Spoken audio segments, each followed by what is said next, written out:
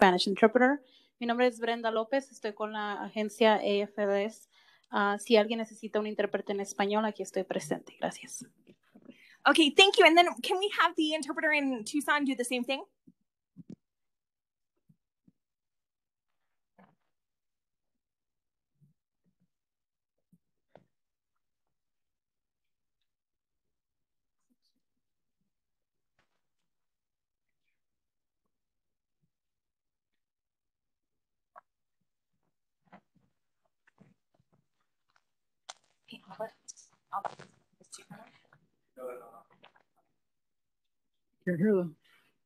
If we can just wait one second, we'll have Tucson join us and then we'll do the Pledge of Allegiance.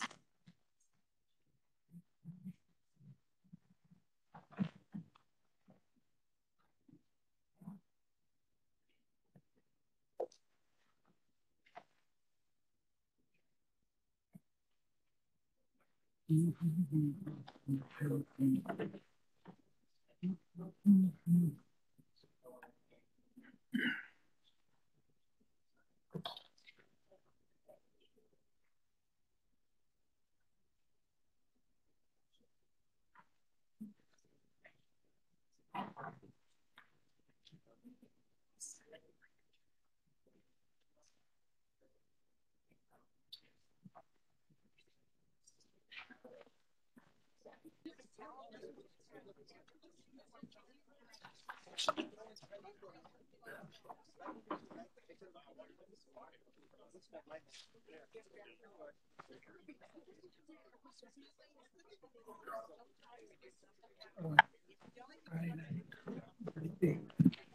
Okay, excellent. Tucson, can you have the Spanish interpreter there introduce herself or himself?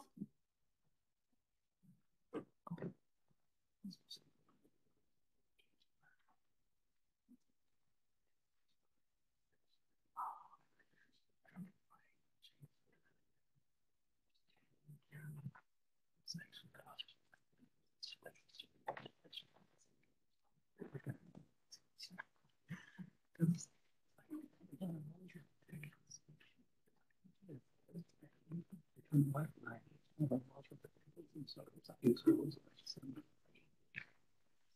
Yeah.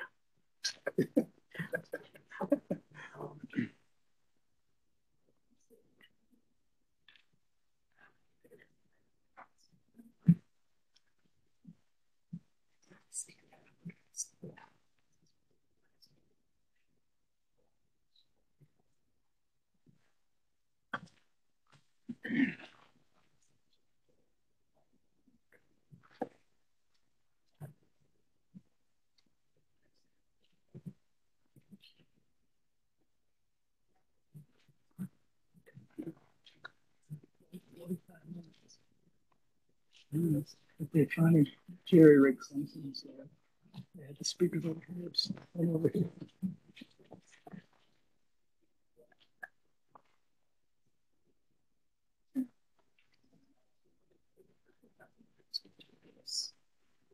Yeah, every meeting, yeah, and this is the same, same company. The biggest- oh, He's right there. Hola, mi nombre es. Lisette Murillo y yo soy la intérprete en español. Si alguien requiere de mis servicios, me pueden encontrar en la sala de atrás.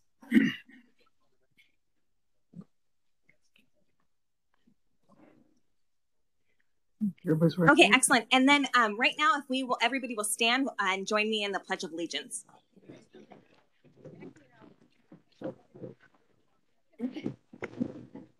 Pledge allegiance to the flag To the flag of the United States of America. And to the republic for which it stands, one nation, under God, indivisible, with liberty and justice for all.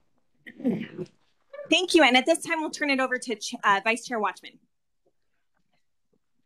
Thank you, Lori. Uh, good afternoon or good evening, everybody. Can you hear me? Get it closer.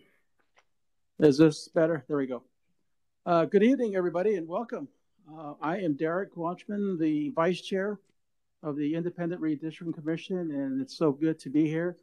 Uh, I, I now call this meeting to order of the Arizona Independent Redistricting Commission.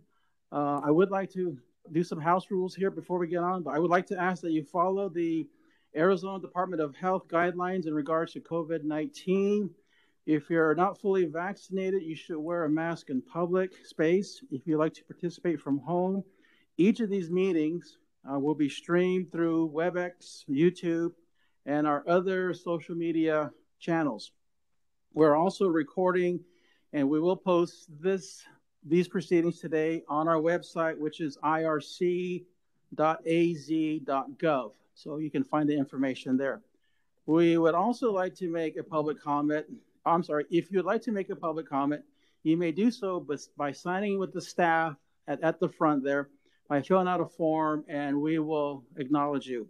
We also have an American Sign Language interpreter joining us by, virtually and here sitting beside me. And we have a, a transcript, uh, transcriptionist who will be uh, transcribing every meeting. Uh, for the record, please speak slowly and clearly so that we have the information and it's recorded. At this time, I would like to introduce ourselves. I will start with Commissioner Mehl, who is online there. David? Hello, glad to be with you. I'm uh, David Mehl, and I am from Pima County. Thank you, Commissioner Mehl. To my far left. Hi there, Erika Neuberg, the chairwoman from Chandler, Maricopa County. Hello, everybody. Thank you for being here. My name is Shereen Lerner. I'm one of the representatives from Maricopa County. And as I as I said earlier, I'm Derrick Watchman, the vice chair. I represent Apache County, and I come from Window Rock, Arizona. So it's very good to be here to see everybody, not only in the audience but online in Tucson. I want to acknowledge everybody in Tucson. I see everybody's wearing red, and so thank you, thank you for joining us. Yeah, I see you out there. Great, great. Okay, uh, now let's we will move to uh, agenda item number two, and it will start with a presentation on the process. And so I'd like to turn over to our legal team. Thank you. Floor is yours. Thank you, Vice Chair. Uh, good afternoon, everybody. My name is Brett Johnson from the law firm of Snell and Wilmer, and I'm joined by my colleague over here, Daniel um, Arellano uh, from the law firm of Ballard Spahr. Um, and we always like to start out the, the meetings with a little bit of a civics presentation. So hopefully you learn maybe some of this um, in grade school, but we'll, we'll see. All right. Oh, there it is. Okay. So the um, obviously um, uh, the need for redistricting goes all the way back to the U.S. Constitution, um, and basically, what the Constitution requires is that every 10 years there's a reapportionment um, of the population for purposes of representation in Congress. So the root of everything is is in the U.S. Constitution. The Arizona Constitution, um, when we became a state, um, kind of reiterated that for purposes of our legislative district process. Um, and the basics the basics of it is is that there's going to be equal population in all of our congressional districts. And for legislative districts, what the courts have said is that you could have a small little deviation for um, legislative districts. That's who we represent to our, our state house. Um, and, the, and the reason being is, is that obviously we are a very large state, even though it kind of looks a little bit different when you're looking at a map. We're a very large state, much larger than a lot of other states. And when you're drawing those types of maps, you have to take into consideration um, a lot of the different factors that were that are actually bound inside our Constitution, and we'll get to in a second. Okay. So from 1912 through 2000, the Arizona legislature is who controlled redistricting. Um, and that's how it was in the entire United States. Um, all of the state legislatures controlled redistricting. Arizona was the first to um, put inside its Arizona Constitution that taking away that responsibility from the Arizona state legislature and creating an independent redistricting commission. As part of that process, um, in Proposition 106, it was really meant to um, avoid a lot of the, the, gerrymandering that occurs in the other states, where you basically have um, lines that are drawn all over the map primarily to uh, protect incumbents has been uh, the uh, the major history, as well as some dark parts of our history for for what's called racial gerrymandering. Okay. So our commission members, um, basically, as required by the Arizona Constitution, has five members. Um, no more can uh, can no more than two can be of the same party, and um, no more than two commissioners of the four original members may reside in the same county. So, of course, this is a, always written by a lawyer to make sure that uh, the context makes sense. So, Erika Neuberg uh, is our independent. Um, basically, was a was chosen by the um, the other four commissioners to be the independent chair. Um, Vice Chair Watchman is the Democrat, and he is from Apache County. Uh, Shereen Lerner, Commissioner Lerner, is the Democrat from Maricopa, and then uh, Commissioner David Mehl, the Republican from Pima, and then Commissioner Douglas York is a Republican also from Maricopa County. So obviously meeting the criteria. Here is what the commission has to do, and some of the conversation that we're hoping to have with you tonight or this afternoon. So our Constitution lays out six specific criteria that the Commission must consider when it is moving the, or creating the lines. The way that the process starts is, is that a grid map must be created, and that has already been done by the Commission. And what the grid map must consider is nothing of the previous lines. Remember we talked about earlier about gerrymandering and protection of incumbents from other states? Arizona's constitution goes the other way. You have to ignore the previous lines and you recreate from scratch using equal population in a grid like manner. And that's what has been done. And the commission, I think, uh, two weeks ago adopted that, um, that map done by our mapping consultants. Okay. Uh, as to the six different criteria, uh, the first one is obviously compliance with the U.S. Constitution, um, and then secondarily, what's called the Voting Rights Act, which is a, uh, a federal um, uh, statutory regimen which basically protects people's rights to votes, and especially um, in minority populations. Okay. Um, next is the congressional districts shall have equal population to the extent practical. And then again, state legislative districts shall have equal uh, population always, to, uh, also to the extent practical. We already talked about how there can be a small deviation. Districts must be geographically compact and contiguous to the extent uh, practical that is meant to ensure that uh, you know like some states maybe back east and, and maybe in the midwest um, where they draw basically a line a small little district and it covers most of the of, of the state to protect some sort of interest etc um, in this case they needs to be as compact as possible. You cannot have part of a district over here and then a clear divide and then another part of the district in another part of the state okay um, district boundaries shall respect communities of interest to the extent practical. Uh, we're going to talk about communities of interest in particular, in particular, in a minute.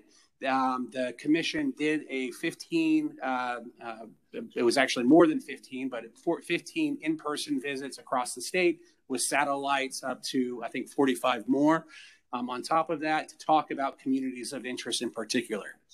Um, from there is is that the, again we talked about the geographical features and also uh, being giving respect to town and county boundaries and undivided census tracts when, when possible.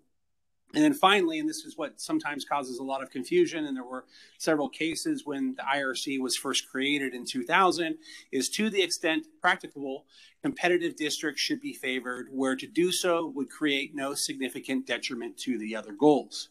So what that means is, is that if if if a competitive district is possible, so long as it does not significantly impact A through E, then the mission of the Arizona Constitution is to try to create creative maps. Again, so long as those are not, the, the other six categories are not impacted.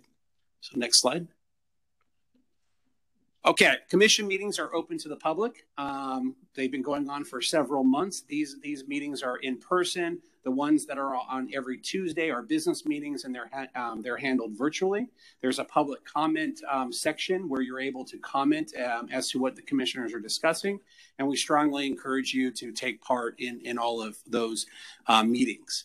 Um, the initial input, as I mentioned before, was about communities of interest. Um, a community of interest report was generated by the mapping consultants to discuss what has already been heard.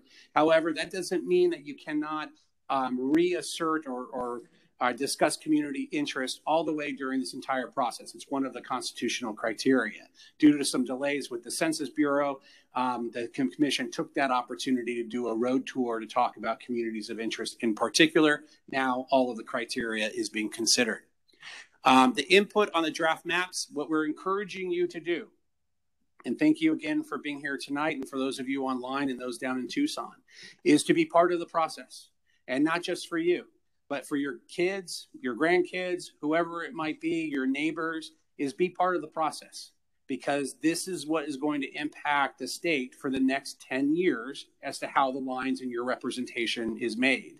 So there are multiple ways to participate in the process. Some of the links are already up there, but you have the ability, and we encourage you all to do it, is to submit your own maps, not just maps statewide, but if you just want, um, and this was a, a big issue from our, our, last meeting, if you want to just talk about your individual district as, there, as it is on the grid map and you want to see how the lines are, that's fine too. Be part of the process and be and, and submit maps. However, it works out, even if it is literally printing out the map and mailing it in, or handing it to one of us before we leave, that is what we what we were encouraging you to do. And it doesn't have to be perfect. Um, I know Mark is probably saying, don't, don't say that, but it doesn't have to be perfect. Just just make it work out the best you can. But again, encourage the part participation. Again, the process, uh, the way it's going to work out, graph, uh, draft maps, grid map has already been selected. Now the commission is in the process of drawing basically the initial draft map. That draft map will be um, then published for a period of time for both public comment and the legislature gets to comment too. And then after that process is done, then the commission will come back and approve the final maps. Okay. During that entire process, you're able to reach out to the commission itself and give your input as to how the process is working and the maps that you um, want to see. Okay. One thing that we encourage, and I'm going to probably steal uh, uh, Vice Chair Watchman's thunder on this, is that when you do propose a map, remember we mentioned the seven different criteria that were, were uh, up before when you're proposing a map, explain why you've chosen those lines. Is it because of one of the different criteria? Is it because of a community of interest? Is it because you think that that district is going to be more competitive? If you, is it because that's uh, compact and geographic um, uh, measurements? Indicate on, on your map why you're making that decision. That is only going to help inform the policy decisions of the commission itself. And with that, I think I'm turning it over to you. So, go ahead, Mark. Good afternoon, everyone. Can you hear me? No. Can you hear me now? There we go. Um, I'm Mark Flahan from Timmons Group on the mapping team. I'm the project manager here. Um, a couple uh, things that we're going to talk to you guys about is some of the tools that we have available for you, the citizens, to uh, be involved and uh, look at the data and even submit your own maps. Uh, the first four things that we want to talk about, and if you did come to the community of interest listening tour, you've already heard me talk about uh, two of them. Um, first one is social economic report. Um, under, uh, it's got about 13 demographic points for all of Arizona, so you can go there and look at demographics for the entire state. Um, that is available online today. Um, community of interest report. We took the community of interest survey that we had 910 digital submissions. Uh, and out of that, we have 182 groups of community of interest uh, defined. Uh, the other thing that we have for the mapping tools that we'll get into is the redistricting system itself. Allows you to draw and submit uh, proposed map changes. The website is there on the screen for you. Uh, and the last piece that we'll talk about is our IRC Mapping Hub, which is a centralized place for you to go get anything uh, map related. Um, so the first thing, social economic report, we talked about demographics. Uh, listed on the screen there is all the different demographic points for the entire state of Arizona. Um, there's actually two different um, applications out there. So there's a story map and a web app. Um, same data, go ahead and consume it any way that you would like. Um, community of interest report. So here's a sample of what one of the uh, 182 groups looks like. This is in the Catalina foothills uh, in the Tucson area. And what we did is we looked at all the information and lines that we got back and we counted the amount of overlap. So, however many times um, multiple people said that this is our community of interest, uh, we grouped those together, and then we um, had five different categories from the highest number of overlaps to the lowest number of overlaps. So, on the screen there, you can see the dark red uh, is where it had the highest number of overlaps, and the last category is very faint to see on that screen, but it's uh, almost a white gray color with uh, a gray line on it. And that report is on the IRC Mapping Hub for you be, to be able to uh, go look at. And at the very bottom of the page is actually uh, all of the paper submittals too that we had. There was over 200 of them, so you can download that Excel spreadsheet today. Um, real quick, what were we looking for for a community of interest? Um, so where people have common social and economic interests, shared characteristics, experiences, similar issues or impacts of government policy, um, and it's basically a geographic area with a shared benefit uh, from being kept undivided in a single district. Um, so redistricting system. So what are the benefits of the redistricting system that we have? Uh, anyone create, can create an account. It's online 24 7, 365 access for you today to go create an account and draw your own map, view the grid map. Uh, you can look at all the demographic points that are in there.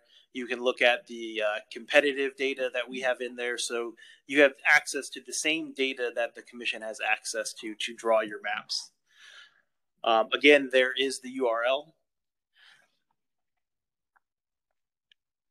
Uh, early this morning, we added a new feature that will allow you to draw a single district. So now, when you create your account and you log in, you're going to have four choices that pop up to you. The first two is will allow you to work off the grid map as a template, and the last two, that's named Focus Legislative and Focus Congressional District, will allow you to go in and just draw the single district. Um, so the template's already set up. You'll have uh, all the population sitting in a not to consider district, and then district one will be the district that you draw. Um, and that'll be the one that you can submit. So now you do not have to um, balance the entire map. You can just submit your one district. Um, this is the IRC mapping hub. That is the URL on the screen. Um, don't worry about trying to memorize it. You can easily get there from the IRC's website, which is irc.az.gov, and go to the Maps tab, and there is a link right there. Um, so, what is it? It is a centralized location for everything maps, apps, training on the redistricting system, information about the grid maps, demographic competitive data, you want to download uh, PDFs of all the grid maps, you're more than welcome to per district or for the entire state. Um, the GIS data for all the mapping people are there. Um, so that is that centralized place that you can find that. Uh, and going forward, once uh, there are draft maps approved and or final maps, this will be, again, the landing place for it. Um, so those pages will be coming soon. Uh, on the screen now is the grid map. Um, Brett already mentioned it, but the commission uh, adopted on the 14th of September. Um, congressional is on the left, and the legislative is on the right. Um, it started at the township median, which is 19th Avenue and the corner of um, Brand and McDowell in the Phoenix area. Um, and there, the commission directed us to build the grid map in a clockwise manner from that median. So we divided the state into four different quadrants uh, and then built it in a clockwise manner. Um, again, if you go to the hub, you click on the grid map page, it'll talk all about it. Um, again, there's the exact page for the grid map if you really wanted to jot it down. And that is all I had. That was the schedule moving forward. Um, other than that, I can give it over to Lori.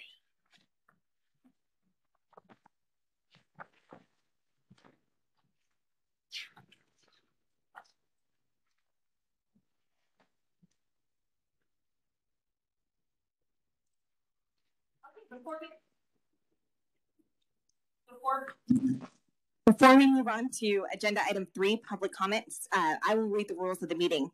Citizens may only speak when recognized by the chair or the presiding officer of the meeting if the chair is absent or has otherwise delegated hearing administration authority.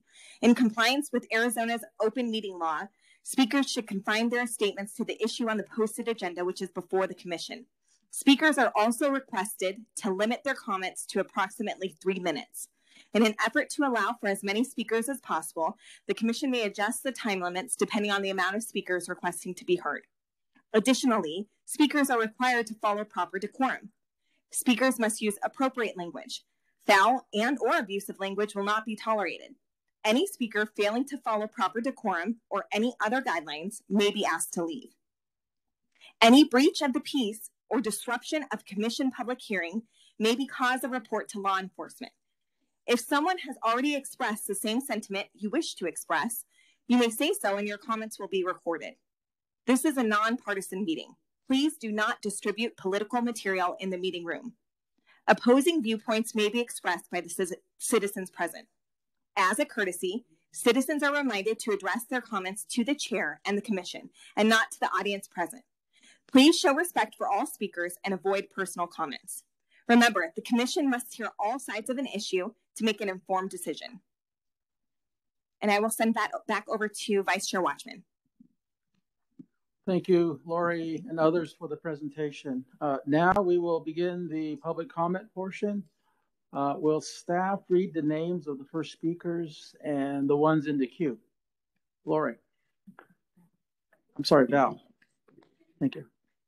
Good afternoon, commissioners. My name is hmm. Valerie Neumann. I'm the executive assistant here at the IRC. Our first speaker is Justin Wilmeth, our state representative. Our second speaker will be John Crane, Vice Mayor of Carefree. And our third speaker will be Thomas McGuire, Cave Creek Council person.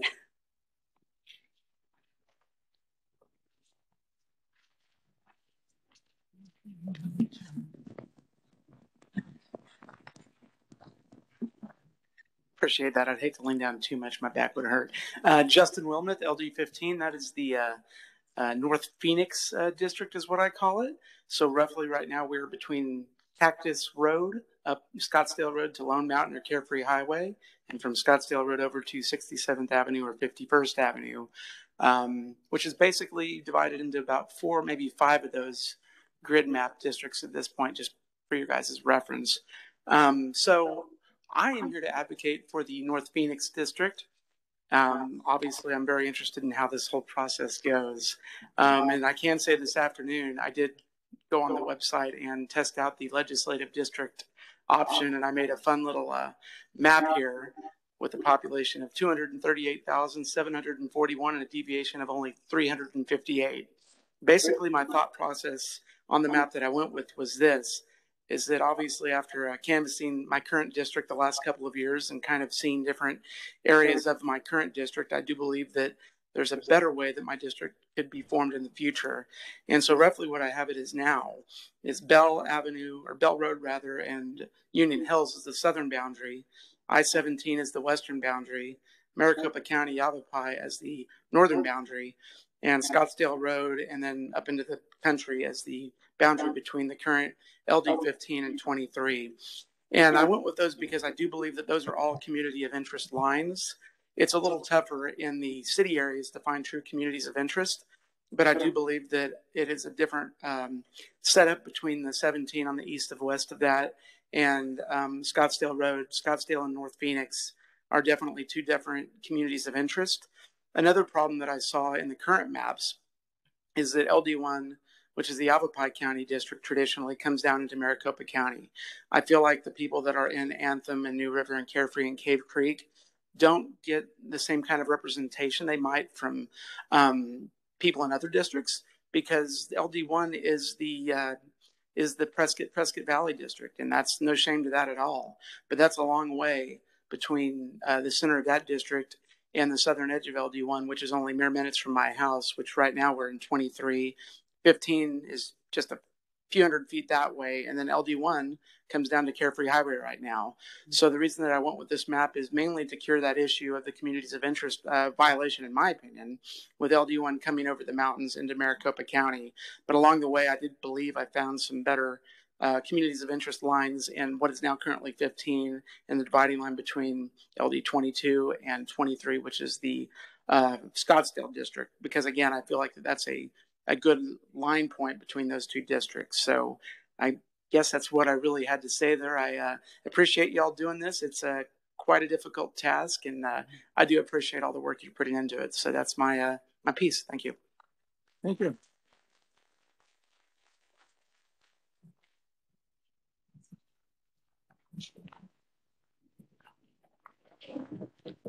So good afternoon. I'm John Crane, the Vice Mayor of Carefree.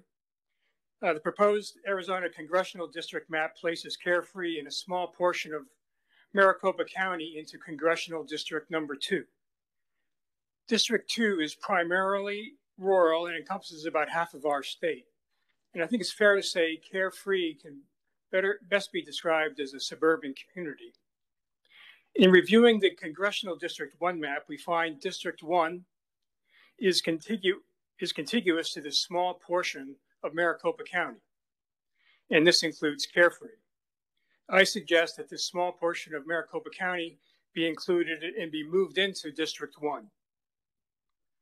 So should this small portion of Maricopa County be moved into District 1, the compactness of District 1 would be maintained. Existing Maricopa County town and city boundaries would continue to be respected.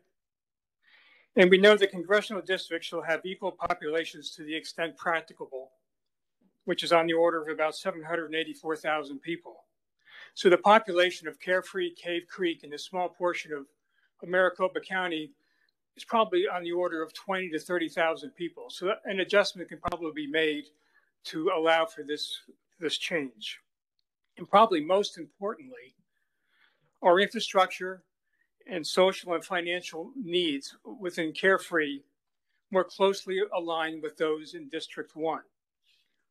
So while some of my most enjoyable experiences with the, the people in the land in District 2 or have been experienced in, in District 2, I think my community, town of Carefree, would be much better served in District 1. So thank you. Thank you. Uh, thank you, Mr. Vice Mayor. Good to see you. Uh, I'm uh, Tom McGuire, and I am a council person in Cave Creek. We know that every vote should count if the districts are competitive, if they are not drawn in such a way that one party or the other has an unclear advantage, then everybody gets a chance to have their vote count. And we know that's very important. And I will say also, it is the duty of us as citizens to get out and vote. No matter how we feel, we should be there. And having been there, our vote should count.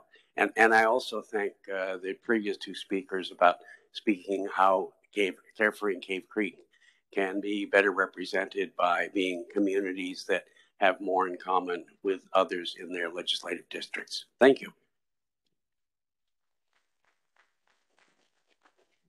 Our next three speakers will be Lynn Walsh, Abby Hemingway, and Victoria Kanzlarek.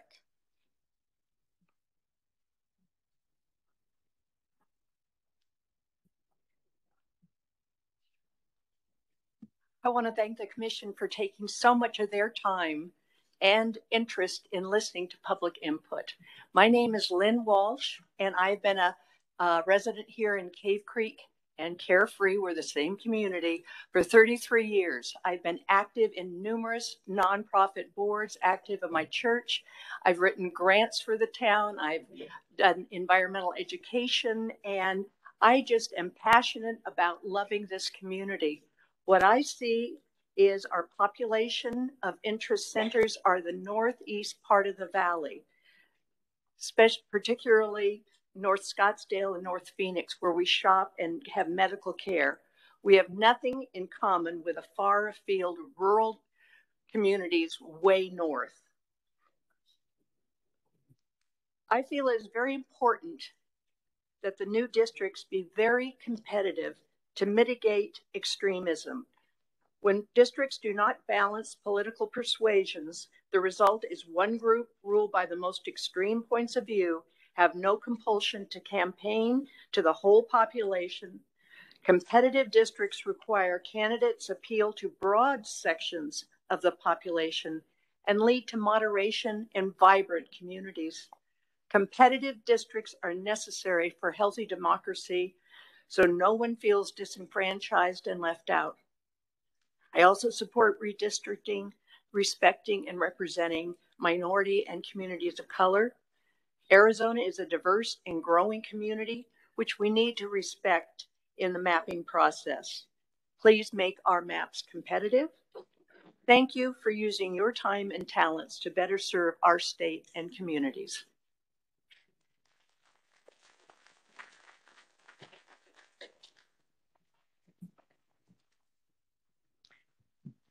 My name is Abby Hemingway.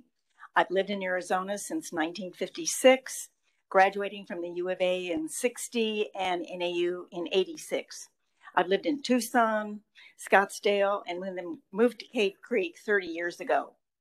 And also, I've been a member of the environmental education group Desert Awareness Committee for 30 years. I live in LD1 and CD6 and feel that my representatives just do not need to hear from me. Therefore, I am most concerned with the creation of districts that are fair and competitive because I feel that if this is done, it solves just about everything else. Competitive districts encourage voter participation, which is a good thing. Fewer people will bother to vote if the outcome of an election is a foregone conclusion, and that's not good, in my view. In addition, competitive districts force candidates to appeal to the broad spectrum of the voters in the district, not only when they're campaigning, but it also guards against their backing of extreme bills after they are elected. Case in point Karen Fann represents my district in the Arizona Senate. Having won the last election by over 76% of the vote, she knows that the only voters she has to please are those in her party. So she can embark on projects like hiring an inexperienced group with an agenda, like Cyber Ninjas to perform a so called audit of the 2020. Okay. I just wanted to give an example. Okay. Um, so, in other words, um, she can, and any legislator can, in a district that's not representative, uh, they can support bills that uh, even 80% of the voters would not in that district would not agree with. So I just believe that our non-competitive district requires no moderation at all. I just ask the commissioners to keep the pre the key principles in mind when you draw the districts. And I thank you so much for spending all of this time to get the facts about how people feel in the various communities around Arizona. Thank you. Thank you.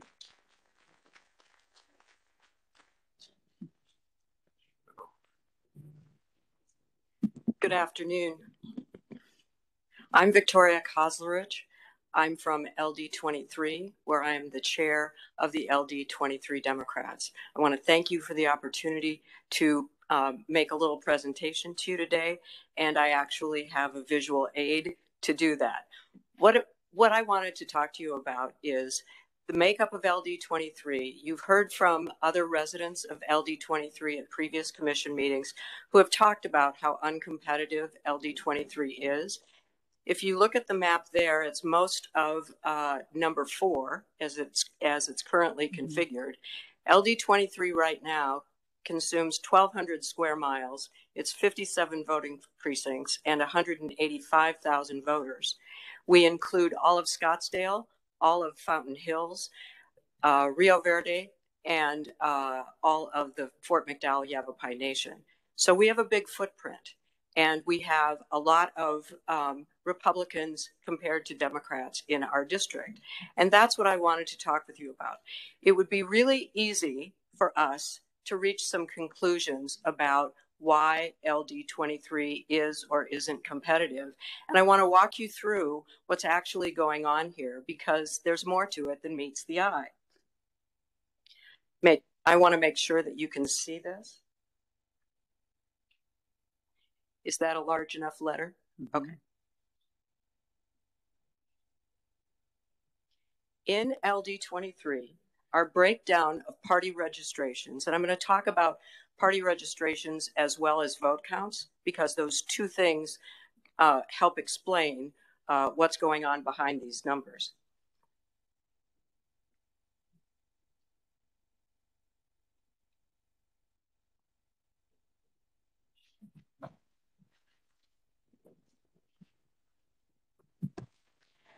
Party breakdown across Legislative District 23 is 45% Republican, 30% independent, and 25% Democrat. And if you looked at that just on its face, you might say, well, all that the Democrats have to do in this case is appeal to more independents. That seems logical, but there's something going on here that's not terribly obvious.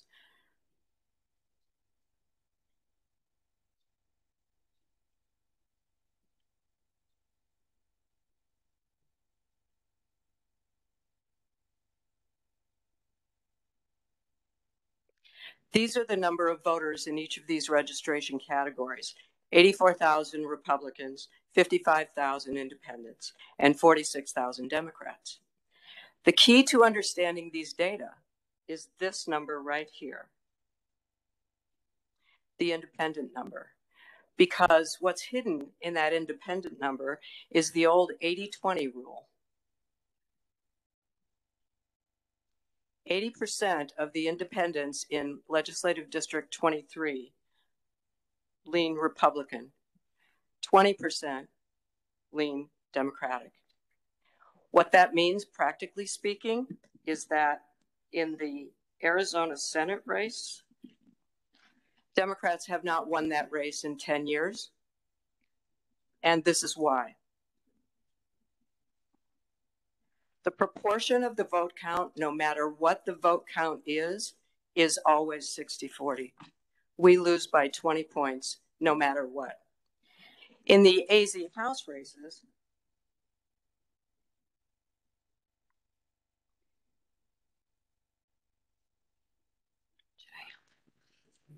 it's a little bit better 35, 35, and 30 when we run a single candidate.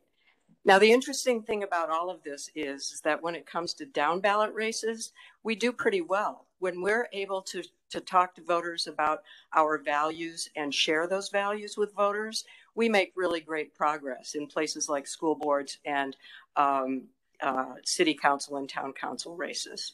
So I wanted to just make sure that you understand this because this is a feature of that Your time is up. geographic area. And Your ti- that's your time. thank you. Thank you very much. Thank you. Thank you. At this point, we will turn it back over to Tucson. But before we go there, I would like to remind everyone of the rules of the meeting. There's a portion I'll reread again in case anybody didn't hear it. Uh, speakers are required to follow proper decorum. Speakers must use appropriate language. Foul and or abusive language will not be tolerated. Any speaker failing to follow proper decorum or any other guidelines may be asked to leave. Any breach of the peace or disruption of a commission public hearing may be the cause of report to law enforcement. I'll send it over to Tucson now. Thank you, Lori. Commissioners and listening audience, I am going to read the first four names. If you'll please follow that order and start lining up. The first speaker is David Garcia. Second speaker, Mike Wilson. Third speaker, Barbara Ware. Fourth speaker, George McGaffey.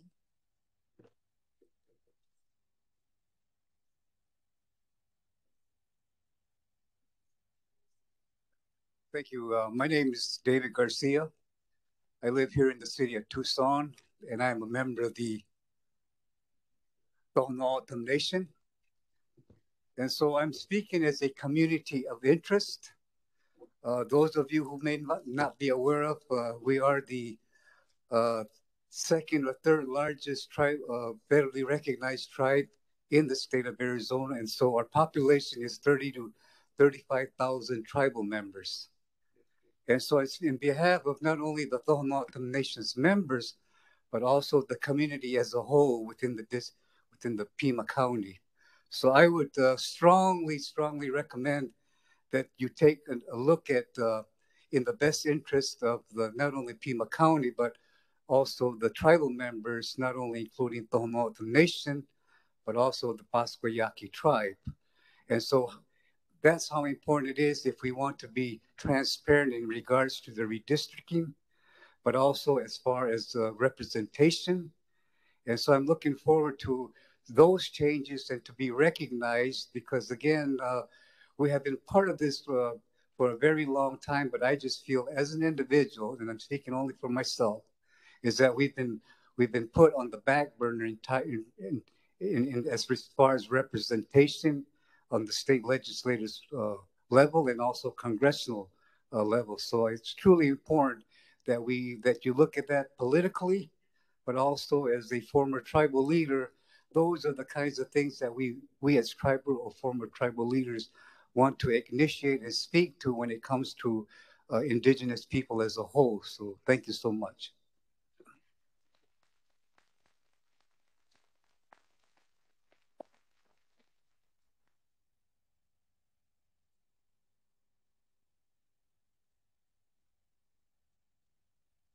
Good afternoon and welcome to Chukshon. Chukshon is a Tohono O'odham word for those of you that know it as Tucson. I come to here as a enrolled member of the Tohono O'odham Nation, only as a member of civil society, not representing any tribal government, especially my own, nor any of the other 21 federally recognized tribes in Arizona. I say welcome to Tucson because within an, a mile and a half from this very location, the sacred place, the sacred land that we're sitting at, are the pit houses, our ancestral remains of the the village of Tucson. So this area is our sacred land. It's our ancestral land. But more importantly, it's our spiritual land. It's what remains of our spiritual land. So, for all of us, welcome. I give you greetings in the name of the Creator and all of them peoples.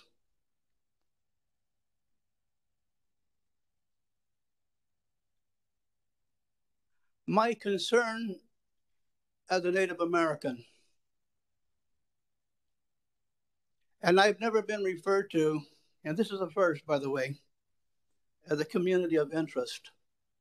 But I guess there's an emerging vocabulary that I got to get used to. During my during my 22 years of service in the Army, I was never referred to as a community of interest until now but that's okay. My point is that I fear that indigenous communities, indigenous nations, indigenous peoples, if we're not careful in this redistricting, that we, we will be pushed aside as we have been for over 500 years already. We are here. We're an awesome land and welcome. Bless you. All of us. May we be blessed for standing in this in this sacred country and this, this sacred land and that sacred flag. Again, my concern if we're not careful in this redistricting, we will be lost in the shuffle. Thank you.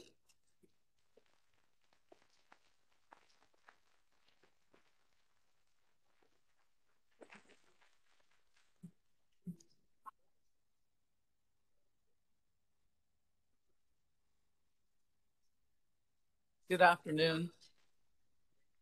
Hi, this is Barbara. My, my name is Barbara Ware, and I live in southern part of Pima County which is currently part of CD2 and LD2. I reside in a semi rural gated retirement community surrounded by pecan orchards, BLM land, and another small residential development. I moved here from Oregon with my husband in 2019 and love our new state of Arizona. The reason we moved to the area outside Sahuarita, Green Valley, was because it was a semi rural with conservative values. I have so much in common with the other residents in my community and the surrounding areas. This area consists of individuals who live a very active lifestyle by golfing, pickleball, tennis, hiking, biking, and socializing. I have seen the recently released grid maps. I understand they represent a neutral starting place, but I would like to see adjustments taking into account my communities of interest and following that criteria in the law in making the final maps. Those criteria are compliance with Section 2 of the Voting Rights Act, prohibiting the splitting of minority areas, equal population in districts, compact and contiguous districts, reflecting the community's interests within them, and using recognized boundaries as district borders. My community consists of residents that have retired from fields of business, management, law enforcement, education, and military. They are educated, well traveled, pro Second Amendment, and very well informed. A large portion are veterans, including my husband. English is our primary language. We attend church in Green Valley, shop in Sahuarita, Tubac, and Oro Valley, and frequent restaurants in Tubac, Vail, and Amado.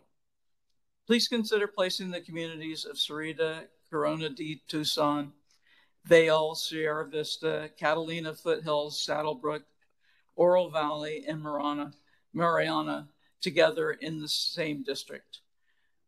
We have very little in common with our current district, which includes the city of Tucson and the Nogales.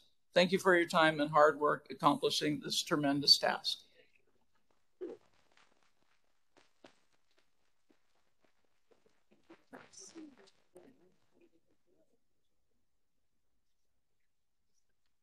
Hello, Commissioners.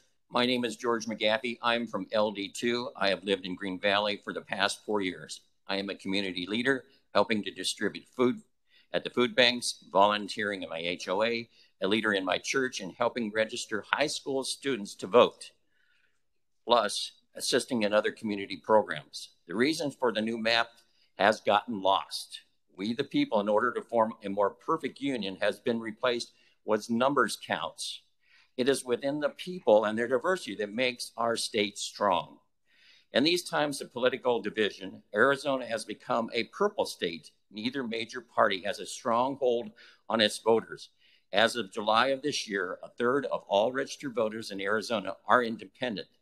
The final map should reflect this new made up by honoring the U.S. Voting Rights Act, therefore, protecting the voting power of the communities of diversity.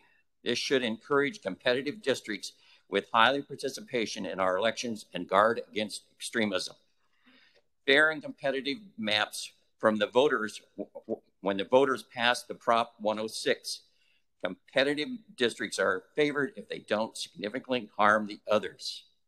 One person, one vote principle in our democracy is important, but so is the representation of all, including minorities in our community.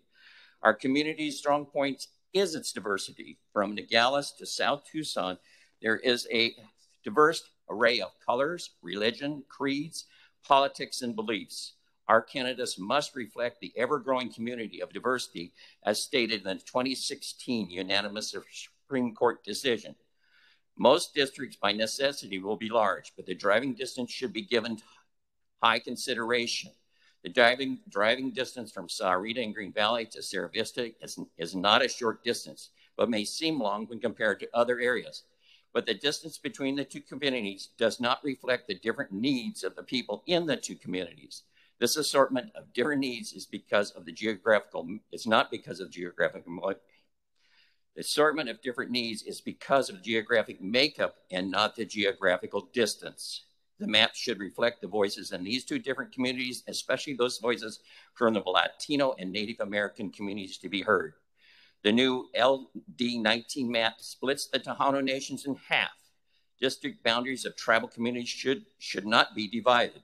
The, the current map has divided them into two districts, one in Pima County and the other in Yuma County. It is not reasonable to do it again. It has become a human right issue when the large, diverse nation is divided into multiple districts and counties. Boundaries should respect the communities of interest of our tribes and communities of color. It is critical to consider the population increase of these communities in the 2020 census and the registering voting history. Arizona and these diverse states, I wish to thank the committee for their time in this personal action. Thank you.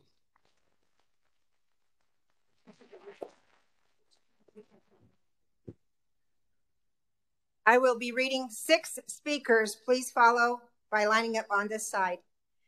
Ken Zibal, Joe Bogart, John Maynard, Susan Kuzi, Stan Kane,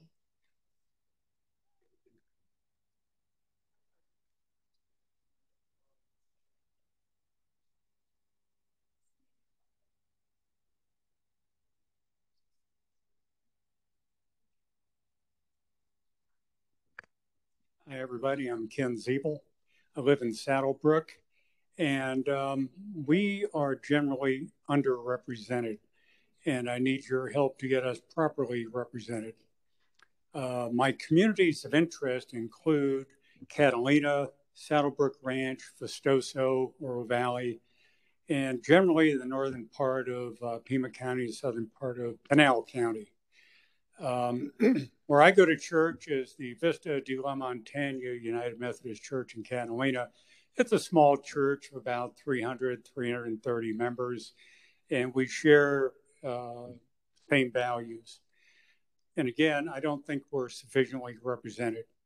Uh, we shop locally at Bashas', at Fry's, and uh, all my medical providers, doctors, dentists, all those people are still in that same geographical area that I live in, and uh, we like it there.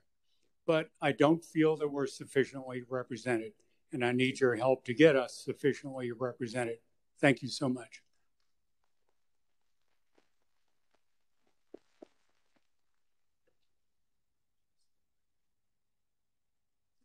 I'm Joe Bogart, Marana, Arizona.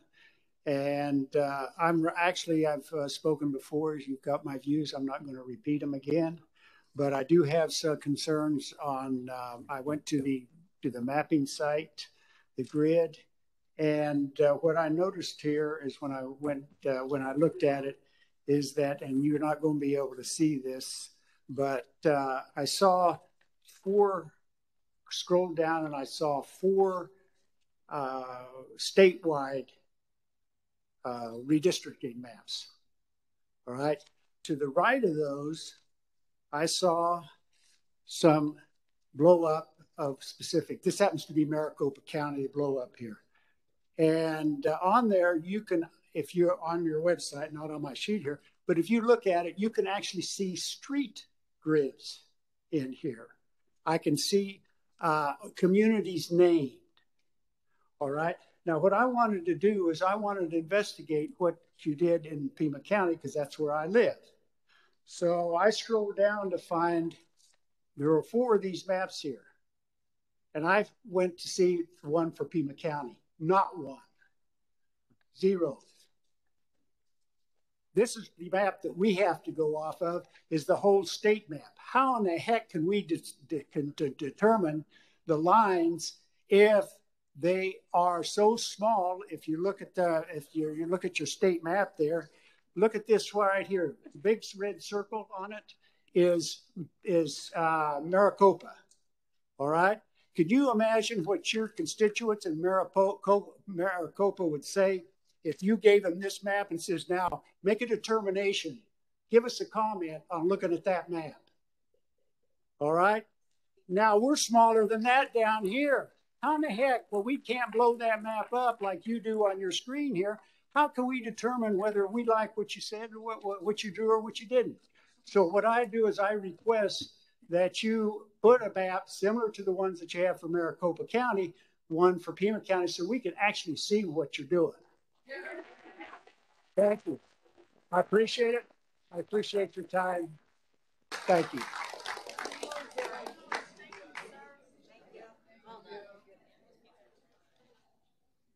Just a reminder to the, the listening audience, when you are clapping and you are speaking, our live WebEx mic will not pick up the speaker. So if you'll just please be mindful of that. We have people that are listening on the live WebEx.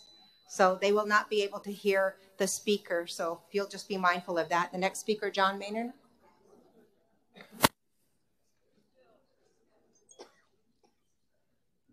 Good afternoon, commissioners. I certainly appreciate your time and what you're doing for us here. Uh, I live in Oro Valley, I've been a resident of Arizona for about 16, well, actually 26 years. I uh, moved to Oro Valley because of the population, the makeup, and so forth. Uh, my community of interest includes uh, Marana, Oro Valley, Catalina, Eagle Crest, Saddlebrook, and Saddlebrook Ranch. I have three children in the area. I have seven wonderful grandchildren in the area. I worship at a church in the community. My two favorite restaurants are in this community. I have 300 personal friends that I communicate with uh, frequently, multiple times every every week. Uh, probably uh, getting gestures from them.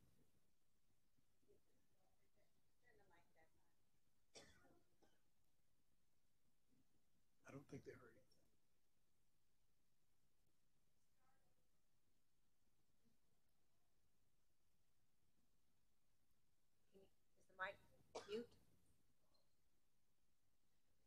Madam Chair, Commissioners, can you hear us?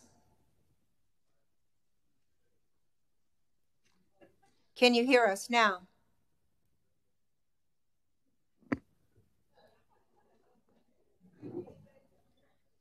Can you hear us now? Hello, hello, okay. This one.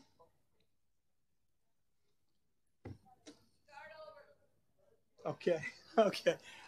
Uh, good evening, good afternoon. Thank you so much for the, the great work that you're doing. I really appreciate it.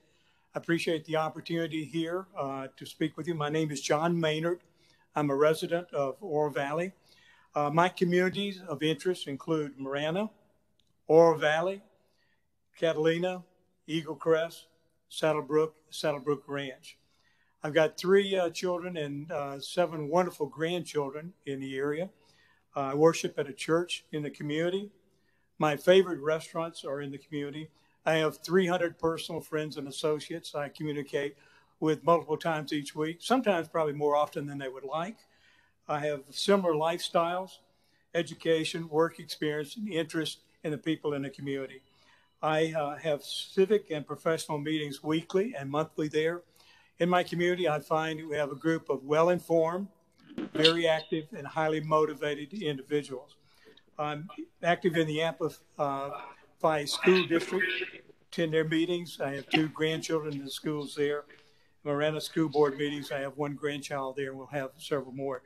Uh, I'm currently in LD 11 on the grid map that you show. It looks like it's 16 or so. I'd very much like to keep that pretty much uh, close to what it is now because I have so much in interest with the people there. Thank you so much. I appreciate your time. Hello,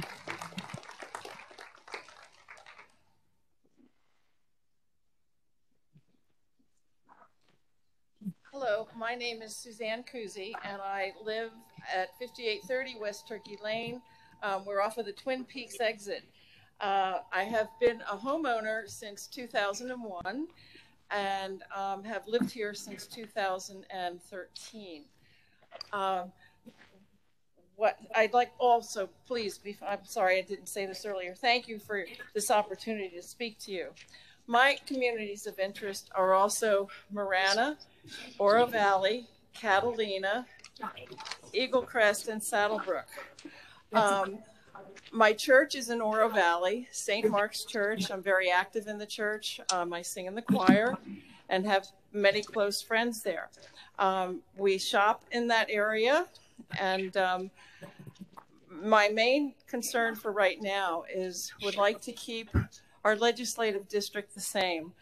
Um, we have a special interest, and I live in a slightly rural area. We have a cul-de-sac. There's approximately 90 residents there, and more than half of the residents are horse owners. We'd like to, we've spent a lot of money on our properties there. We'd like to, that's our special interest. It also affords businesses for the blacksmiths and the veterinarians that live in the area. Um, we all, many families also have different farm animals um, to include uh, some uh, mostly chickens and pigs. But um, I would like the district to stay the same or as much as possible. And um, once again, would like to thank you for this opportunity. Thank you very much.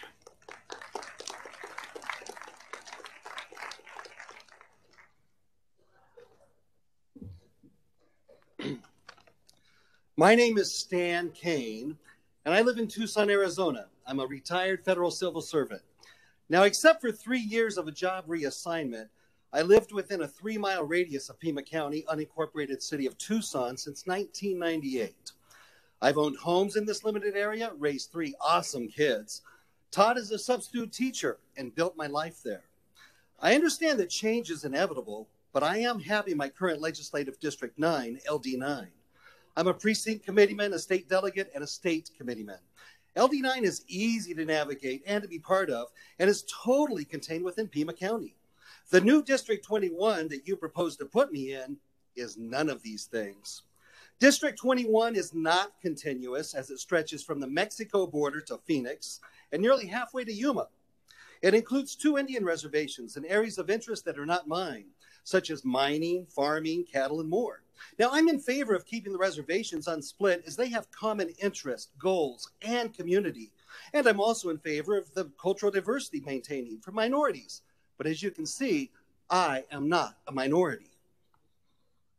The new District 21 has a polygon area test of over 8,000. This is one of the three highest numbers of the proposed areas you have. It does not adhere to the requirement of using natural landmarks in geography. An example is Interstate 10. This landmark roadway would make a wonderful boundary. My house is east of I 10, about a mile in a small subdivision of 69 homes. It's just off Cortaro Farms Road. The new District 21 crossed, it crossed over this natural boundary, grabbed my little neighborhood, and by crossing over this natural boundary, it captured my neighborhood. Now, visually, what does it look like? It looks like a puzzle piece with a very small nub on it. It makes no logical sense to include my area in District 21 as it violates the I 10 natural boundary. Now, another example of violating natural boundaries is the number of counties included in District 21. As I stated in current LD 9, it's contained solely in Pima County. The new District 21 covers several counties. This makes it nearly impossible to be involved in my LD county government. I'd have to drive hundreds of miles just to attend Board of Supervisor meetings. The natural boundaries of county lines should be considered. Now, I'm not trying to create issues, and I'm just trying to live my life, be involved, and be an informed citizen. I welcome logical change, appropriate change. Please reconsider throwing my neighborhood into this no man's land of District 21. Now, in short, it's almost over, guys. My family made our lives meld in this area. And it brings us comfort that we know the people, the shops, the history, the culture, and what's happening in the area. I go to Phoenix a few times a year, mainly to the airport, and to Nogales a couple times a year for the food. I've never been to any tribal meetings or council, though I'd love to go. There's got to be a better way of keeping continuity in my area, so please don't put me at 21. And lastly, I did submit a proposed map. It's called LD 0005. Once again, LD 005. It's passed the, the integrity check of your system. I ask you consider it as a viable alternative. Thank you very much for your work and your dedication.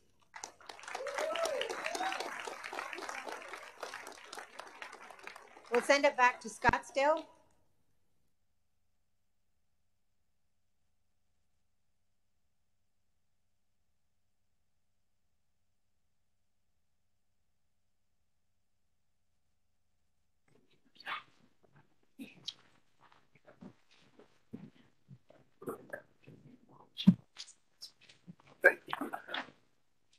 Hey, y'all, thanks for the work you're doing. Really appreciate it. I just want to say that uh, I appreciate the map with the uh, uh, legislative district where you've got us all back into Maricopa County, which I believe is where we belong. We uh, we really shouldn't be split up with all those folks up north.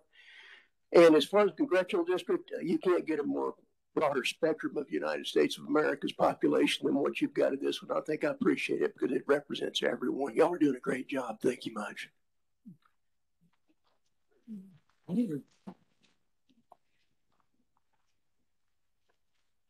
Hello there. My name is Gayla Parrish, and I'm a precinct committeeman for LD1. I have received, I have, I have um, reviewed the preliminary maps, and I have two concerns that I'd like to talk about. Number one, CD map. Um, for us up there in the north. Anthem is cut in two. And if you live in Anthem, Anthem is a very close knit community. If you live there, you go to the doctor there, you go to the dentist there, the schools are there. You only have to drive a few miles to go to a hospital. So they're very close knit. And to be cut in two, I know they would they would appreciate not being cut in two. And the other legislative district um, I would like to talk about. Um, we're in LD one, and um, I have a map that I have made up. What I'd like to say about that is if you look on the number four that you've made, LD4, you cut it off at, at Carefree Highway and then you go way down and then you go in. And I believe the lawyer guy, I'm sorry, I don't know your name, he said you're not supposed to do that because right under where it says Cave Creek and number three, those are our communities. And our communities are Anthem, New River, Desert Hills, Cave Creek, Carefree, Dove Valley, and Tramonto.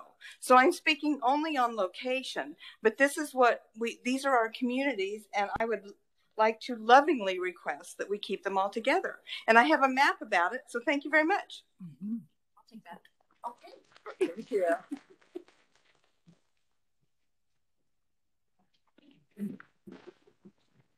I'm her better half. My name is John Parrish. Uh, I live not far from here, uh, 7th Avenue and, and, Joy Ranch Road, the Desert Hills area. And I'd like to talk first about uh, your drawing for Congressional District 2. Uh, and as it is drawn, there's several problems with it, probably provisions B, C, and D. Uh, so we are included in that in the Prescott, Flagstaff, uh, population areas and uh, those are their, their, areas of interest, uh, and also a vast rural area, Coconino County, all the way around the eastern side of uh, Arizona down to the border. Um,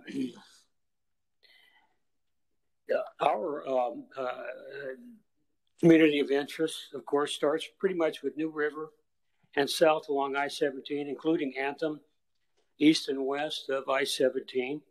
The communities of Desert Hills, Cave Creek, Carefree uh, uh have, uh, are, have, all have interest in the greater Phoenix metropolitan area.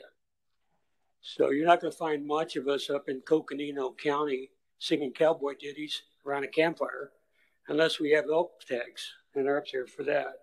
But uh, presently, I'm in uh, Congressional District 8 and my congressman, uh, uh, congresswoman is uh, Debbie Lesko. And I'm a veteran and I have issues with the VA. And I can drive over to uh, Congressman Lesko's office from here and personally talk to somebody in her staff. Uh, but I'm not going to be driving to Prescott or Flagstaff or down to Douglas, Arizona uh, just to talk about my problems uh, with with the VA. I'm not going to do that. Uh, the second thing is our legislative district. Uh, we are right now. We're presently in, in, in, LD one, legislative district one. You want to make up a district uh, four there. Um, that couples us with Scottsdale and Paradise Valley. We've pretty much been stepchildren of Prescott in legislative district one uh, since its inception because all our representatives are from up there. As you have it drawn now, we're still going to be stepchildren of the Scottsdale Paradise Valley uh, community. And so uh, they think we sing cowboy ditties up here, and, and we do. But um, I would much much rather see us draw a, a district here again, starting up in New River, uh, uh Black Canyon City, come south along I-17, and then include uh, this, the communities along that Anthem, uh, all the way down pretty much to the 101 and as far east, including Cave Creek and Carefree, uh, to Pima and south to the 101 from there. That's time, sir. That's Thank you very much. Thank you. Our next three speakers before we go back to Tucson, we've got Alexander Culloden, Connie Henry, and Jaylene Griffin.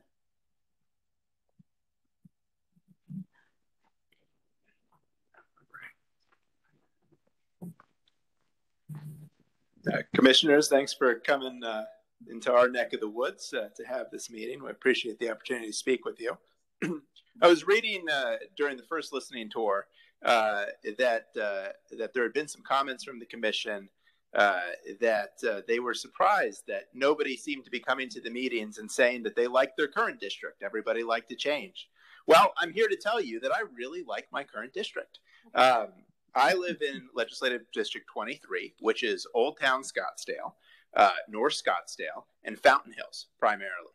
Uh, and to tell you that these constitute a community of interest will be obvious to basically anybody from Arizona. Um, their the economy in all these three places is basically exactly the same. It's high value services, uh, tourism, resorts, uh, and so the types of people who live in all three places, professionals uh, who work in these sorts of industries, um, and there's it seems to be a bit of a change to the district with the District 4 that's on the current map. Uh, but District 4 essentially cuts out North Scottsdale and loops around uh, over to Anthem. Uh, and that doesn't seem to be very contiguous or compact. Now, Scottsdale itself is not particularly compact, it's elongated, uh, but it is more compact than cutting out part of Scottsdale and looping over. And you know, the chairman of the LD23 Democrats had said that uh, that it wasn't a very competitive district, but it but it should be borne in mind that in the 20, uh, 2018 cycle, uh, the Democrats almost picked up a House seat. They came within three points, uh, and in the last cycle, they're a little bit more distant, but not much. With demographic changes, the district is is becoming quite competitive. The mayor of Scottsdale, which is the largest portion of the district, is a Democrat, and all of that. Uh, so I'll leave you with this final thought: the way that I'm dressed now I can go to any part of LD23, go out to the bar, and be sharp. If I go south of there, I'm way overdressed and I'm square. If I go to Cave Creek, they're going to be like, Where's your Stetson, partner? So if that ain't a community of interest, what is? Thanks.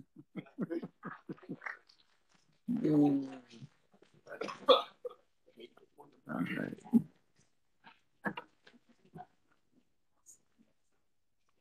Hi, my name is Connie Campbell Henry, and I live in Anthem.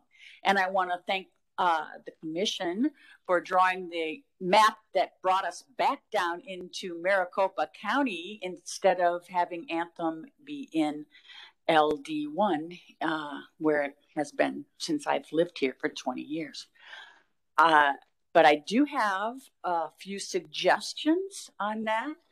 Uh, as the Parrishes who spoke a little earlier, uh, Anthem has been divided in two.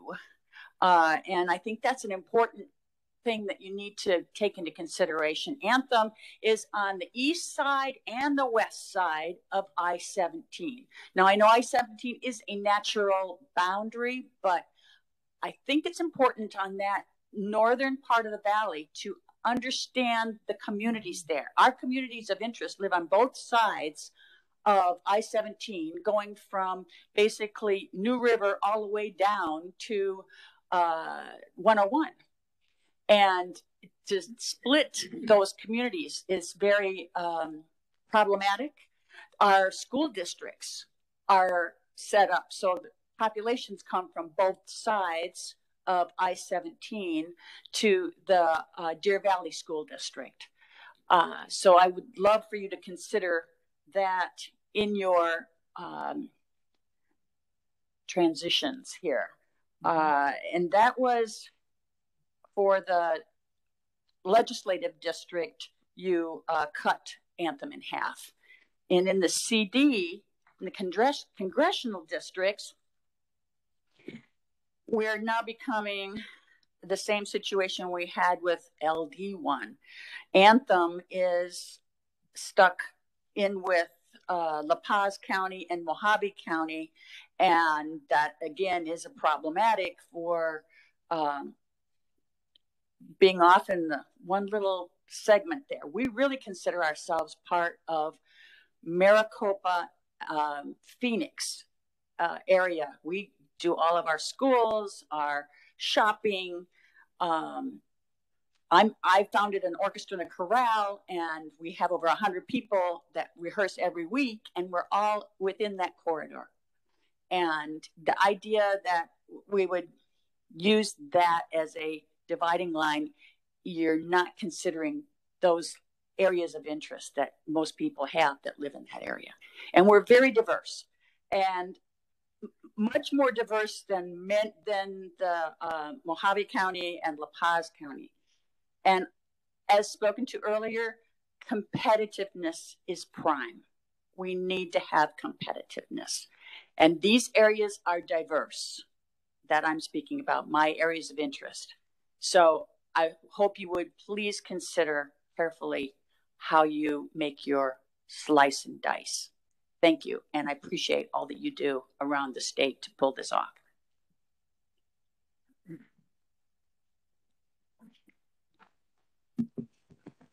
Hello, I'm Jaylene Griffin out of LD1 currently, and I would like to speak about um, the current grid map you have. You have us in four, and I think people have already expressed their opinion about how that's been drawn. It's concerning. We're not really rural. We consider ourselves a very tight knit community. And I have a map also that I have drawn that would put us up to not split Anthem, like the last lady spoke to, go up to Black Canyon, go down to the 101, I 17, uh, go over to the west side a little bit, over to Pima Road and up and around, taking us from LD1 into four, wrapping us all the way down underneath into North Scottsdale. That is not our community. We have a lot of shopping up and down the corridor, like that lady said, that we feel very, very comfortable in our area. Having us drive 35, 40 minutes to go into an area way down on Shea, I mean, it, it's it, it makes no sense to me. Uh, so I really think you need to really, really look at how you've drawn these maps and bring us more into the D3 area, Dove Valley, because we're currently Anthem, New River, Dove Valley, Cave Creek, Carefree, Desert Hills, Tramonto. And as it says in your provision number C, keep us compact. You look at that, the way you've drawn that, that's not compact. You have us going like this and this and this. It, it's a little crazy, to be honest. So if you could really, really consider how our community is and keep us all in a compact area, we would all really, really appreciate it. Thank you for your time.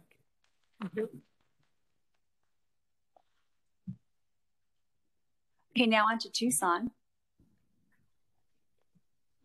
Just a reminder to my Tucson uh, listeners here, we have 79 speakers. So as I read your name, if you would please line up according to how I read your name on this side, uh, please do so. The next speaker is Elizabeth Packard.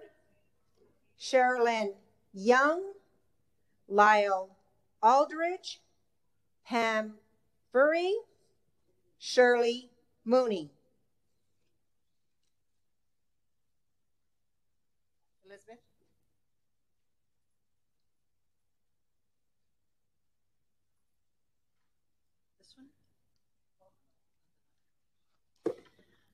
Good evening. My name is Elizabeth Packard, and I very much appreciate the opportunity to share my thoughts on the most recent um, grid, grid maps and redistricting. I moved to Arizona about 50 years ago and have raised three children here, was a teacher in the Amphi schools for 20 years, and I lived much of that time in Midtown. But about a year ago, I moved to Oro Valley to be closer to my youngest and most adorable grandchildren so, uh, living in more than one neighborhood in Tucson has given me a broader perspective on the character of greater Pima County. Moving to Oro Valley has been quite delightful. I have enjoyed the kindness and the friendliness, uh, the hospitality of new neighbors and friends. Um, and I have uh, much to be appreciate, much to appreciate. However, my um, only disappointment has been the lack of diversity or demographic balance in my legislative district, which has been currently LD11. I also um, just noted recently, uh, looking at these maps, that Pima County, which formerly had five legislative districts, now has only four listed. So I am somewhat concerned about that. Yes, okay. Um, I ask that this commission draw district boundaries that consider the population increases of 2020 census and the registration and voting history, which in Arizona is one third Republican, one third Democrat, and one third independent, as has been previously noted. I look forward to draw, seeing districts uh, drawn, redrawn, so that in 2022, when I vote, I can find viable candidates, candidates from each of our political parties who represent at least some of my points of view. Lacking that opportunity invites political extremism, as there is no need to represent a diverse constituency if only one voting bloc dominates the legislature or the congressional district. Thank you for uh, to the commission for signing on for this um, demanding position and for encouraging citizens like me to participate in the democratic process.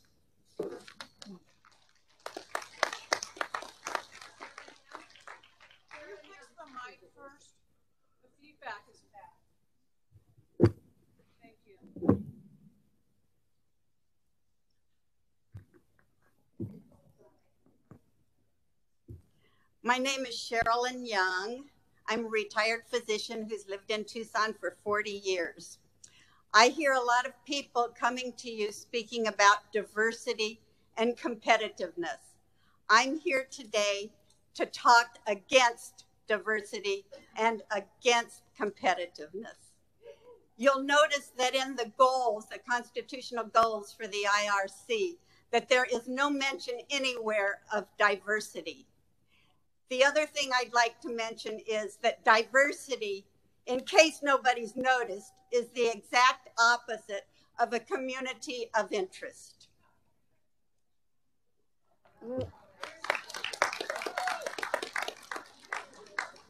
We want representation that will represent our community. The other thing I'd like to say is that competitiveness is the final the fifth of the constitutional goals and is also the least important. It says only if it doesn't interfere with the other issues. Competitiveness definitely is interfering with our communities of interest. What's happening is that the outskirts of Tucson tend to be Republican, whereas Tucson tends to be Democrat. So when there's a competitiveness, it has to include areas outside of Tucson and areas of the city. And what's happened is that the urban interests have come to subjugate all the outlying areas. That's why you're seeing all these people here today dressed in red. We're tired of being subjugated to the interests of the city of Tucson. We want representation. We want representation for our out, outskirt areas, for our unincorporated areas, for our rural areas. I'm also noticing that with the congressional districts, we have three districts that all come into Tucson. This means that three congressional districts are going to be influenced by the city of Tucson. Tucson should have its own congressional district, its own community of interest, and we should have better representation in the outskirts. Thank you very much.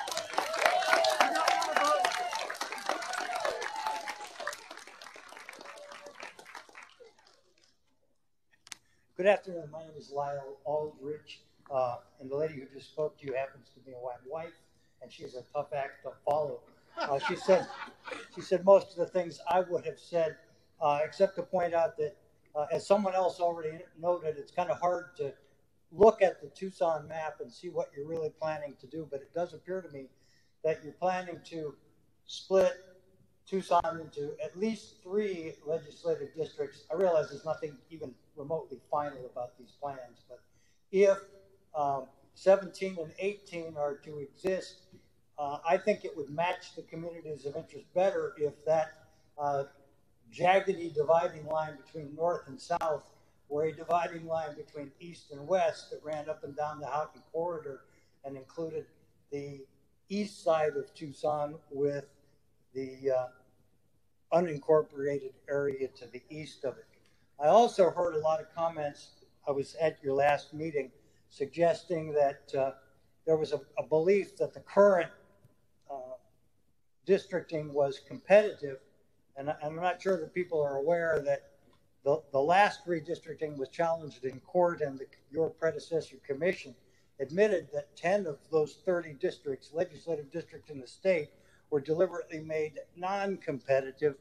Uh, and we can see the results of that, especially here in Pima County, where there really haven't been many Republicans elected under that plan. Uh, I would ask that you do increase some competitiveness that will allow people, the communities of interest, to be represented by people who actually represent a community of interest and can represent those of us who feel the same. Thank you.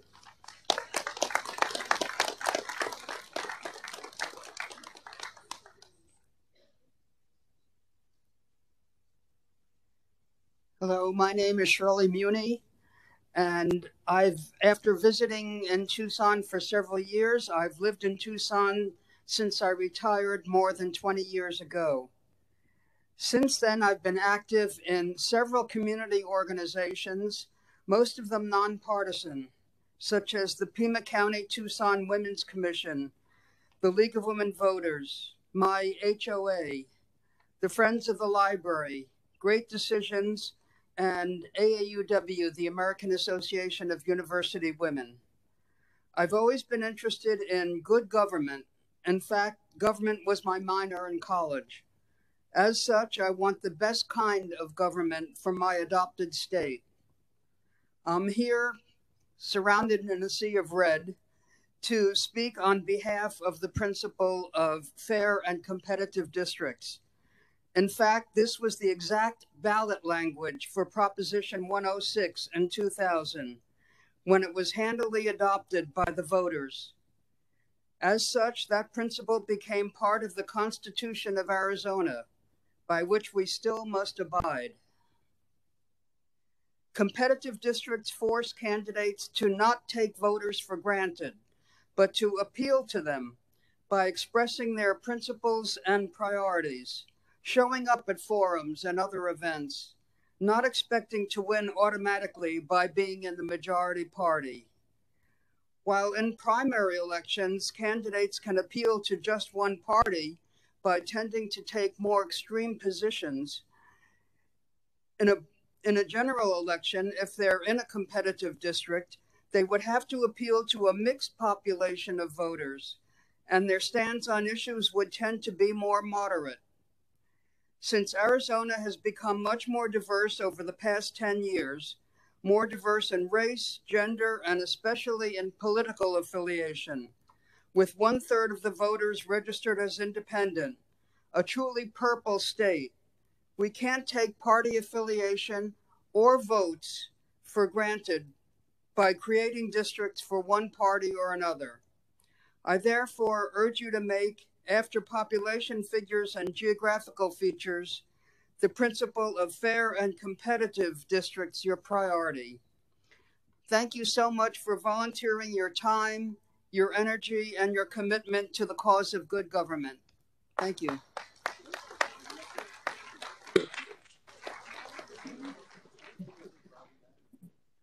Hi, my name is Pam Fury, and I'm from Oro Valley. And as you Hi, my name is Pam Fury. Oh, between them, like that? Okay. Hi. Again, my name is Pam Fury.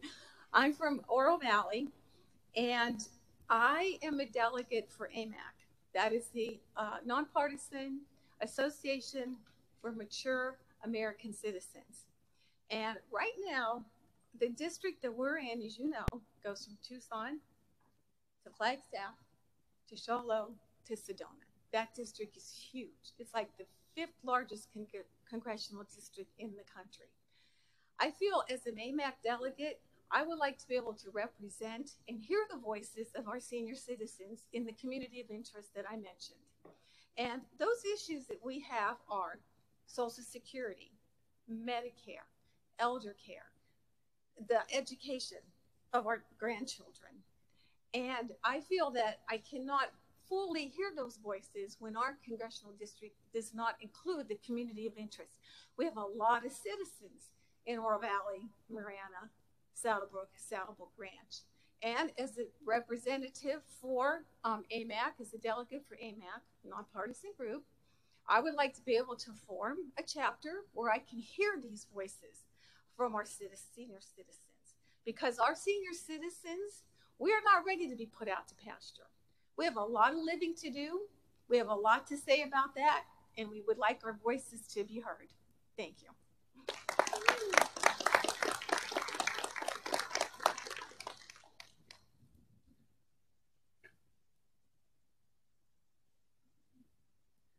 Madam Chair and Commissioners, I'm not sure. I think I received a message that you might want a break, a few minutes break at this moment.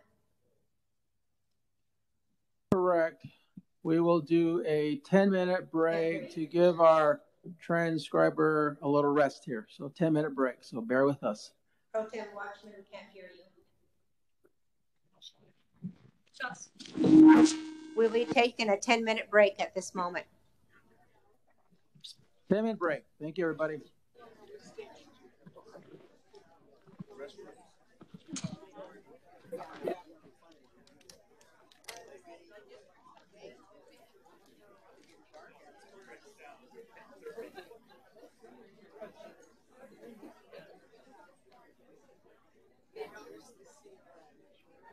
like the sword.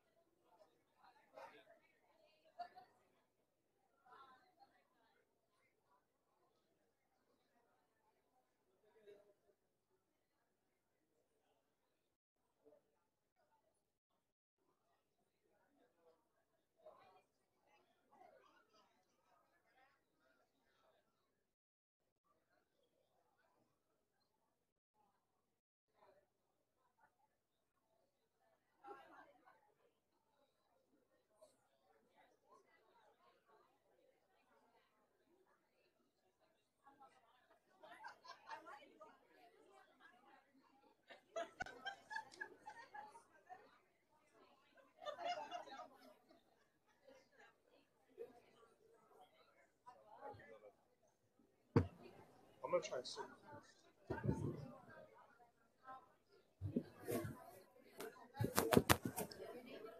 Does that sound any better? now?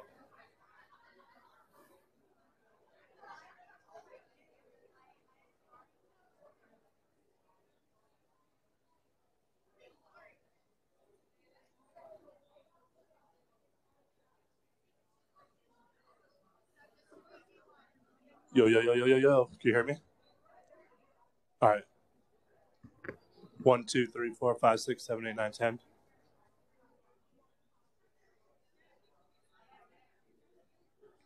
That's because I moved up.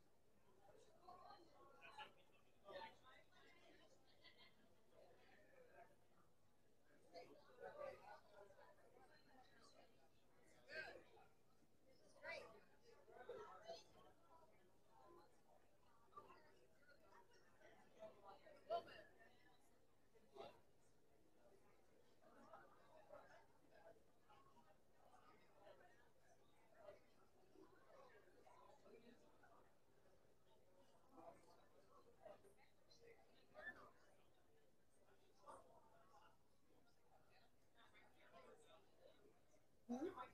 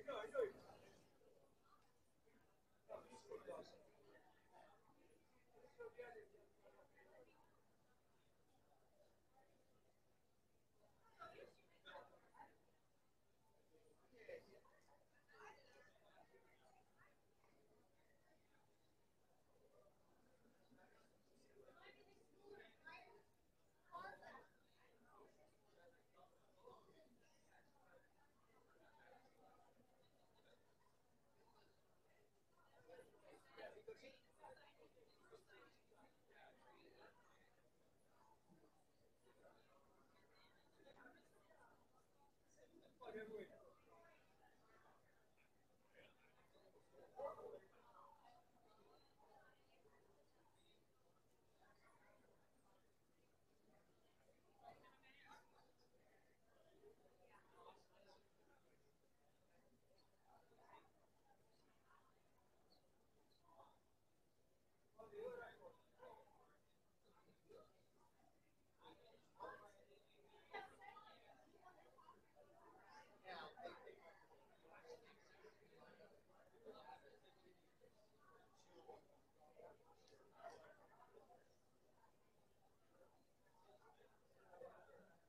Joanne Pierce, are you still here?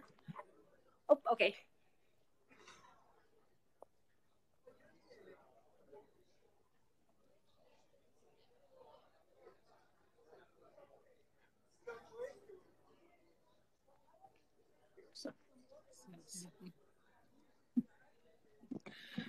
Oops, good grief.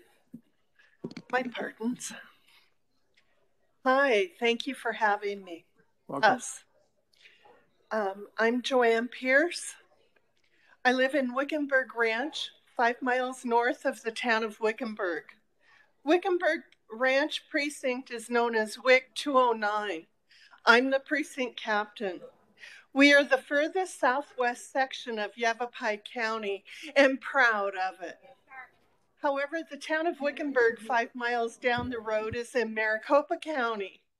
The structures of both counties are completely different. We in the ranch are clearly less than 1,500 people. Our interests, activities, lifestyles are not in line with Phoenix proper or Maricopa County. The town of Wickenburg probably has six to 8,000 people and definitely still is a small town. The interest we have is our Western flavor. We enjoy horses, cattle, livestock. We enjoy rodeos in our five arenas just minutes from downtown. We also enjoy roping, bronc busting, mutton busting. We enjoy our small town celebrations, our cowboy traditions, Fiesta de September, High Desert Golf Classic, Bluegrass Festival, Cowboy Christmas Poetry Gathering, Christmas Parade, Old Gold Rush Days, Dance Streets, Food Truck Fests. We even celebrate taking our cowboys out together, riding through town, and sending them out into the desert for a week. We welcome them back after a week and then we kick it up high on their return.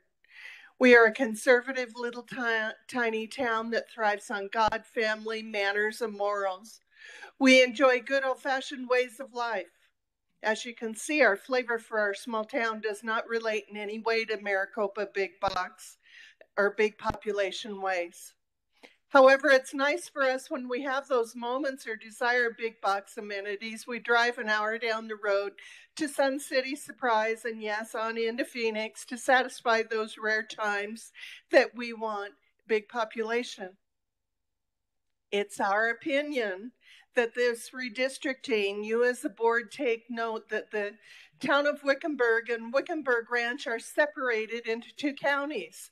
It's our Wickenburg Ranch remain, it is our opinion Wickenburg Ranch remain in Yavapai County.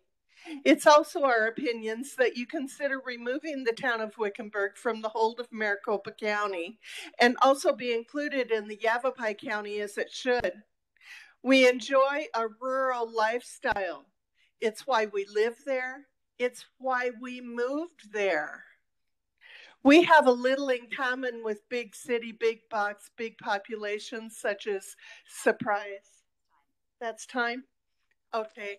Um, thank you for kindly hearing me. We're cow- proud cowboy people. And I just want to be giving you the written, and I'll hand it. Thank you kindly. Thank you. My name is Kathy Schwenke, and I live in nearby Desert Hills near I 17 and Carefree Highway in the 85086 zip code. The LD grid map divides my own precinct. Mm. My precinct is Deadman Wash, which is, extends south of Carefree Highway.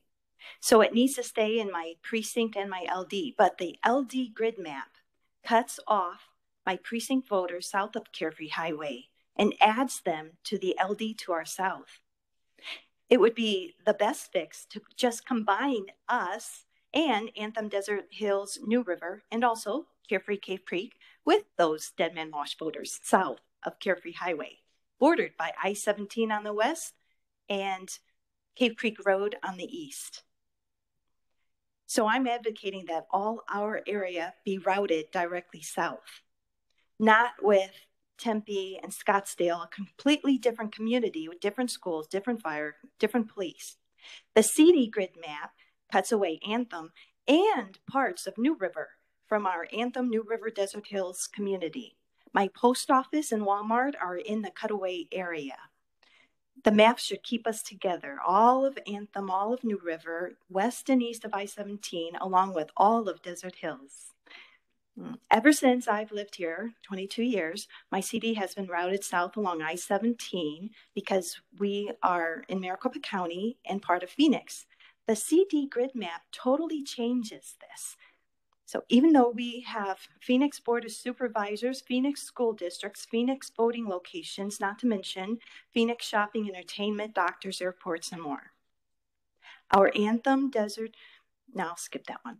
It is widely acknowledged that the last redistricting maps wrongly put us um, into northern Mar- our northern Maricopa County Legislative District and with Yavapai County. Please don't allow this to happen regarding the CD grid map. Our current CD has worked fine all these years, routing us south along I 17, which is where we transit and do, do business, instead of the mountainous regions north of the Maricopa County border. The new Sleepy Ranch in eastern Dove Valley precincts east of I 17 need to stay included with their neighbor precincts near Carefree Highway. Um, on the east side of I 17, take a look at that because when I went to the re-precincting meeting with the Board of Supervisors, it looks like it's splitting some precincts there. They're making a new precinct called Sleepy Ranch. The LD grid map places us into a vastly rural district, robbing us of proper representation. Just as Scottsdale and Fountain Hills are sister communities, so are Anthem, New River, Desert Hills, and Cave Creek Carefree, if you haven't gotten the message yet. And we all align with Phoenix near our um, to our near south. One last point, the CD grid map has us very out of kilter as it combines us with Yavapai County, Coconino County, Navajo County, Apache County, Gila County, Graham County, Cochise County, with whom we have no business, instead of where we belong and have always been in Phoenix, Maricopa County. Thank you.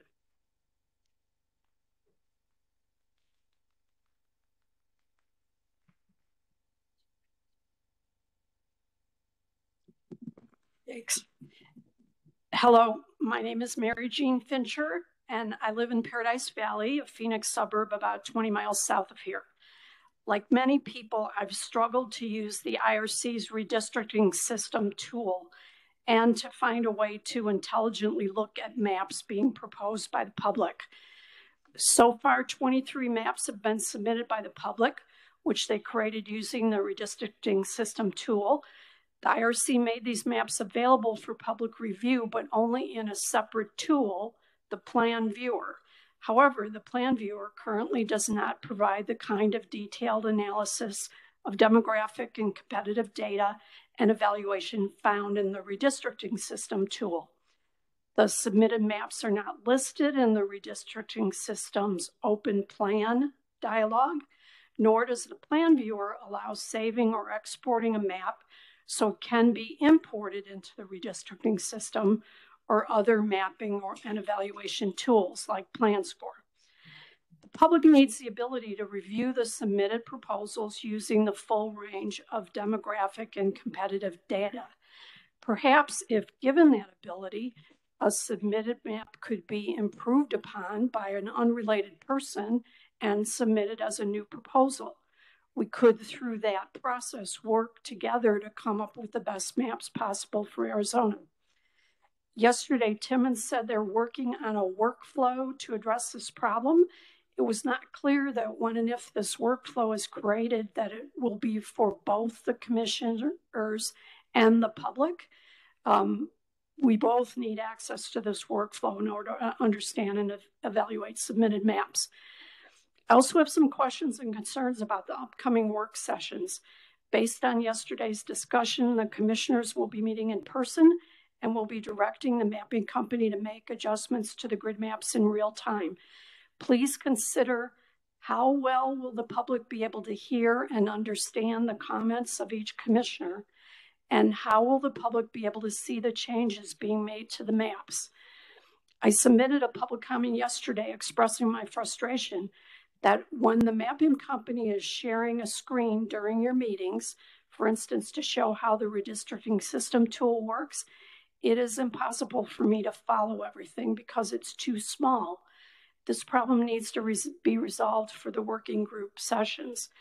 I've also watched the first six training videos, several of them multiple times, and I have the same problems. I cannot see the speaker's screen clearly enough to follow the directions.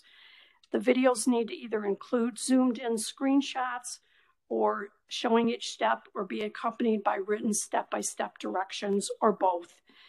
And finally, I'm disturbed by the delay in fulfilling public records requests. Thank you. Some of which go back to June. If justice delayed is justice denied, I think the same must be said for public records requests that languish for more than three months. Thank you. Thank you. Uh, but before we, can I have Mark? Mark, can you help me here and maybe shed some light on uh, what was discussed here about access?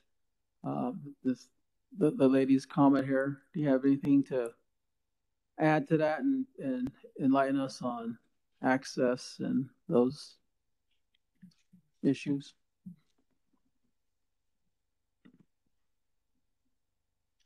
Uh, sure. Can you hear me? Um, the you know, there's a couple things that were discussed at uh, yesterday's meeting. Uh, I know that we ran through uh, a couple different ways of importing uh, data into the redistricting system. Um, there is also videos that were created for both um, methods that were posted to YouTube um, on the Commission's uh, YouTube channel. So those are there.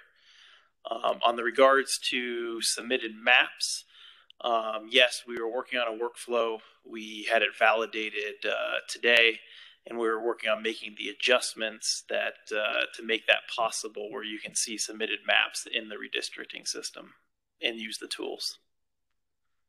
Um, as far as the Google Map or the Google Meets comment, um, I will try my best to blow up the screen a little bit more. Um, I did not know that was a concern at that time. So thank you, Mark, and thank you for raising those those issues. Uh, we're doing, uh, I guess, the best we can to provide as much information as possible, to be as as meticulous as possible when you get into the to the system. We're also trying to through YouTube's and as much tutorial as possible to give the public as much information to get access so that you, if you choose, you can draw your own maps and submit it. Next week we'll have the the, the first draft, and so we will do our best to make sure that everybody hears. We have access to the maps, and we'll do the best we can so that you all can see what we're going to be doing. So we're, we're doing our best, but I appreciate your concern and thank you. So let's move on to the next speaker. Uh, Val, go ahead. We'll do three more speakers and send it back to Tucson. We've got Elaine McGuire, Nigel Terran, and Janet Moore.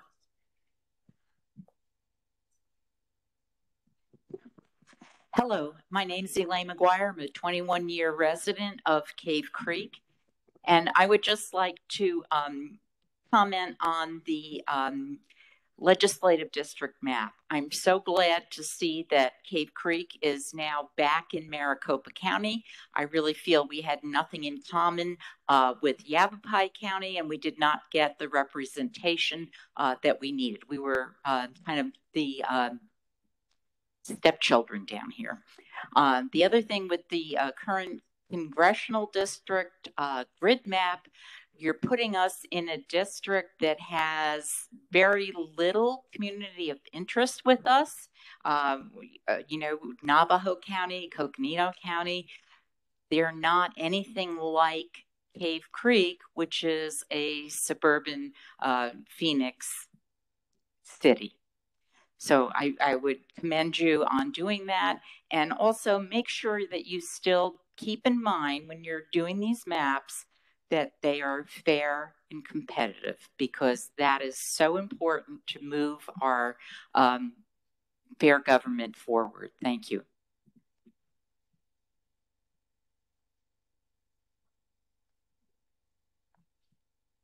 Good evening.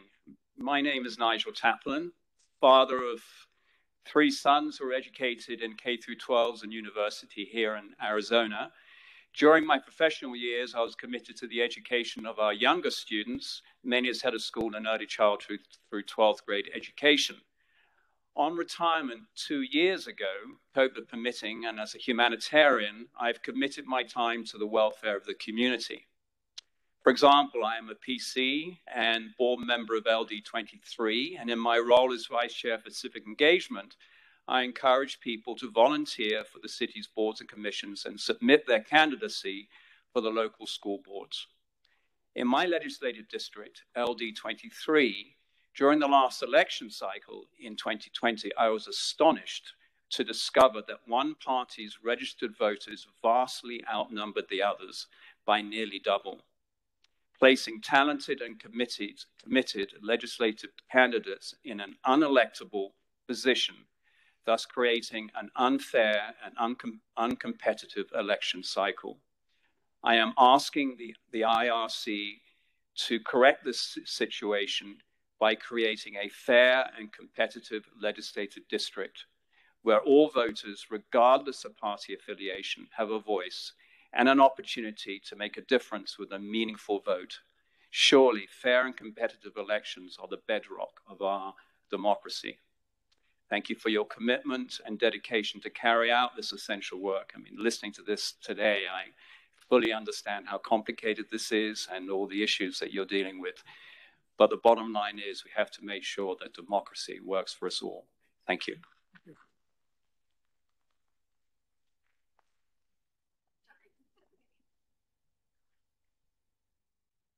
I got too comfortable. My name's Janet Moore. I uh, live in the town of Cave Creek. Um, I am a realtor. I've been a realtor since 1980, I don't know, 80, 84, I think, or 85. And I've always been in the Scottsdale community. I was um, on the Government Affairs Committee for the uh, Association of Realtors. And um, and then I became a little bit more active in about 2009, and I became a PC. So I've been very involved, and I've always been involved in Scottsdale, even though I live in the town of Cave Creek. About uh, you know 2010, when they did the other redistricting, they did a little. I'm going to call it an experiment, and they said you're rural, so you're going to be up with Prescott and Yavapai County and I am I am not rural. I've always been Scottsdale urban. All my friends are, all my businesses are, all my business associates. And the the lovely lady that was here from Wickenburg is just a perfect prop for me because she's rural. And I and and I think she needs to be up in Yavapai. I hope that you grant her her wish. But I really want to go back home to Scottsdale and I want to be down with with them. I was in, in more of the LD23 situation. People before, that's where we go for restaurants. That's where we go for business. That's where my clients are. That's where my my kids went to the school, and this school is in Scottsdale. So I would really like to be part of that community again. Um, as far as the CD uh, maps that you did, we don't have anything to do with that big area up there. And it's not even fair for the representatives. How are they going to cover all that area? That's just not fair. No one is going to get representative the way that is.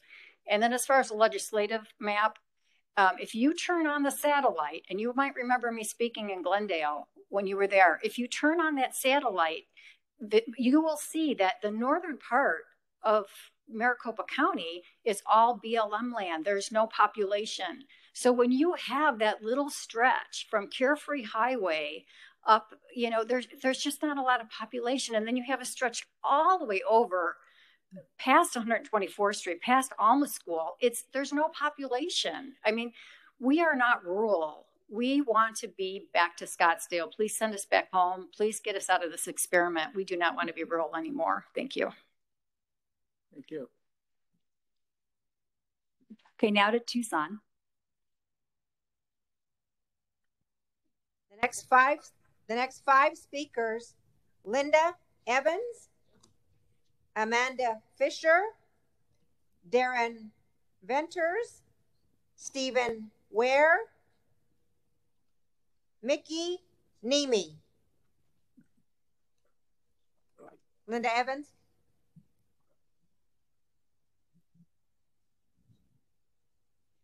Hello. Hello. You hear me? My um, legislative map is indigo, if somebody wants to look at that. My name is Linda Evans. My legislative map username is indigo satisfies the requirements as follows. Complies with the Constitution, close to equal population, compact and contiguous regions, and respects my communities of interest, and uses geophysical features, river and mountain, city, county boundaries, and undivided census tracts. My legislative map, Indigo, importantly satisfies the requirements of voting minority groups for the Voters' Rights Act within the region of northern Pima County. My map goes north from the Rillito River, starting in the east at Houghton Road in the Tanque Verde region, northward up to the Catalina Mountains, then it sweeps to the west, including the Catalina foothills, up again to the Catalina Mountains, all north of the geographical river boundary, the Rillito River. This map continues westward to Casas Adobes region, where the Hispanic population has increased by three times in the last 10 years. Then continues west, including Marana to I 10 and sweeps to Oro Valley, which touches the Catalina Mountains and goes north past the Pima Pinal County line toward Florence. Pinal County, but not including Florence. This satisfies my low density communities of interest, maintaining pristine lands with other fellow residents who want the land to remain a place with wide open spaces, supported by organizations over the years, such as Friends of Sabino Canyon and the Catalina Development Association. We who now live in LD9 and LD10 have not had legislative representation in Phoenix for 10 years. Thank you for your time and kind consideration. Linda Evans.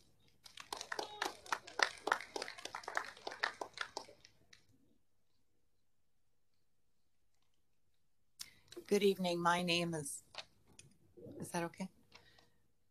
Good evening. My name is Amanda Fisher. I am a native Tucsonan and a retired teacher. I have lived in my current home, which is in Catalina Foothills, for over 30, 30 years. I'm in Pima County Congressional District 2 and Legislative District 9. I see bobcats on my wall and javelina in the af- in the early morning knocking over my trash can. In the spring, I enjoy roadrunners and quail families on my on my daily walks through the streets of my neighborhood. I hike up the mountain north of me and I'm able to view the city below. I am often I often walk through the streets of my neighborhood. I shop and have my hair cut and and have my nails done and lunch with my friends, often in, in the Casas Adobes Plaza. We go to breakfast on Sundays in one of the fabulous restaurants in the area with gorgeous mountain views. My Catalina Foothills community has many common factors that bring us together. The, the lovely mountains are our, our North Star.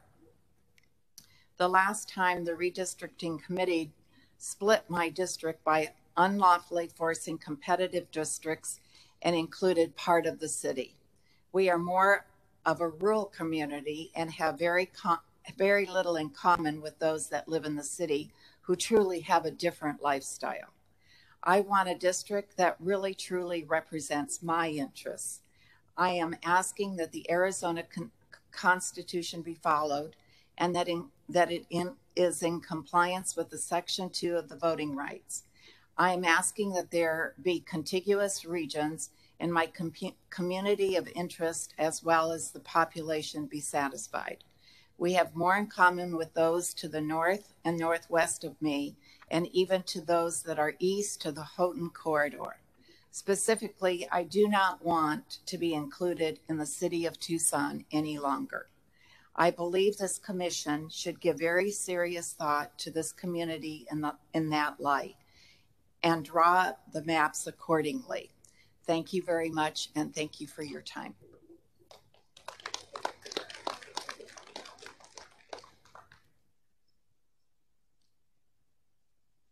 Darren Venters. Ray Darash or Durag. Nolan Reedhead. Shelly Karras. Kais. Lana O'Brien. Joe Holden.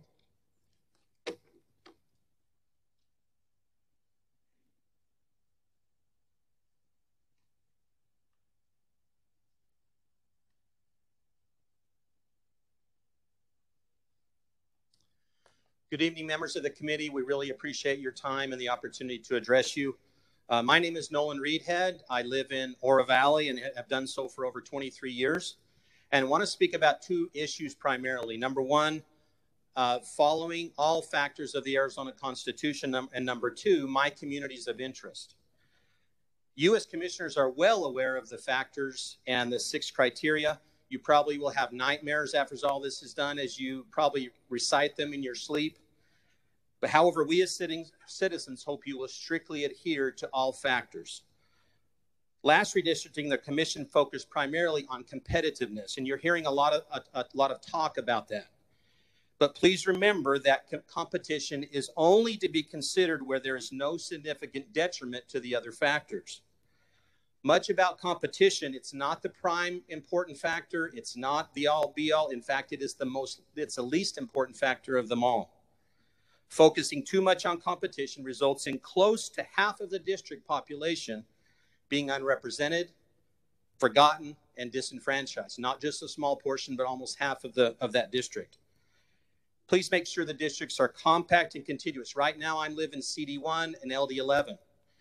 I'm in, and I can drive through almost four to five districts through Phoenix to get to Flagstaff, which is also in CD1. I can drive seven to eight hours to Page and Fredonia, rural communities that really have nothing in common with us here in Oro Valley. I can drive five to six hours to Kayenta and Tuba City, also in CD1. Rural Native American communities with wonderful history and, and traditions, but little in common with us in, in Oro Valley. My communities of interest are Northwest Pima County, Oro Valley, Marana, Catalina, and SaddleBrooke. I've lived in Oro Valley for almost 23 years. I've raised five children. All have gone to high schools, Ironwood Ridge High School and CDO. I specifically moved to these areas because of their academically inclined schools, their secure neighborhoods with strong police force, and vibrant and business friendly atmosphere. The city of Tucson provides none of these for my family. Please do not include these communities and neighborhoods in Oro Valley, SaddleBrooke, Marana, and Catalina, and Northwest Pima County in an LD or CD. The current, uh, the proposed CD5 that you have, I think covers all of those community of interest and all of the factors of the Arizona Constitution. I would, however, encourage you. There's a small drop down on the east southeast portion of, of the proposed uh, CD5. I would encourage you to raise that north and move it to include Marana. Marana and that area just west of the of the freeway includes a lot of our communities of interest that are not included with that portion of the southeast portion of the of the proposed CD1.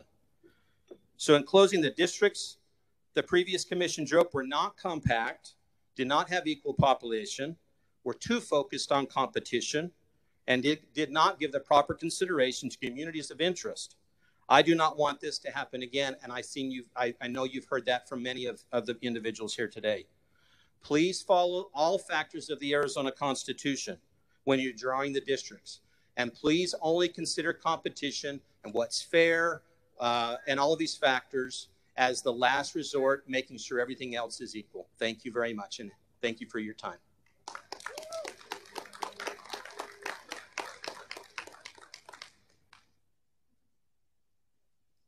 Good evening, ladies and gentlemen. My name is Shelley Kais, and I'm the chairman of the Pima County Republican Party. My community of interest is Pima County. Because you see, when you opened this meeting tonight, you saw a sea of red behind you. And that sea of red of about 150 people was people who are saying, no, we will not live within these boundaries where our voices are not heard. And while you were so eloquently presenting our civics lesson, we were begin, being given masks and told that we had to put these masks on. Here they are. But you see, when we came in tonight, there was a sign that we signed in that said, if you are fully vaccinated, you do not have to wear a mask. The sign is gone now, but I have a photo of it. Our voice has been silenced in Pima County for 10 years. It cannot be silenced any longer. I'm not going to even begin to try and tell you how to draw the lines. You have the experts, you're collecting the information. I am just going to ask you to look at Pima County, the second largest county in the state of Arizona, the 44th largest county in the United States, and provide us with representation in Phoenix and in Washington, D.C. Ladies and gentlemen, I thank you for your time.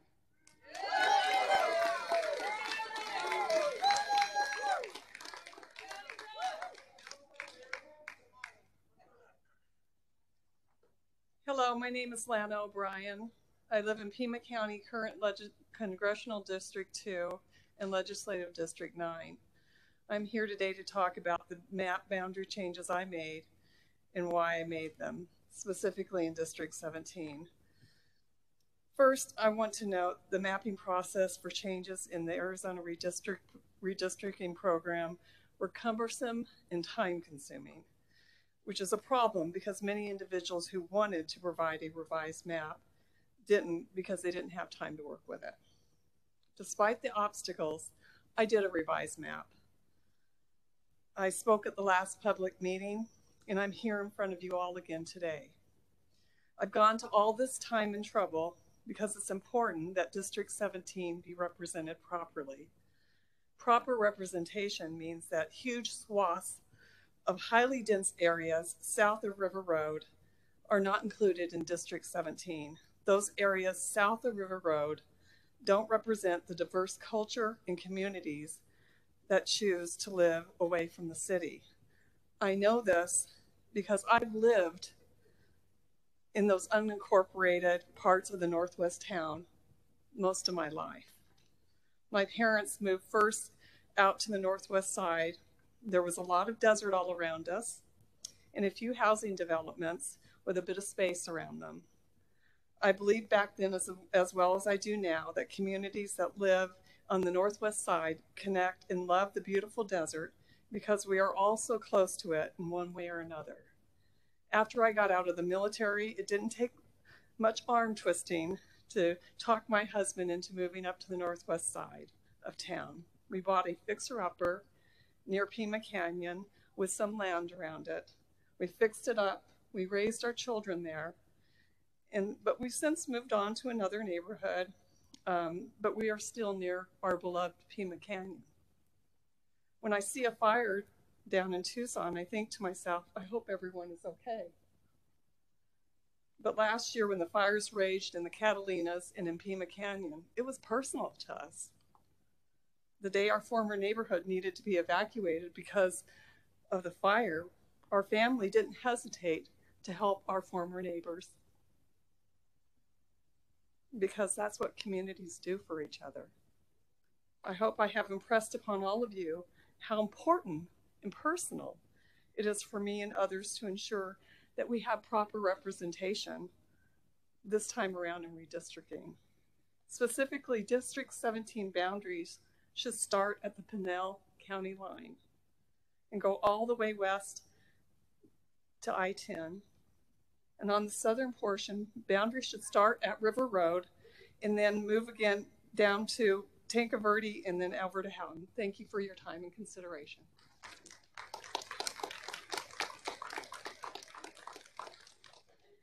The next five speakers, Joe Holden, Maria Hidalgo, Annie Ortiz, Catalina Hall, Judith Alkiri,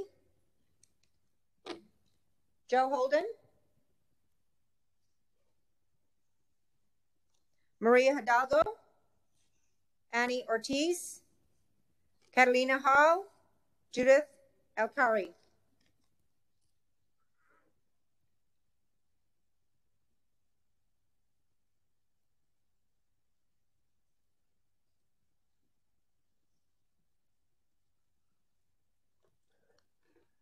Hello, Chairperson Neuberg and members of the IRC Commission.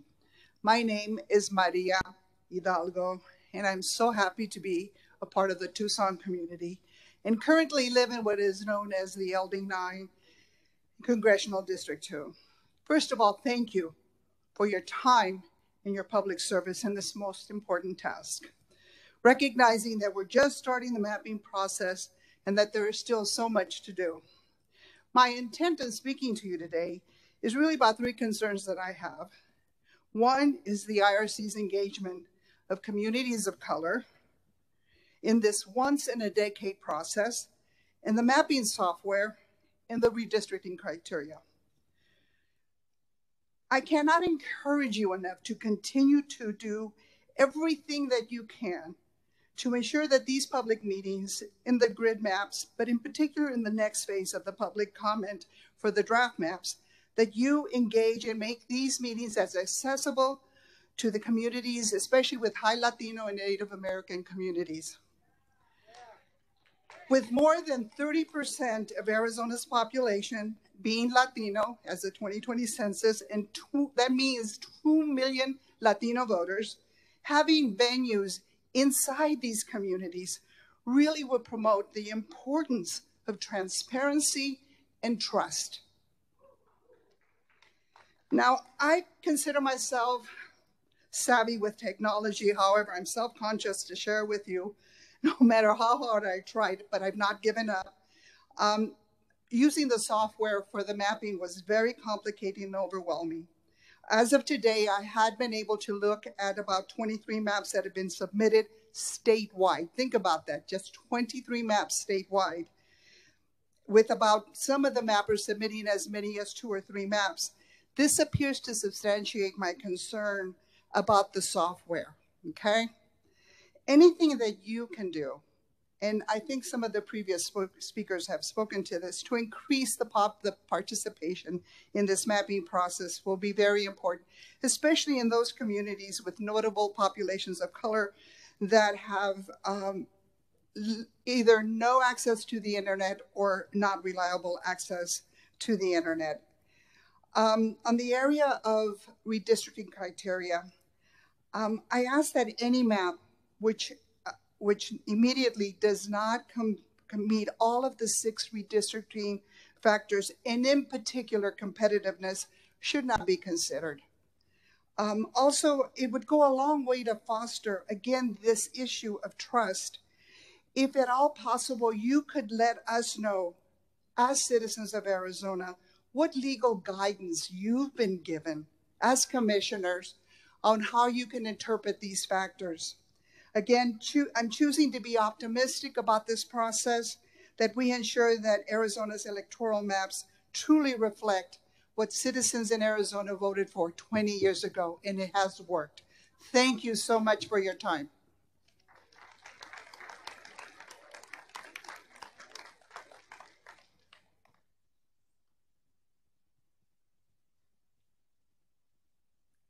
Hello, my name is Annie Ovitz in LD2 Green Valley. Members of the Independent Redistricting Commission, thank you for being here today and for listening. The representation of whatever culture, ethnicity, and any other such group that needs separation from general, the general melting pot of the population will not happen in this new redistricting if you do not protect the people's voice that needs to be heard. You collectively, as the commissioners of this project, have the responsibility to align this map so it gives a voice to the people who are voting. And it is important all voices be heard. When it infringes on the rights of individuals because our representation has been skewed, we have the right to speak here today. We all have the basic understanding of cultural needs, and when it ceases to have merit, we have to speak up. We as a people choose to live in certain areas for many reasons, identified as family of origin, common interest, socioeconomic background, and other commonalities. Once our identity as a group of people or individuals become diluted into a melting pot of many cultures, it stops to serving the purpose and becomes a focus of a voting bloc or political gain for one political party. We all need to know we have a fair representation for all of us. It will benefit both parties and those independents if you make your decision not on the equation of population, but on identifying factors driving the needs of the voters and their constituents. Thank you for your consideration and thank you for your time.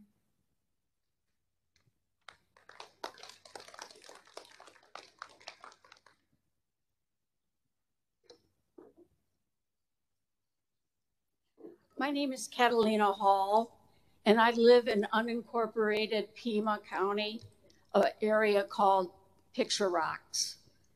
I am an Asian American Pacific Islander who has faced a lot of discrimination. I urge you to critically pay attention to communities of color, Latinx, and Native Americans draw district boundaries that reflect majority minority districts, communities of color, and the voting history.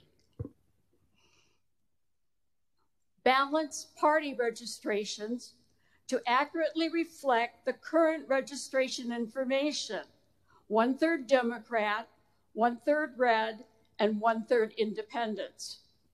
Let your commission be known and be remembered as the one that made every voter feel that their vote counted.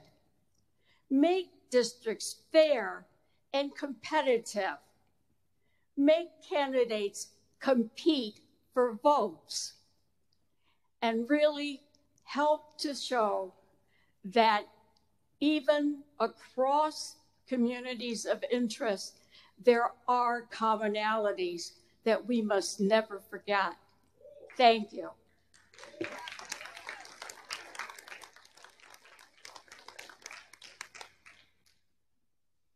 Good afternoon, Commissioner Neuberg and members of the Commission. I am Judy Alkire from Green Valley, Arizona. I'm here to suggest that the community of interest of Green Valley, which is a retirement community uh, is very much like that of Sahuarita, our neighboring town, and the communities to the east side of Sahuarita, which would be Carina del Sol, Vail, and um, as well as as you if you would go south, this would even include Sierra Vista. We uh, we like the semi-rural community that we're in. It is we've lived in cities before, but now we enjoy the rural, less populated areas where traffic is less and opportunities for a life out of doors is great. One of the things that they suggested is how have I been affected by the last 10 years of the previous redistricting? One is I look today for the voting record of my representative in the United States Congress.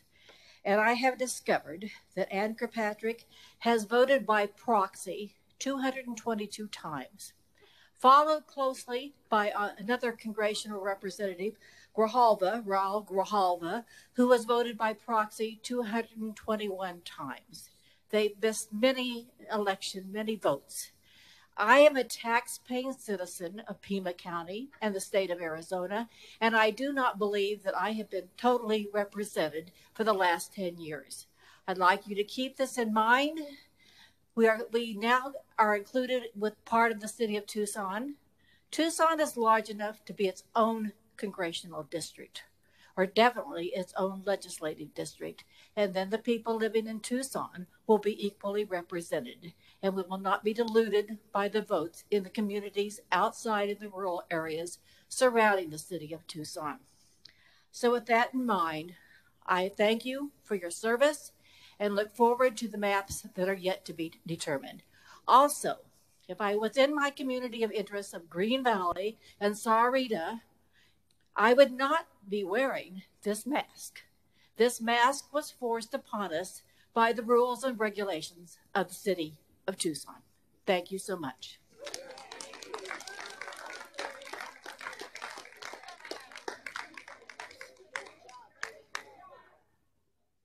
We will now send it back to Scottsdale. Thank you, Michelle. Our next three speakers are Charmaine Roth, Mary Greer, and Tracy Martin.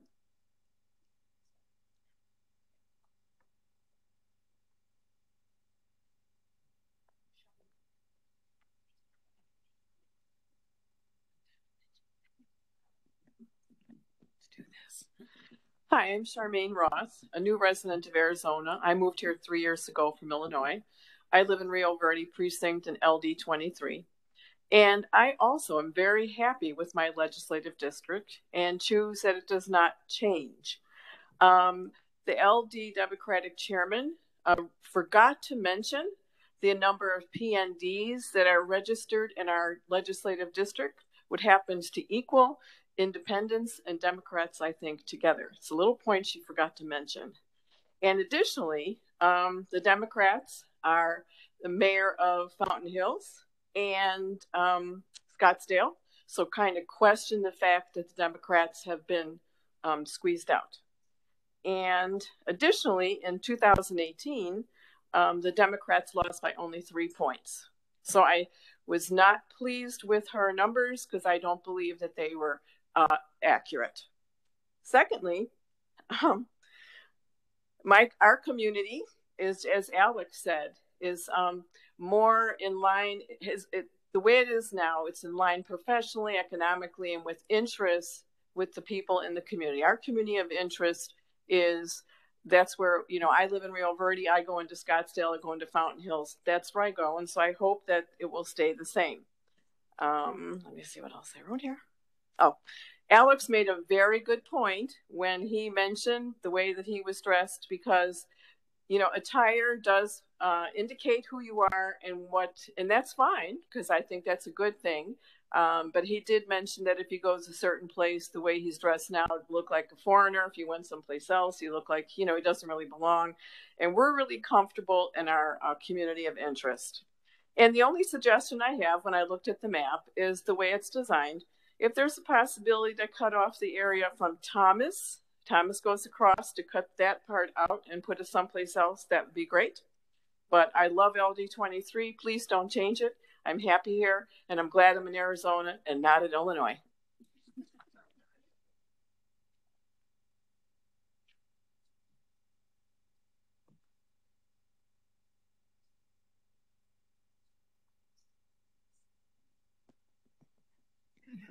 Good evening, Madam Chair, members of the Commission. My name is Mary Greer. I live in LD 23 in the McCormick Ranch precinct.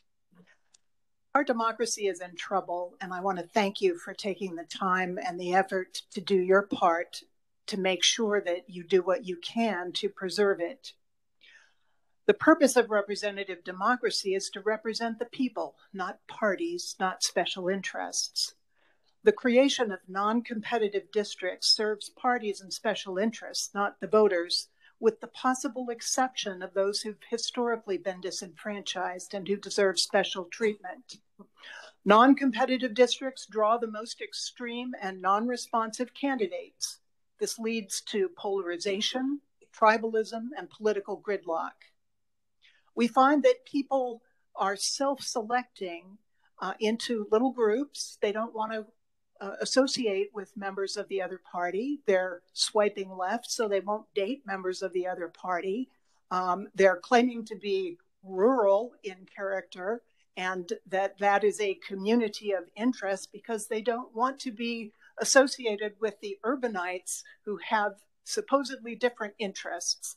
But I submit to you that as Americans, we have more in common than what divides us, and that we ought to be focusing on promoting our common values and our common interests by creating competitive districts that do just that, that bring us together rather than polarizing us. In 2018, More in Common did a study that was published called um, Hidden Tribes. And what they found was that two thirds of the population, uh, which they described as the exhausted majority, is more flexible, they're fed up with division and politics, and they're less active in political discourse. And that one third of the population divides itself into the political left and the political right. And they're more active and they're noisier and they create a lot of uh, a, a lot of press and a lot of activity but that what the majority of Americans wanted going into the 2018 midterms, 87% felt the country was more divided than at any time in their lifetimes. 86% were exhausted by this political division. 89% wanted the parties to find compromise. 86% worried that this division would lead to violence. And it did. In, on July 6th, we saw that violence erupt.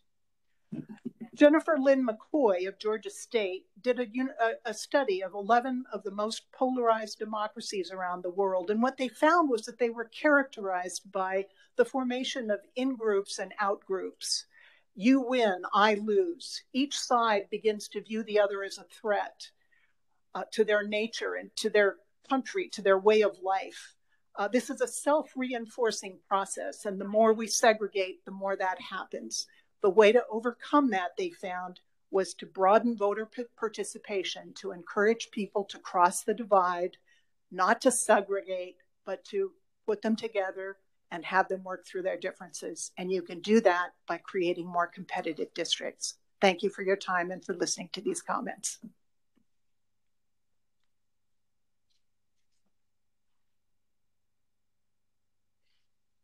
Hello, my name's Tracy Martin, and I live in the much talked about tonight community of Anthem. Uh, I moved here from another state and a small town within that state. We gathered at the town green, and a local business handed out cookies and chocolate to the kids, and the town band played, and we turned on the lights for the Christmas tree the parade for the 4th of July every summer. We ended it in the town green and everybody came and picnicked and visited and various local businesses contributed miniature flags and little gifts and candy for the kids. And that's what i found in anthem. This is a town. I know hoas are a collection of houses and everybody has to paint it from the same colors on the list. But that's not Anthem. It's a town. Um, you can be on the same, your child can be on the same team with people that own one of the businesses there because the people that own those businesses actually live in our town. Their kids go to our schools, they belong to our churches. We see him when we're in the grocery store shopping. It's a real town.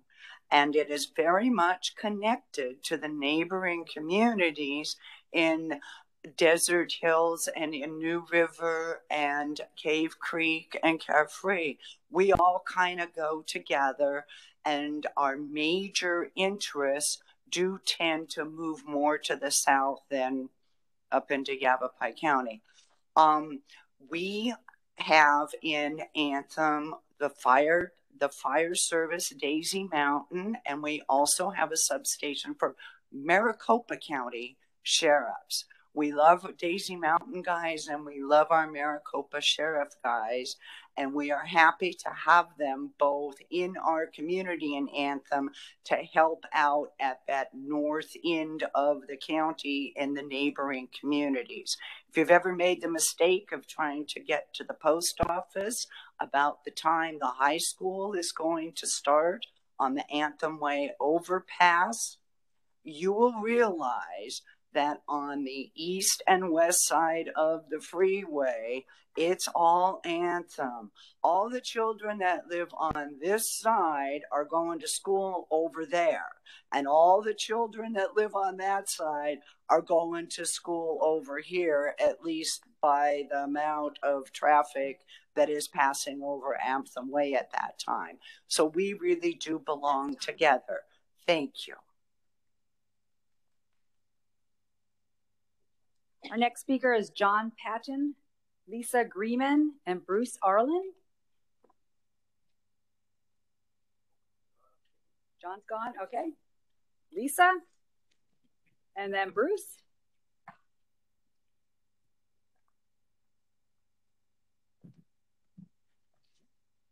Hi, my name is Lisa Greenman, and I live in Cave Creek. And first of all, thank you for doing all this because we all know it's kind of like herding cats. So um, appreciate it. Um, I live in Cave Creek and I live, live up by the Conservancy.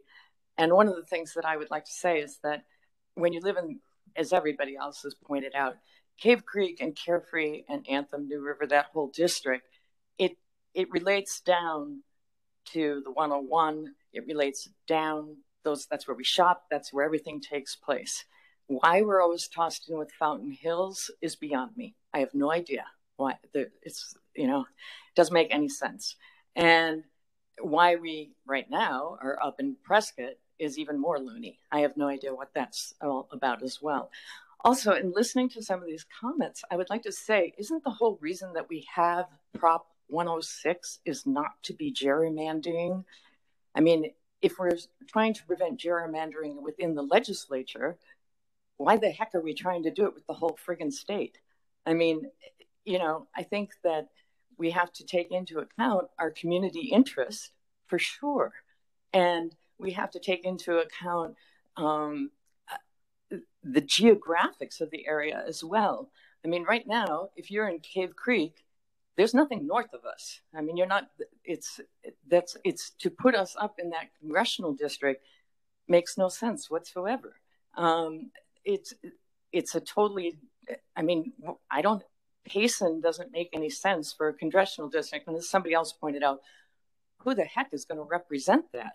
I mean somebody i mean it's a it's a kind of a crazy zone. So i bring that up and i would also just like to say that um, remember don't split precincts don't split towns. We understand that uh, counties get split but precincts and towns are communities and they should be stay stay together. Um, so um, i think that's all that i want to say except remember a community of interest is also that we are americans first arizonans seconds and we all have our town areas as well.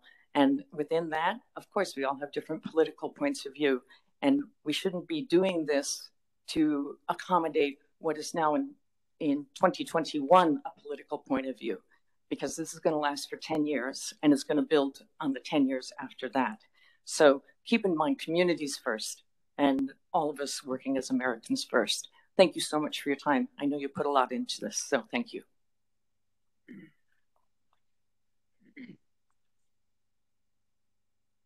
Good evening. My name is Bruce Arlen. You've heard a lot of people tonight I hope you're you're taking it all in. I'm sure it's being recorded, and you are going to disseminate all of this information. But uh, I have some notes. I'm just going to wing it. Um, uh, the common theme that I hear tonight is uh, people want to belong to their group, and I'm not talking about uh, skin color or even um, the political party, but their community, uh, where they live, where they shop.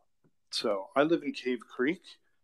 Uh, it's semi-rural, but we are abutted to Scottsdale and Carefree and Phoenix. We do everything in those areas. So I don't want to be part of Prescott, please. I don't want to be part of Fountain Hills. It's about 45 minutes away. Fountain Hills is a community that's like an isolated island. I only use that as an example. Uh, don't do that to me and to all of the people in Cave Creek. It's not fair. Um, 10 years ago, we got here uh, nine years ago. So 10 years ago, when these new uh, districts were made, uh, I have no personal memory of it or history uh, that I can refer to, but it seems to me there were some mistakes made. Uh, a lot of far flung districts, very big, very silly stuff that has to do, I believe, probably uh, with politics. Various lobbying that went on. It's probably still going on, and probably with you guys, I have a feeling. So resist that, please. All of these crazy districts need to be corrected, and we can correct it. You can correct it now. It's going to be hard, I think. It's a hard job.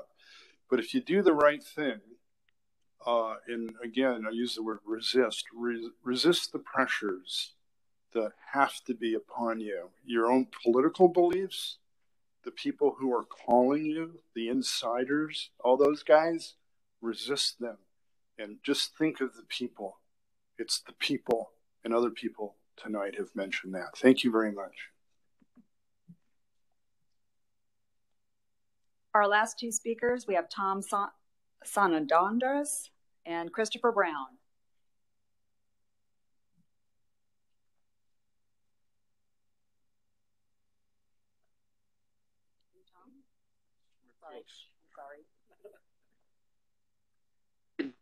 Hi, I'm Tom Sonendris.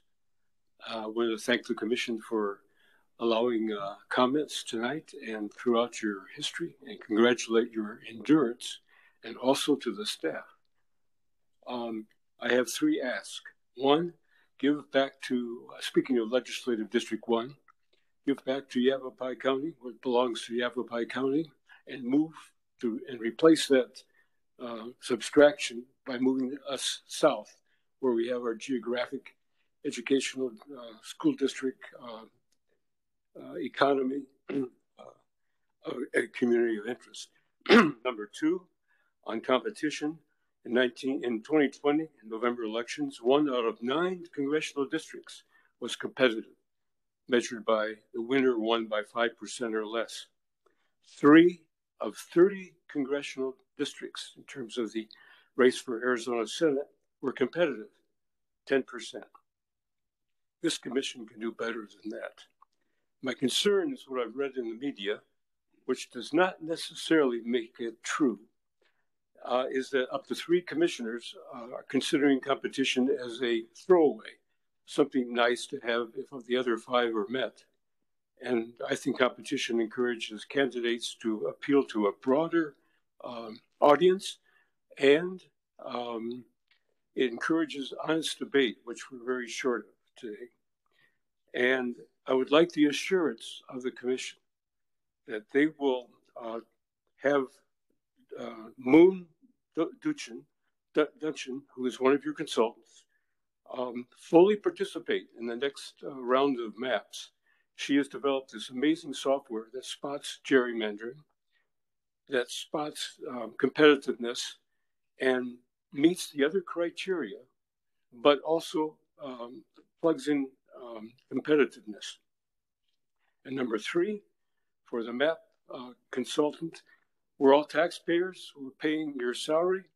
I think you should have an uh, email site that allows us to ask questions and get answers. This is not a real friendly mapping thing.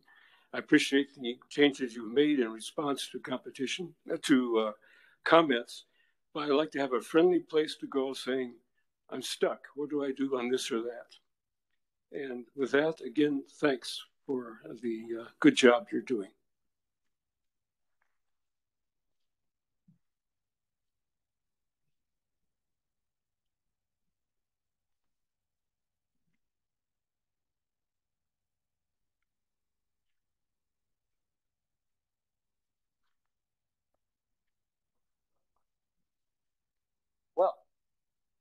Batting cleanup here. So thank you, everyone, you know, for the commission and for the people who have shown up here and in Tucson and across the state. This is what democracy looks like. This is us having our voices heard through um, a structured process, and I appreciate that. Um, my name's Chris Brown, and I've lived in Arizona for 42 years, in Scottsdale for 25, and I'm an ASU graduate, class of 86. Um, my background is customer loyalty research. So, in being in research, I've dealt with numbers and sampling and things, and you guys have a very tough task, and I appreciate that. Um, I come today to talk about competitiveness. And competitive districts create accountable politicians. And to speak to that, I'm just going to go to a few numbers off of um, the elections in my congressional district, CD6, from 2018 2016. Non competitive districts are decided in the primary. The primary voters, you know, we look at the percent in CD6, we've got, you know, 470,000 registered voters. 83,000 votes were cast in the Republican primary, which was an uncontested primary. And that candidate run, ran unopposed. That candidate then won. That 17% of the registered voters decided the candidate and decided the, um, uh, the winner in the primary. Same thing in, in uh, 2016. We had uh, 25% of the registered voters voted in the primary. 63,000 of those votes, 14% of the overall registered voters in that district decided who won that election. Those numbers speak for themselves. As I said, you know, um, competitive districts create accountable politicians who are whose voices are heard. Now, accountability. So for me, this is an issue where I've I've ended up that my candidate has lost because of that. Um, uh, my congressman Harry Mitchell voted for the Affordable Care Act, a vote I supported, and many feel that he lost his next election due to that vote. Okay, so I still support competitiveness, even though a person that I supported paid the price because of a competitive district. So that's what I had to say, and thank you all for your time. Thank you. Now back to Tucson. Our next speakers are Judith uh, Hoagland, Steve Robinson, Matthew Levitt, Barbara Tellman, and Melissa Westbrook.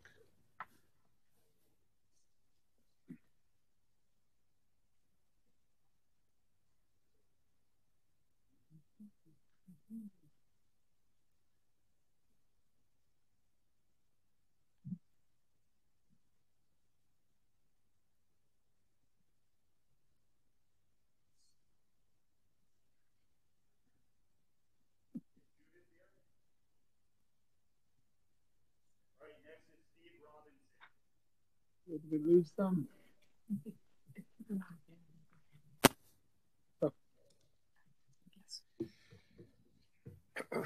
Uh, my name is Steve Robinson, and uh, I want to thank you for giving me, a fairly new Arizona resident, the opportunity to speak with you.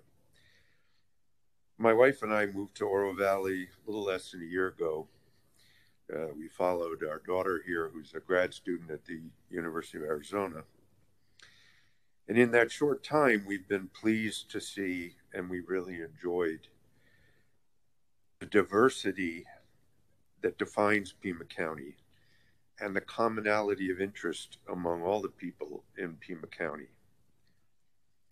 At the same time, we've been disappointed to learn that the legislative district we're in does not really reflect that diversity.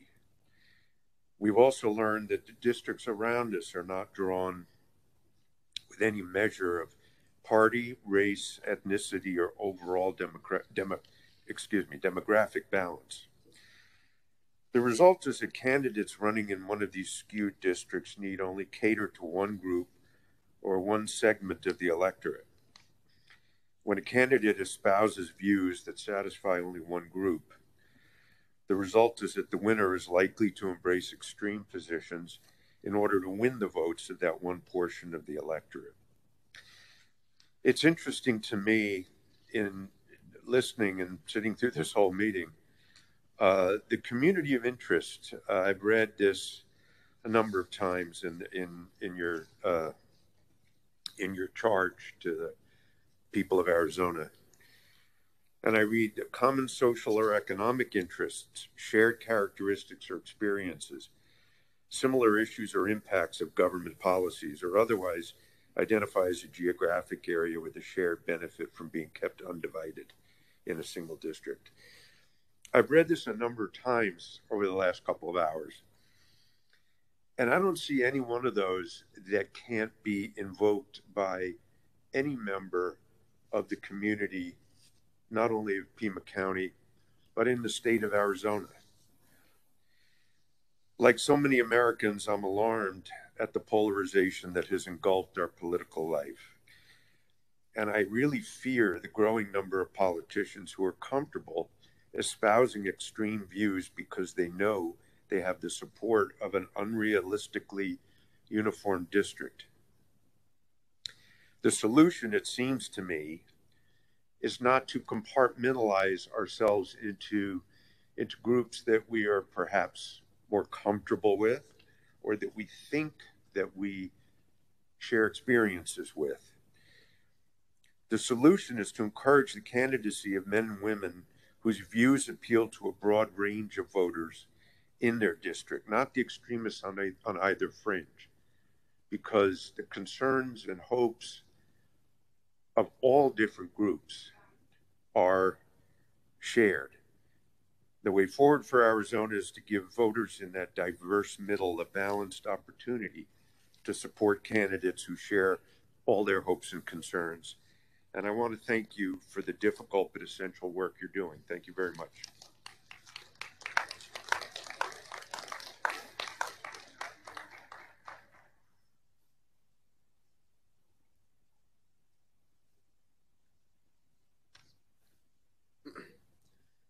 Ladies and gentlemen of the Independent Redistricting Commission. I am here today to speak on behalf of Corona de Tucson and to reflect upon the new district grid maps provided for distribution to the general public.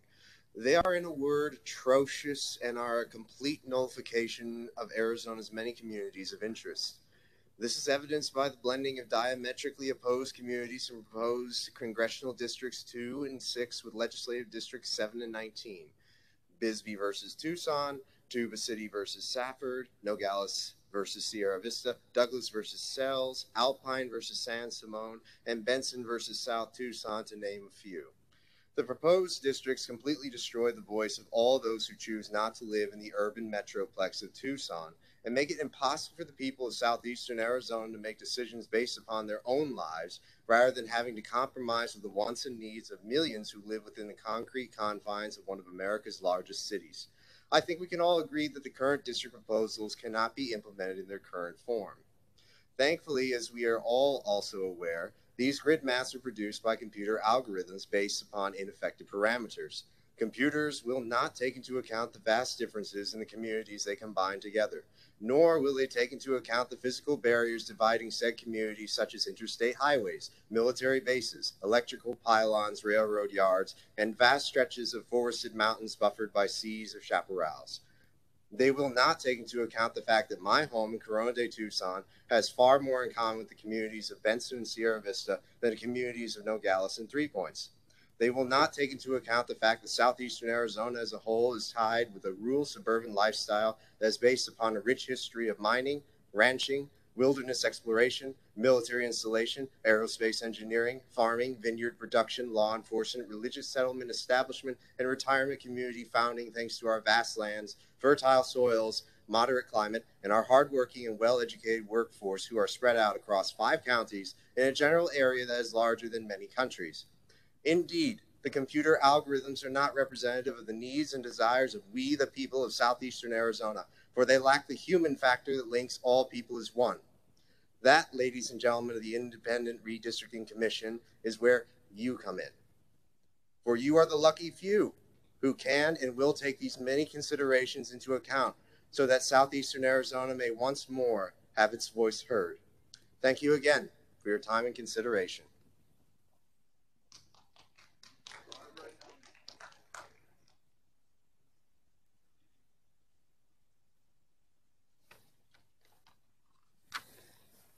I'm Barbara Tellman, a resident of Pima County and of LD3, a minority majority district, which to me is a real plus. I support Congressional District Map 0009, which is fair and similar to today's map, but avoids a major CD1 problem from last time. But today I'm going to restrict myself to comments about a map that I did for LD 0006. I think I'm one of the very few people who managed to navigate successfully the mapping system, which is cumbersome at least. My map meets all the required criteria regarding equal population, minority majority districts, compactness, and contiguity. Its party distribution is very close to the 2020 presidential vote distribution, including districts that went heavily for one party or the other, and those with small margins of mixed victory that could have gone either way. It reflects the current registration statewide of one third Democrat, one third Republican, and one third no party. These are my reasons for the way I drew six and why I support it. Major communities of interest. For example, this map keeps SaddleBrooke, Laurel Valley, and Marana keeps Green Valley with Sahuarita. It keeps unincorporated communities such as Vail and Sun City intact. And it keeps related small communities such as Show Low with Pinetop and its associated tribal community of White River. That's not the case today. Tribes. This tribe map keeps the tribes intact as far as possible and in the same district as nearby tribes. It has Navajo, Hopi, and two Apache tribes together, for example, and includes the associated commercial area between them. The Tohono Nation, including its major community Sells, is kept primarily in the Tucson metropolitan area, with which it is completely associated through its casinos and commercial activities. But today, its legislators reside in Yuma, a nearby town, because of the way the District 4 is written today to include parts of the Phoenix metro area. My map eliminates that. Compactness. This map splits counties as little as possible, and where they have to join with other counties, their section is kept in compact. I also deal with topography, transportation routes, and I think I'm one of the few people who has tried to take a statewide view and not just concentrate on a particular area of my concern. Thank you.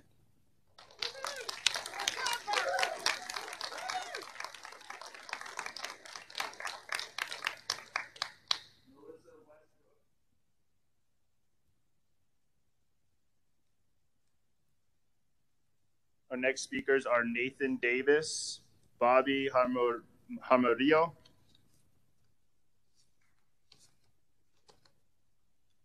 Brian Bickle, Misty Atkins, and Allison Jones.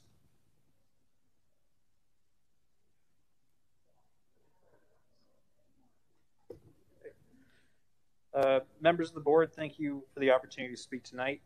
My name is Nathan Davis. I'm a former Tucson teacher uh, I run a small business in the foothills, and I'm a candidate for the Arizona House of Representatives. However, Today I'm speaking as a resident of the Casas Adobes neighborhood. When I spoke before the IRC last month, uh, I mentioned how interconnected this region is. Um, that I uh, taught in Tucson, that I own a business in the foothills, um, that I um, associate with areas uh, all around northern Tucson, including the city, over and over into Tanque Uh, my community of interest includes the Casas Adobes neighborhood, Catalina foothills, and the northern portions of the city of Tucson. And I'm glad to see that many others told the IRC the same thing. Uh, today, I want to urge the members of the IRC to follow the Arizona Constitution as amended by Prop 106 and to weigh all six provisions equally. The spirit of the voter approved proposition is clear. The people of Arizona want free and fair competitive maps.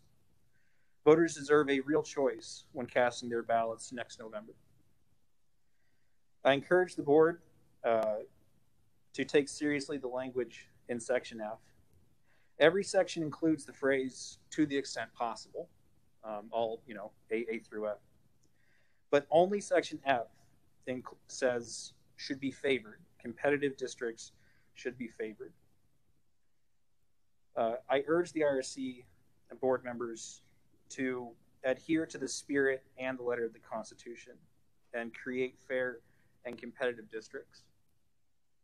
Thank you for your time.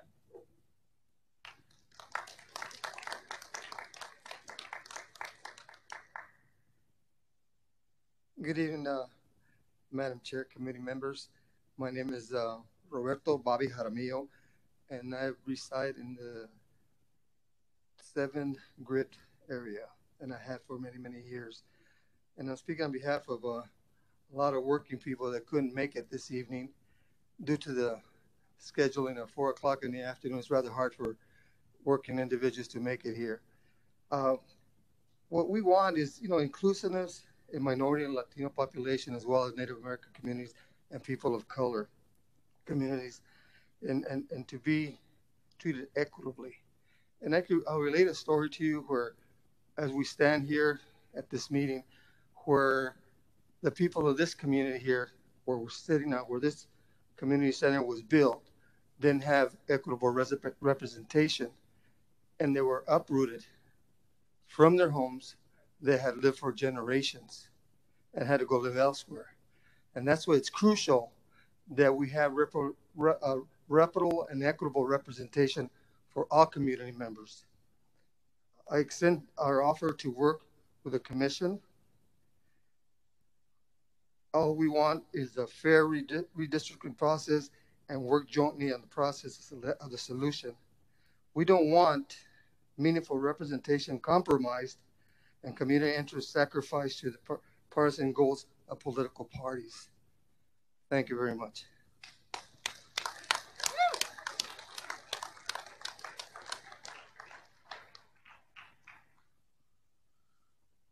Chair Neuberg, members of the commission, thank you for your service. Thank you for the opportunity to speak to you this evening. My name is Brian Bickle. I'm a resident of unincorporated Pima County. I've submitted two maps, CD 0009 and LD 0011.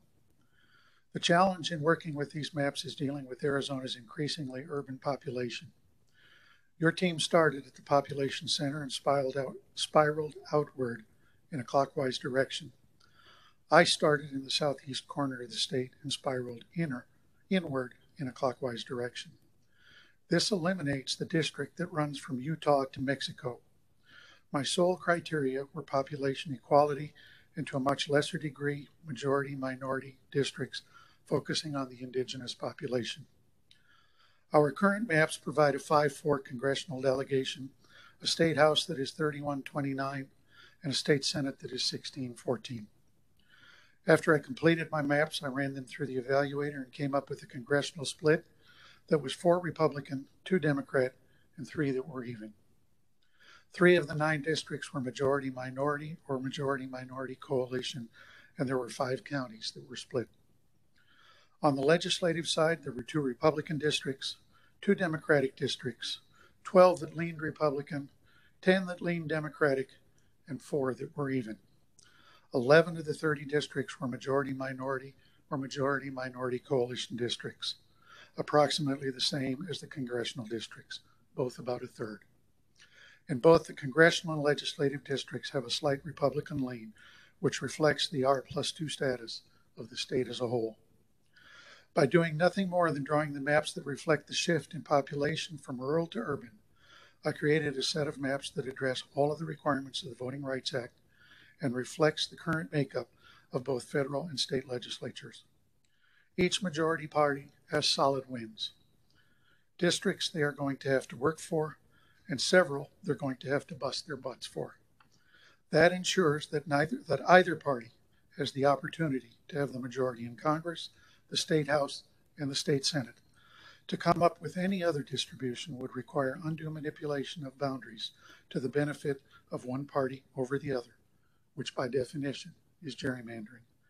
I look forward to seeing your first set of draft maps. Thank you for your time and the opportunity to speak with you this evening.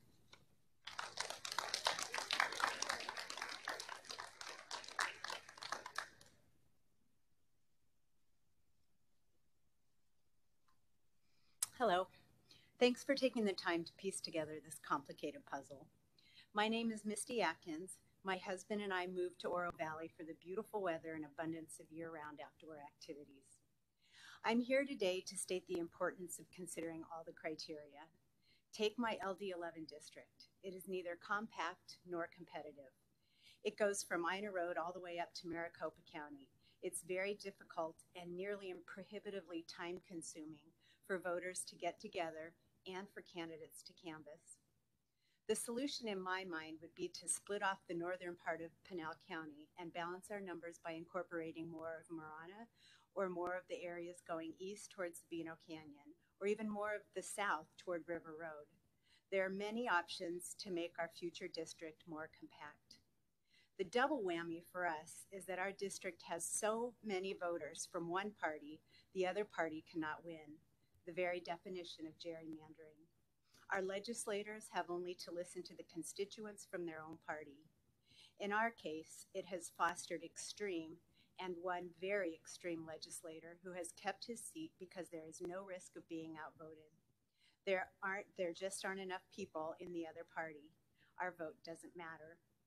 When the idea of an independent redistricting commission was put before voters in 2000, the ballot title read Proposition 106 proposing an amendment to create an independent commission to establish fair and competitive districts. The word competitive is right in the title put before the voters, and that is what the public wanted. For the commission not to work toward building competitive districts in as many parts of Arizona as possible would be a failure. And from the previous two maps, we see that it's very possible. I'm well aware that these first maps are only a starting point, but I'm asking you to equally consider all of the criteria when finalizing the maps. Thank you for your time.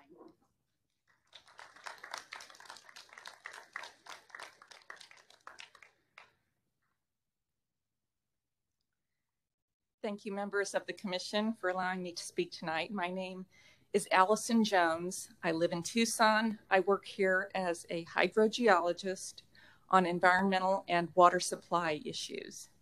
I've been appointed to the Community Water Advisory Committee for the City of Tucson and the county's Regional Wastewater Reclamation Advisory Committee. Thank you for the work you're doing. I ask you first to heed carefully the maps that the maps that Barbara Tellman provided, LD 006, that she presented just three speakers ago or so. Those maps do meet all the requirements.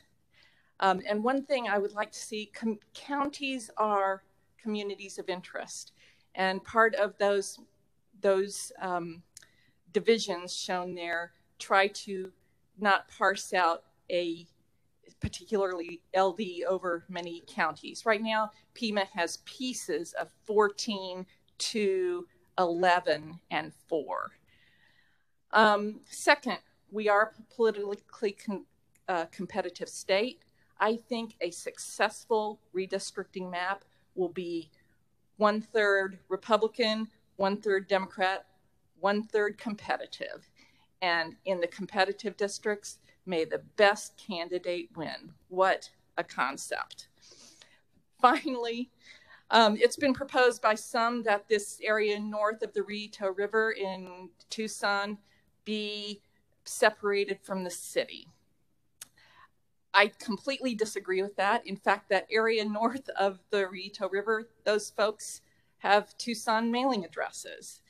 I think it would be a mistake to separate those folks. They come down the hill every day, down down Campbell Boulevard, and they they live and work in Tucson. One final thing I want to make a point of is the, a community of interest that I represent is working people. I took vacation time to be here today, and not a lot of people can do that. If it's great if you're independently wealthy and not working and you can be here at three o'clock, but if you cannot, you have to wait till late or maybe not attend at all. I implore you to institute, institute a random um, speaker list by maybe giving out those tickets, numbered tickets like people do for door prizes. I think you would get a younger group of people here, you would get more working people here, you would get a more representative group of speakers coming to you today. So in closing, Barbara Tellman's map, LD006. It's a winner. Thank you for listening to me today.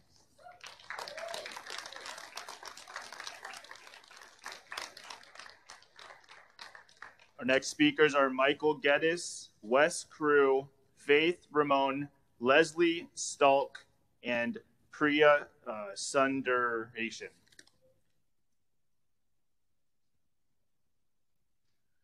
My name is Michael Geddes from LD9 in Pima County. Thank you for helping to protect our democracy from gerrymandering.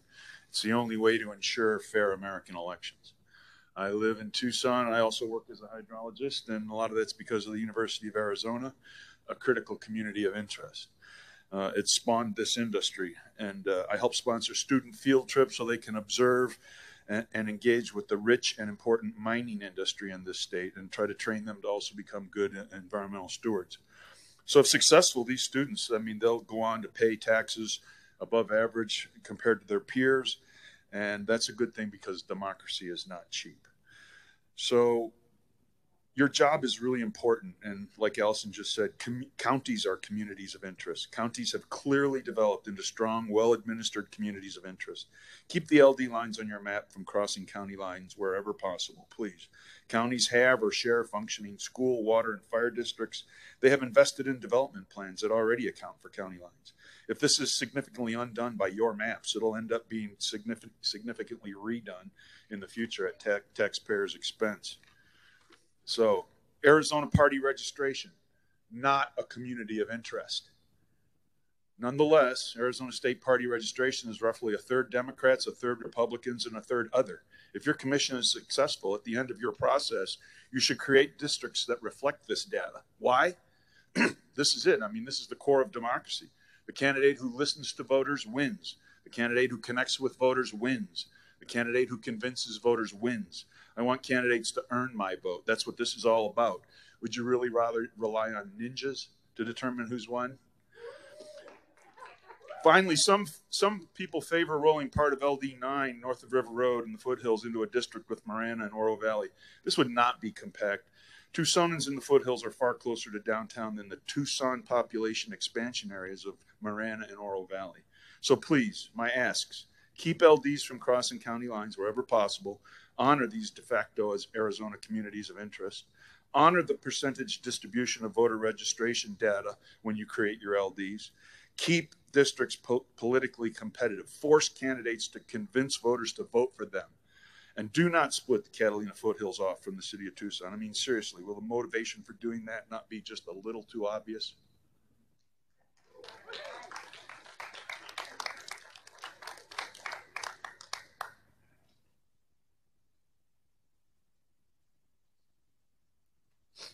Good afternoon.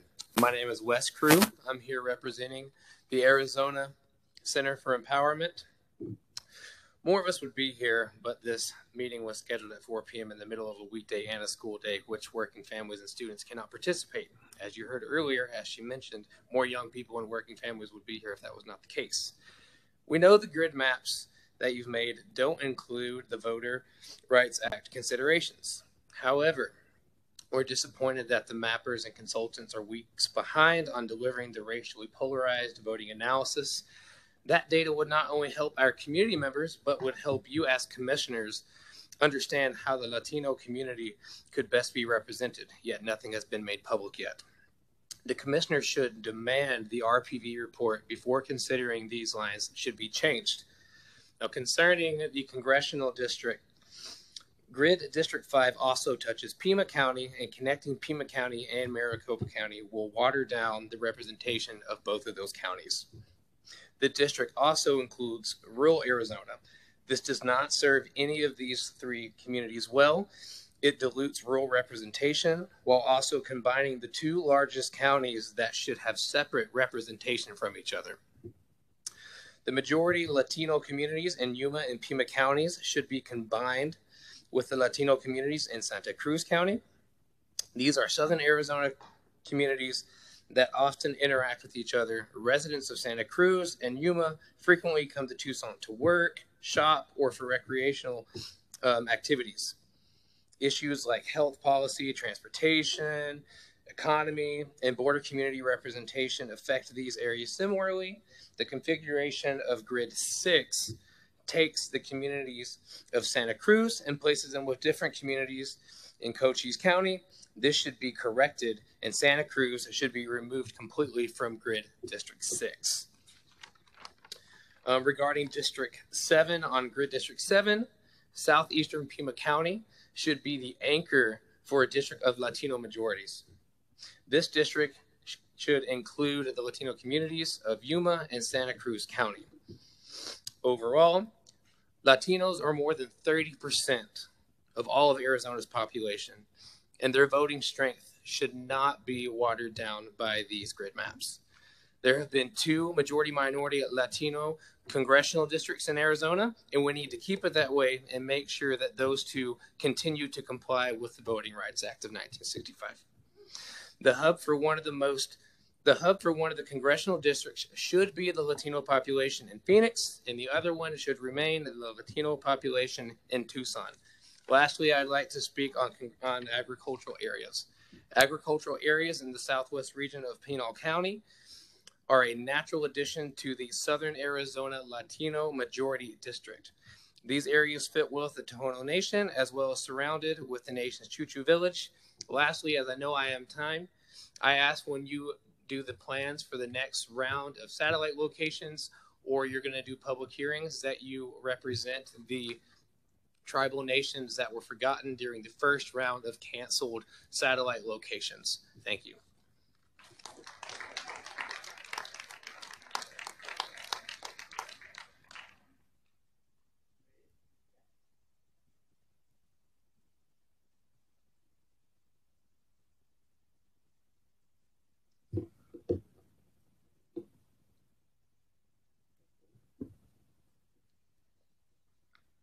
Faith Ramon, Abamja Agiatoatam, Sisapdati Wasajidada. My name is Faith Ramon, and welcome to my ancestral land.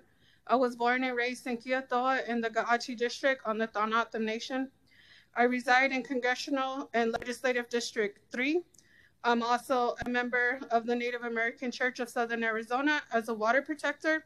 I preserve and carry the values of my Himadak and my faith.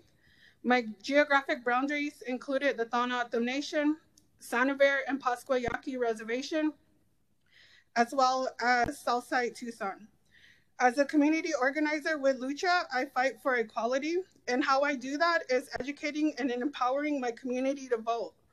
We have registered over 1 million Arizonans in 2020 to come out to vote. In particular, over the past 10 years, people of color have been growing including First Nations.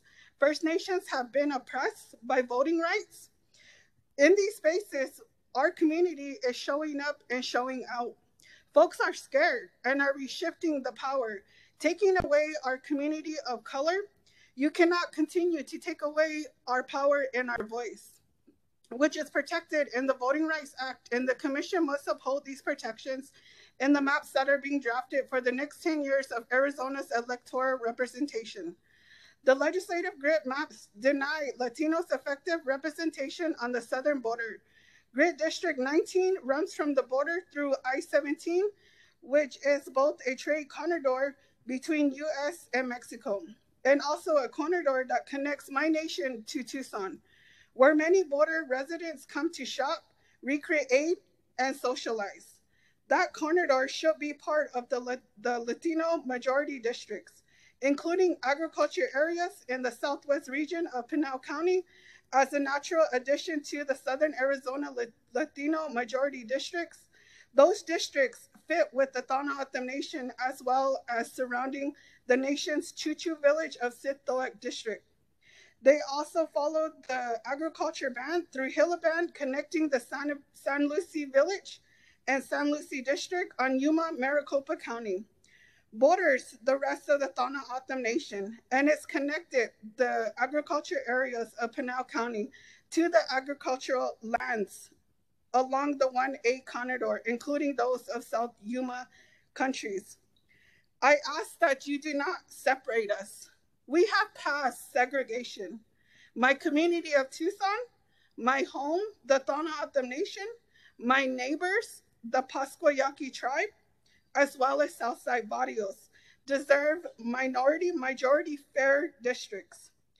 Equality, diversity is important to those of us who had to fight for our right in this country, for our land to be seen, to be recognized, and to be counted.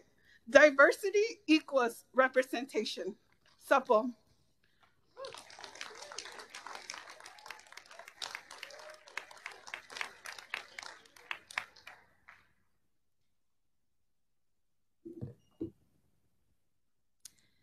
Good afternoon, commission. Uh, well, evening now, commissioners. Thank you for the opportunity to comment um, and for sticking through this grueling process. Uh, my name is Priya Sundaration. I was born and raised in the Catalina foothills area north of Tucson and have seen it change over the past almost four decades. Our lives in the foothills have always been intricately connected with the city of Tucson, as my parents and many of my friends worked at the university or the surrounding area and we visited restaurants and entertainment in the city. I now live near and teach at the university, and I'm fortunate to have the flexibility so I could be here now uh, and and earlier into when as this uh, meeting started. Understanding that the grid maps will change, my comments are more general, although I hear that Barbara Tellman's map is pretty good, so I will lend my support to that. Um, there's nothing wrong, however, with in including city areas with suburban areas or rural for that matter if the constitutional criteria require it. It's also very important that minority communities are protected and given meaningful voting power as demanded by our federal voting rights laws. As we just heard, majority minority districts are an important way that such communities are protected, and this may have to come at the expense of perfectly even population counts, which is also fine. Change is inevitable and we must adapt to it. Our districts must change to reflect our city and state's growing population in a way that gives community members the opportunity to interact meaningfully with their elected officials. I echo others who asked for competitive maps for these reasons, so that our representatives do not hew to the extremes but are incentivized to listen to all of their constituents to form a winning coalition of votes. Therefore, please draw districts that do not distort our suburban connections to the cities near us, that are competitive for meaningful access to representatives, and that protect the voting rights of our minority communities. Thank you.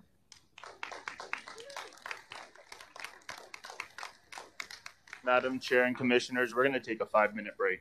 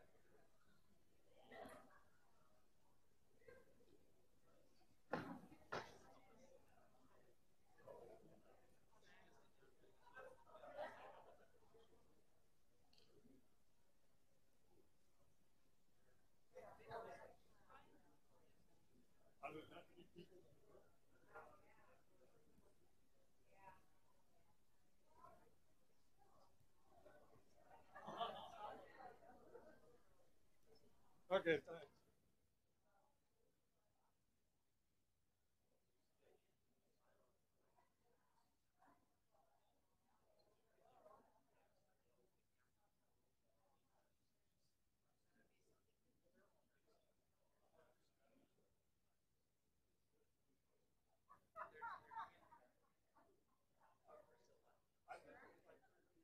You guys, our next speakers are Kate Saunders, Joanne Marroquin, Alan Nichols,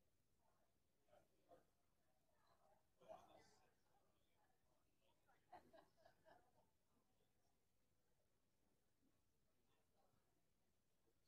Our next speakers, are Kate Saunders, Joanne Maroke, Alan Nichols, and Clark.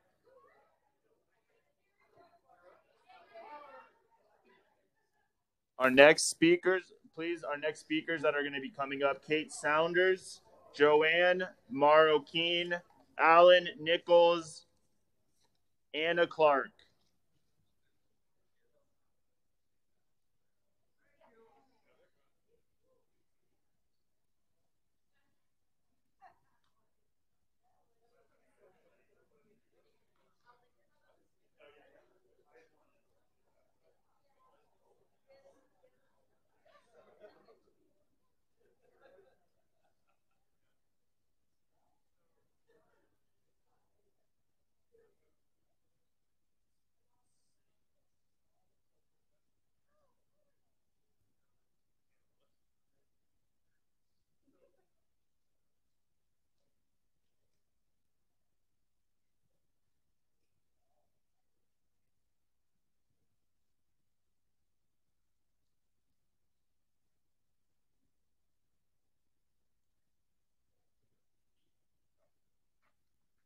Commissioners, can you hear me?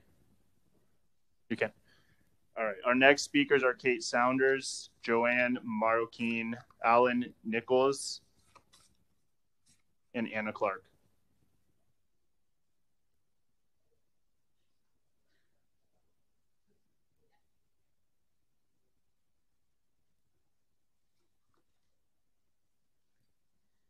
Good evening, commissioners. My name is Kate Saunders. Some of you will remember me from the last hearing in Phoenix.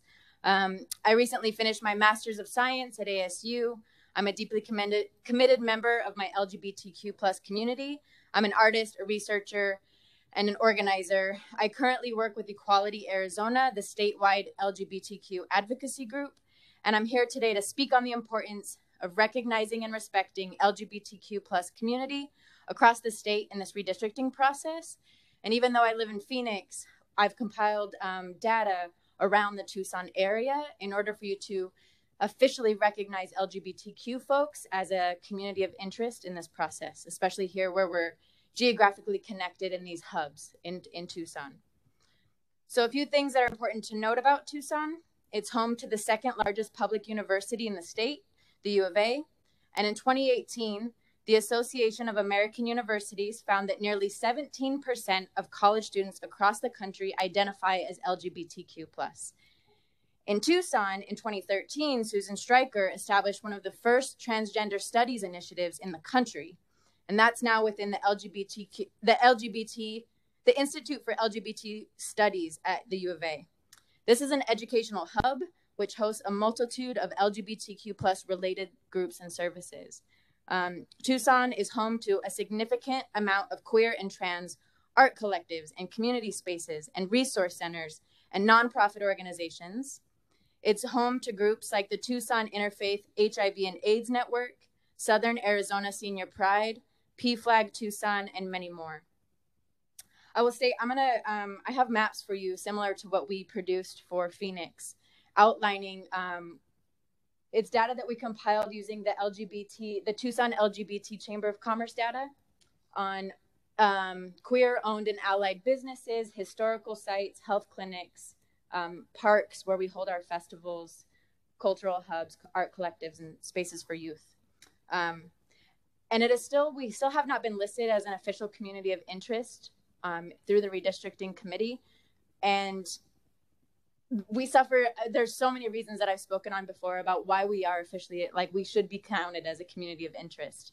Um, it's also in tucson specifically it's where trans and queer people come together not because we own horse property or not because we get our nails done but because our lives depend on us coming together and seeking safety amongst one another. That's why we create businesses so that we can be included and feel safe because we suffer such grave degrees of discrimination. And so that's why places like Tucson, um, in the city of Tucson, and I in the maps I'll describe where, especially along Fourth Avenue, all the way down to Alvernon, Reid Park, and um, in, the, in like the Fourth Avenue downtown area, especially close to the university. So, what that looks like on the maps. Um, Tucson's currently split in the congressional and legislative districts, and the we're split on CD two and three, and we're also split in LD three, nine, and ten. So pay attention to where LGBTQ plus community are concentrated and geographically connected in these downtown areas. As members of Arizona and Tucson, you have the opportunity to um, recognize and respect LGBTQ plus folks in this redistricting process. Keep us together, keep us in districts where we are values aligned, because we have a deep vested interest in voting with one another. Thank you.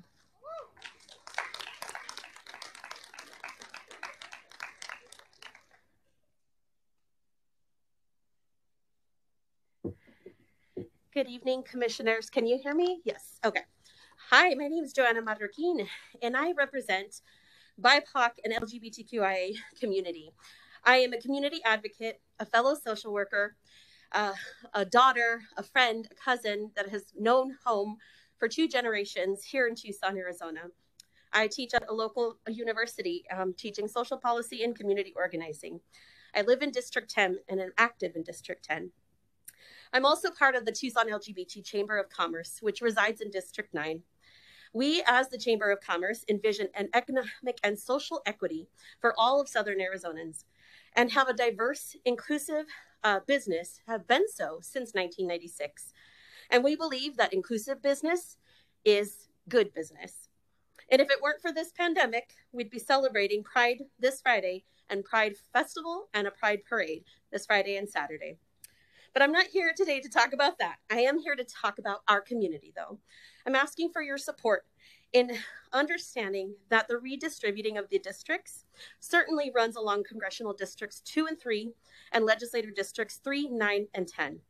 And, LG, and it deeply impacts us as an LGBTQIA community. Why? Because LGBTQIA plus individuals and businesses that serve them will are significantly impacted. We have built and cultivated areas of downtown Tucson up until all, all, the way through Alvernon to protect and keep our communities safe from interference and harm while providing supports to the LGBTQIA community through health and well-being resources, businesses, inclusive businesses, events, culture, and arts, and have contributed to this economy here in Southern Arizona for many years. A recent poll by Gallup actually said that 5.6 of Americans identify as LGBTQIA, and nearly 16% of them 24 years of age and younger will be eligible eligible to vote in the next election. So what does that mean? We know strategically redistributing is one of the things that will happen. But we know that when more votes are available to us, representation will happen and it matters. It matters because this is where our values are aligned. And I know that you're all working hard, and I would love for you to consider us as a very specific community of special interest. We all know that we have various intersections and where we live, work, and play. And the downtown community for LGBTQIA folks has always been a place to call home. And who doesn't want to have their needs met? Who doesn't want to have a quality of life to be increased? And taking away that and the opportunity to stay within our community promotes the notion that our community doesn't matter. And that, to I say, we will continue to be present and our voices will continue to be heard. I ask you today to consider that there are equitable ways to include the LGBTQIA community, and it doesn't involve taking apart the current community as it exists. We ask you this to consider to protect and support LGBTQIA plus community here in Tucson. Thank you so much for your time. Have a good night.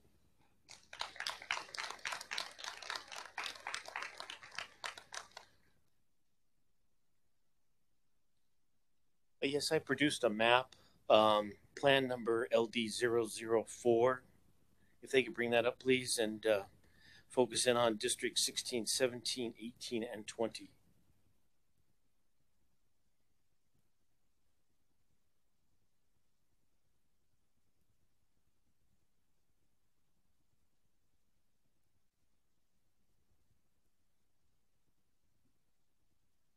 Uh, my name is Alan Nichols. I'm here in Tucson, Arizona. We're here today to discuss the grid maps as generated by the IRC and redone by many people, including myself. This is a map I built. Um, uh, at the beginning of the presentation, I noticed that you displayed a community of interest map that was overlaid primarily about southern Arizona. And it was focused around the Catalina foothills area. That grid map in no way represents the area that the maps give us for a legislative district. The grid maps that are provided by the IRC divides the area against your guidelines. As I developed my map, I incorporated the IRC requirements like population, continuity, compactness. Additionally, I used natural and man made boundaries like freeways and mountains to help define my districts all around the whole state. I also used information presented in previous rounds of testimony to try to make my legislative district conform to many of the communities of interest, like your grid map showed, around the state, as well as taking into things like the copper corridor. While this process was not easy for me and it did take some time, I was very happy with the outcome. It passed all the IRC requirements, and my new legislative LD district conforms to those requirements and to the Arizona Constitution. I would like to note that the grid map presented by the IRC did not always comply with their own requirements, in many cases, taking things and extending boundaries across freeways and thus separating communities.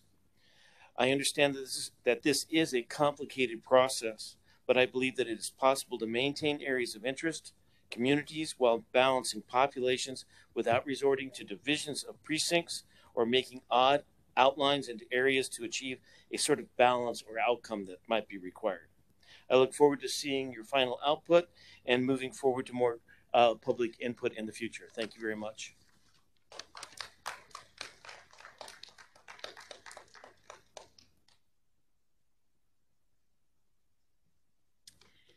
Good evening, members of the commission. My name is Anna Clark. I live in Oro Valley. I'm in Legislative District 11, Congressional, Congressional District Number One. Uh, I appreciate your time. We're going on hour four here, so it's I know it's been long, um, and I will be brief. Uh, looking at the grid maps, I was um, encouraged with Congressional District uh, 5 and Legislative District 16.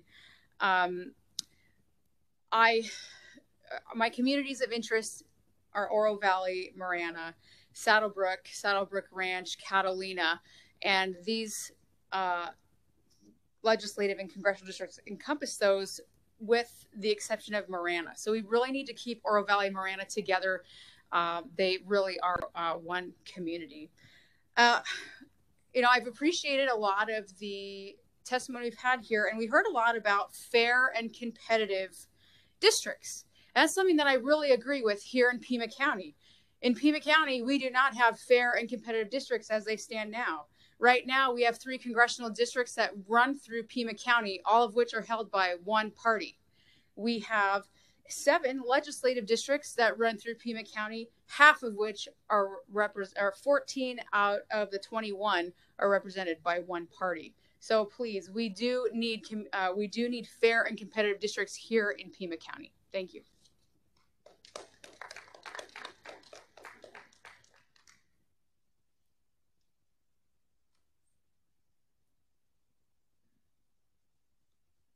Our next speakers are Peggy Gibson, Linda Nelson, John Dalton, Tom Shambin, and Francis Bergen.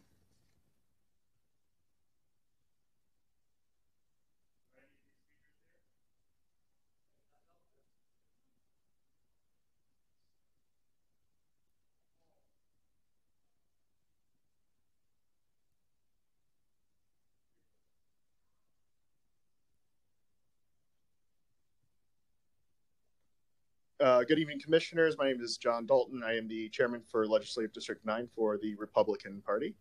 Uh, I'll keep it short and concise. You've been here for quite a while, so you've heard every argument under the sun so far. But uh, basic gist is, as of right now, I kind of support the uh, map indi- uh, submitted by Indigo, which is LD0008. Again, LD0008. Uh, that's the map that I currently am liking so far. Of course, uh, we will expect some changes coming down the pike probably in the next couple of weeks.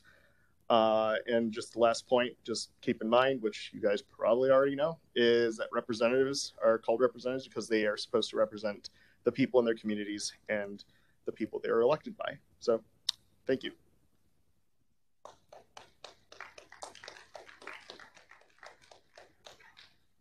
Our next speakers are Kevin Oberg, Betty Harris, Stephen Valencia, Carol Skolf, Adelita Grijalva,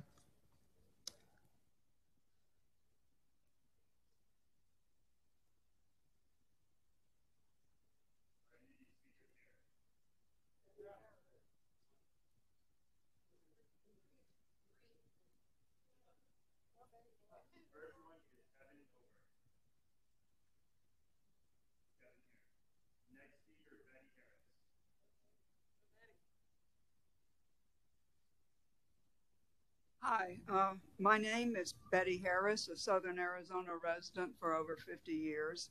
I came here from Baltimore to attend graduate school, met my late husband, an Arizona native, at the U of A, and taught at Pima College for over 30 years. We built our home outside the city limits where the land was cheaper at that time, and uh, I've never left. Uh, thank you for uh, allowing me to add my two cents to this important discussion. Right now, I live in LD3 and in CD3. Uh, both of these are minority majority areas. I feel that it is very important to my neighbors and to myself for this to continue. Uh, I believe that the maps uh, mentioned earlier, LD 006 and CD 009, do that, particularly in regard to the Tohono O'odham Nation and also to other Native American nations. Um, I um, that this is all rather new to me, and um, I, that's about all I have to say. Thank you for your time.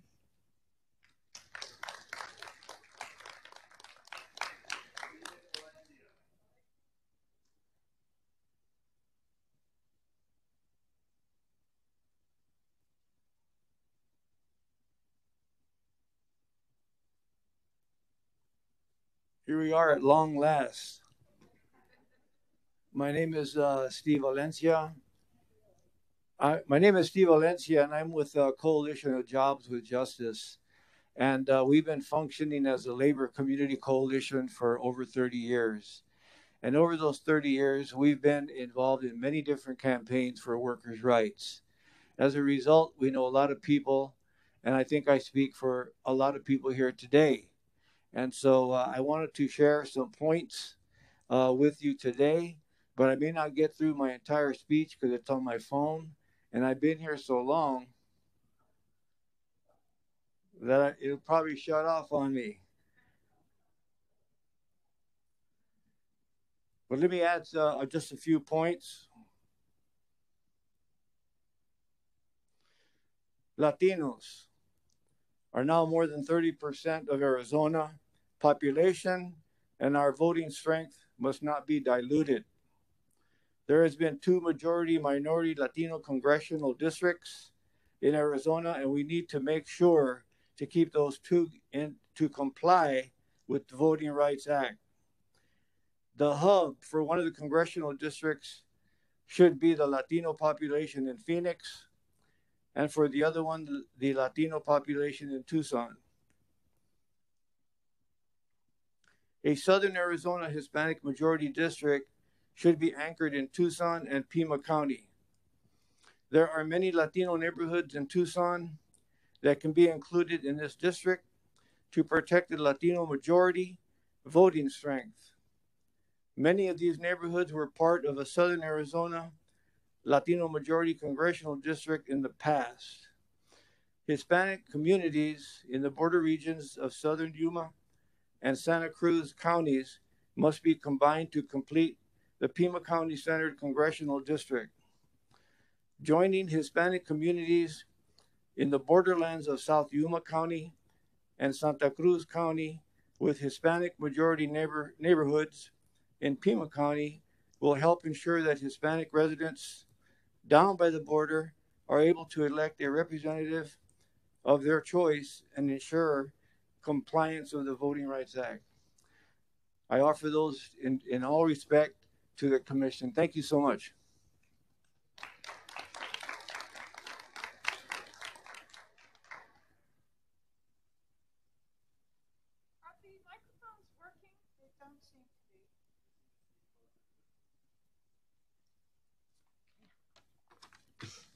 Hi, my name is Carol Schloff. I live in unincorporated Tucson in the foothills of the Tucson Mountains. I've lived there for seven years, and prior to that, for 10 years, I spent every winter and spring in Tucson. Okay. Tucson is surely a world class city. I love the cultural diversity. I love its majestic mountains and the warmth and wonder of the desert. And of course, I love the food. I want to thank you for giving your time to this important process and listening to the diverse voices in our Tucson community. Today, I'd like to talk about communities of, int of interest and advocate for keeping the communities in unincorporated Tucson part of the Tucson grid. I live two miles outside of the Tucson city limits, and I am currently a part of Legislative District 3. My life is in Tucson. I shop there, I take advantage of cultural activities, and it's where I spend my money. I know my representatives and they know me. My community can advocate for things that matter to us, and we are physically close enough to our representatives to hold them accountable if we feel we aren't being heard. Now, just a couple of miles west of where I live, also in unincorporated Tucson, there's a community called Diamond Bell Ranch. They are part of Legislative District 4 in Pima County, but Legislative 4 is basically run out of Yuma. So they are 230 miles away. They're not a CD, they're, this is an LD. They're 230 miles away from their hub in Yuma, which is about a three and a half hour drive. Like me, they're invested in Tucson for their shopping, their cultural activities, and it's surely where they spend their money. When a community is sliced apart from where they call home, their voices are minimized, and elected officials have no incentive to listen to them. Finally, another close neighbor is the Tohono O'odham Nation and its major community Sells. This area needs to have their district boundaries kept in the Tucson metropolitan area. Their major com- commercial and revenue produce, producing areas, including their casinos, are located within the Tucson metropolitan area. When creating the draft maps, I urge you to approve maps that respect communities of interest, keep people together in their home community. It's where we belong. Thank you.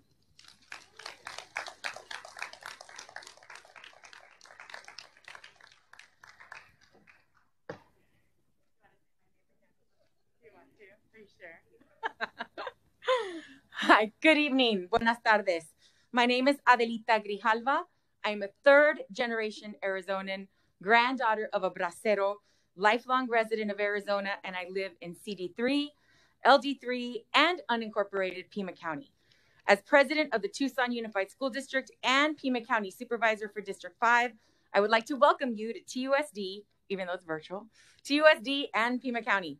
I'm here to speak up for the legal need under the Voting Rights Act to protect both the Arizona Department Justice Department approved Hispanic voting rights districts and Latino representation for Southern Arizona. I last spoke to you on September 6th and appreciate the opportunity to speak to you again this evening um, as a representative of the Latino Coalition of Southern Arizona. It's a collective of Latino leaders, inclusive of community, neighborhood, business, grassroots leaders, and collectively, we have decades of service to our community. We have joined together again and seek to engage the Commission for the interest of Pima County and Southern Arizona's Latino communities. Our statewide coalition will be filing our proposed Voting Rights Act districts to aid in the commission to aid the commission in drawing Voting Rights Act compliant congressional and legislative maps that reflect the broad Latinx community representative support in the very near future. Tonight, I will speak to the seventh grid map as presented, which is far from meeting the constitutionally protected goals of the Voting Rights Act and other as practicable changes in the Arizona uh, charges of the Arizona Independent Redistricting Commission. The most glaring issue is the removal of the Tucson Hispanic community from this district, as well as being significantly short of reaffirming our two VRA districts in Arizona that are currently recognized. Our coalition has worked hard across Arizona to move together um, to consensus in an equitable, uh, defendable, and constitutional, and also competitive grid map. Based on our census data, we now know that our Latino population supports anchoring one Voting Rights Act district in Maricopa and another in Tucson. Existing lines of Congressional District 7 in Pima County should be adjusted to include the majority and significant Latino populated neighborhoods north and south of East 22nd Street corridor, as far east as Craycroft Road, adding neighborhoods east of the I 10 north of Grant Road and south of Prince east of Campbell Avenue reflect previous neighborhoods included in past iterations from the 2002 Arizona Independent Redistricting Commission to meet the goals of the majority minority congressional districts.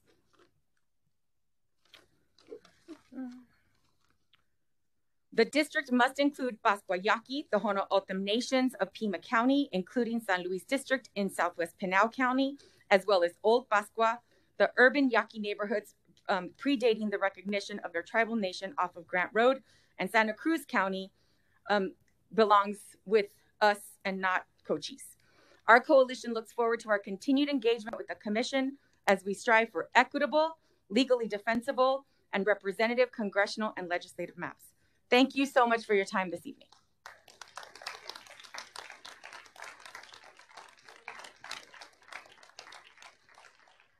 Our next speakers are James Hanley.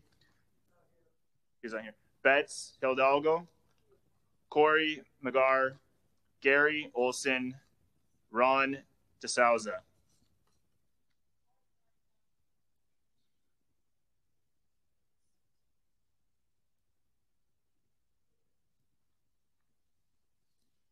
Which one of these works?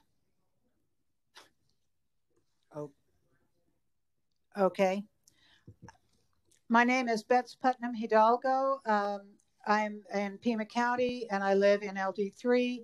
I've lived here for more than 40 years. I'm embarrassed about how long I've lived here. I've owned a home for about 40 years here. My interest in redistricting is an interest in representation. That is the point my community of um, um, my community of interest are all of the people in Arizona whose voices are not heard through our current districting process. And I urge you to keep those people in mind. It is supposed to be a representative democracy, and that means that all voices should be heard. And I don't believe that that's happening now, and I hope that it happens in the future. My specific communities of interest are the downtown area uh, here in Tucson, the university, uh, Tucson Mountains, South Tucson area, the land out to and including the Tohono O'odham lands. My community of interest doesn't look like me. Why would it? They don't shop where I shop. Why is that a community of interest? It's a community of interest, not a community of where we get our nails done. My community of interest, I repeat, are all of the people whose voices are not heard. The point has already been made that the Tohono O'odham lands should be kept intact and they should be a part of the Tucson area because that is what they want to feel represented. Gerrymandering has no place in a democracy and should have no place in Arizona. As I said, the point of representative democracy is representation for everyone. Many are excluded now. This must end. I ask you to support CD 0009 and LD 0006, both of which highlight fair representation for all. Thank you. And I hope next time you make these meetings far more accessible to working people.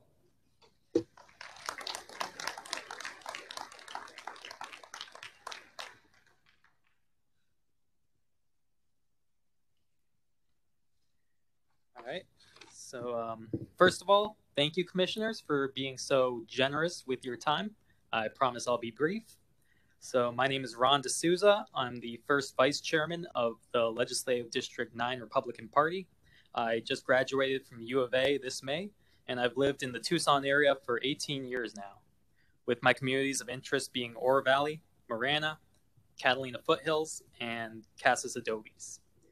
And I'm up here speaking to support lend my full support to proposal LD 0008 by Indigo, Linda Evans here. Um, this particular proposal completely fulfills the criteria required of proposed districts, uh, including cont- contiguity. Con- sorry, contiguity. It properly utilizes the Rillito River as a southern border and uh, makes good use of the highways.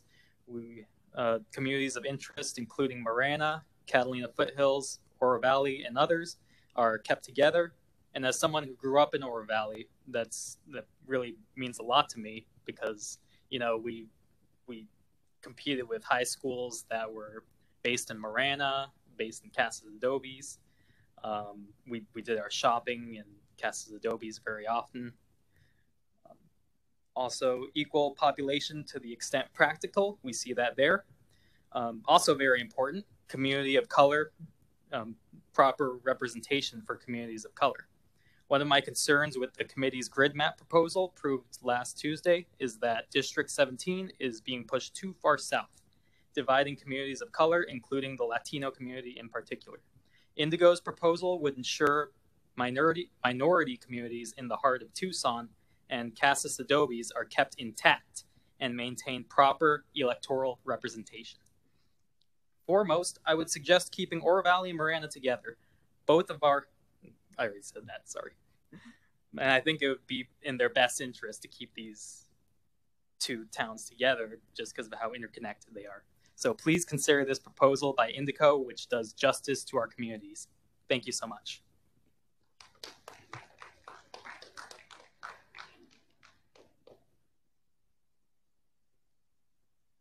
The next speakers, Scott Oldendorf, Paul Stapleton Smith, Jesse Porter, Sabrina Nickerson, Justin Watsack, Annika Katrina Rodriguez,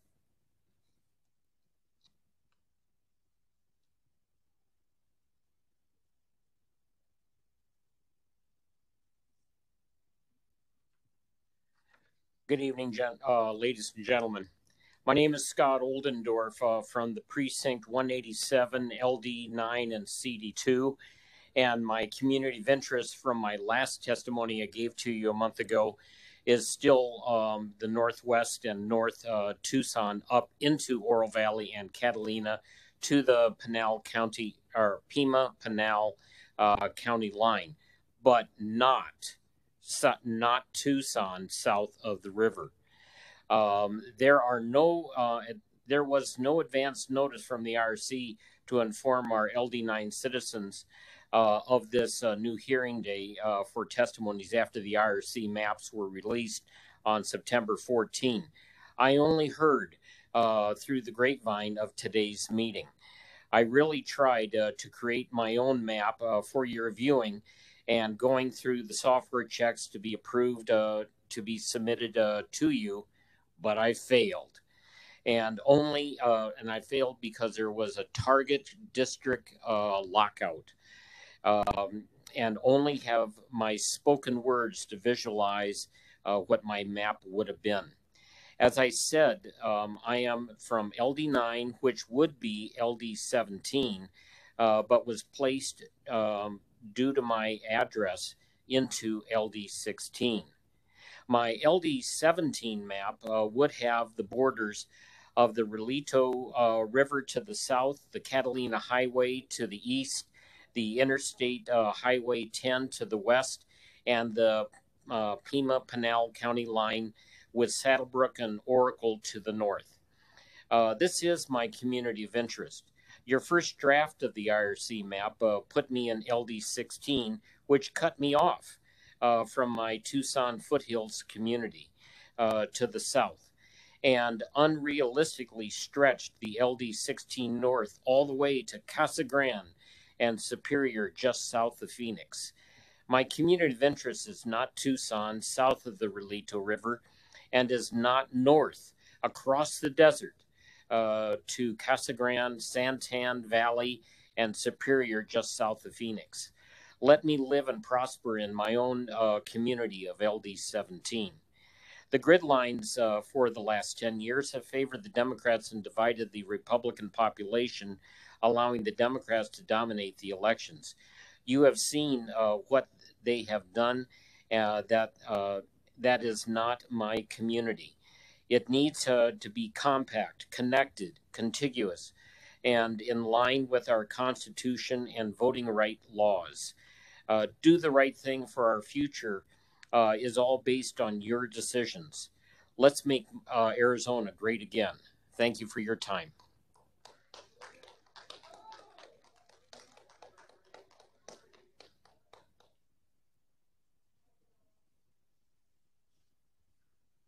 Uh, to the commissioners and to everybody who's in attendance. Thank you for your uh, amazing endurance uh, here. My name is Paul Stapleton Smith, uh, Tucson, Arizona.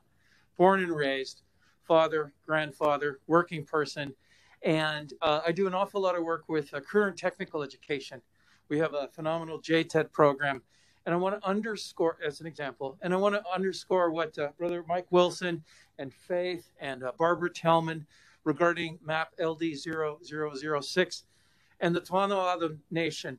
It's imperative that we have an inclusion there that's meaningful for our economy, for our educational system, um, and for the reasons that you've already heard today.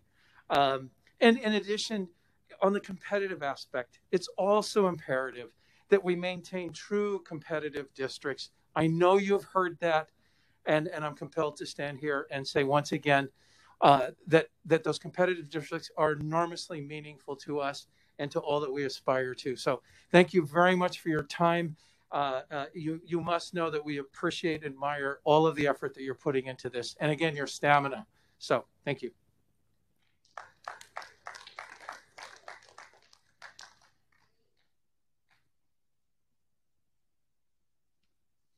Good evening.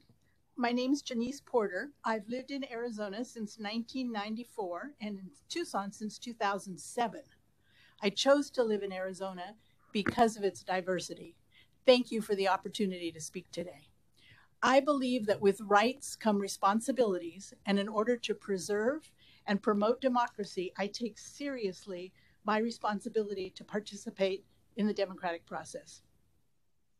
The right to vote and the right to have competitive districts within the state is one of the reasons that I voted yes on Proposition 106 to establish the Independent Redistricting Commission in Arizona in 2000. Arizona is a competitive state with one third independents, one third Republicans, and one third Democrats registered.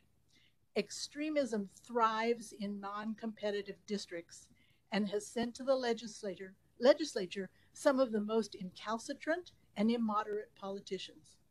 Competitive districts foster a climate of debate and compromise, both necessary to a functioning democracy. Democracy requires that more people vote, not fewer, and competitive districts encourage that. When creating the draft maps, please make your best effort to balance the party registrations in each district to accurately reflect the current registration information. Thank you for your time and your consideration.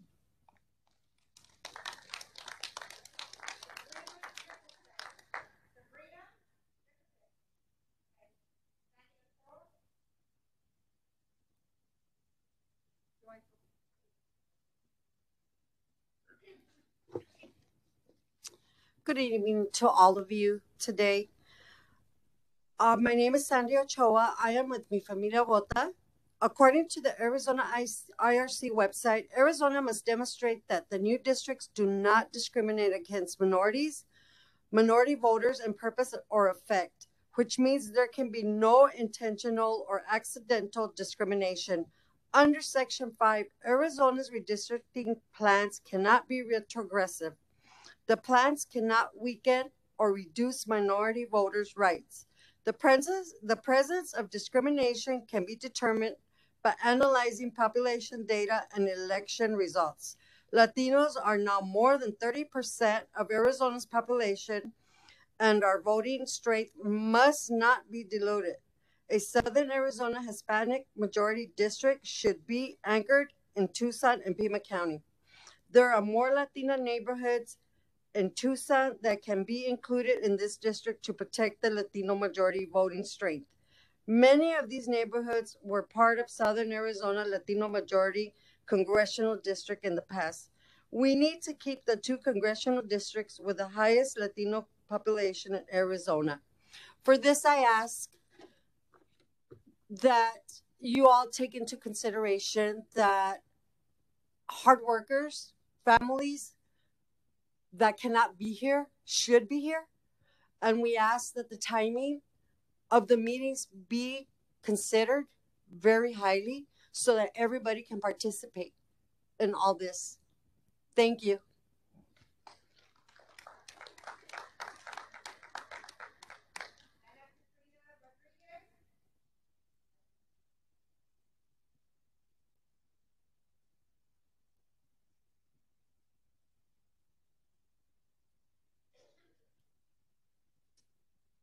Barbara Kane, Tom Perlowski, Kimberly Finch,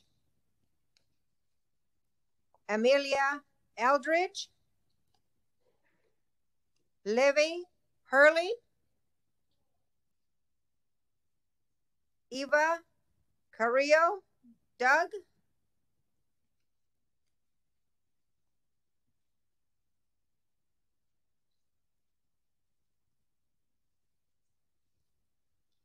Good evening. My name is Kimberly Fitch, and I have lived in Tucson and Pima County for almost 40 years. I live in Congressional District 2 and Legislative District 9. I own a property management company in Tucson that employs almost 90 employees with almost uh, 4,000 apartment units in Tucson, Casa Grande, and Sierra Vista. Establishing competitive districts is part of the criteria established by Proposition 106. The current political environment is extremely divided, and keeping the voting districts competitive is important. Elected official, electing officials who are moderate in their political persuasion will allow better cooperation to ensure the government works for all people, not just those in the winning party. Establishing districts based upon political party would eliminate the competitiveness of, of Arizona's political climate. It would be like removing a, a competitive football team from the league simply just because you can't beat them. That's not the way to win, nor is it a way to run our elections. My goal tonight is to request you to keep the boundaries so that no individual has to drive an undue fair distance to vote or to meet with their representatives, to keep our districts competitive, and to work to ensure that every vote counts. Please balance party registrations to reflect the current registration information. Thank you for taking this very, very important role, and I trust and support the voting rights of all the individuals per the U.S. Constitution. Thank you.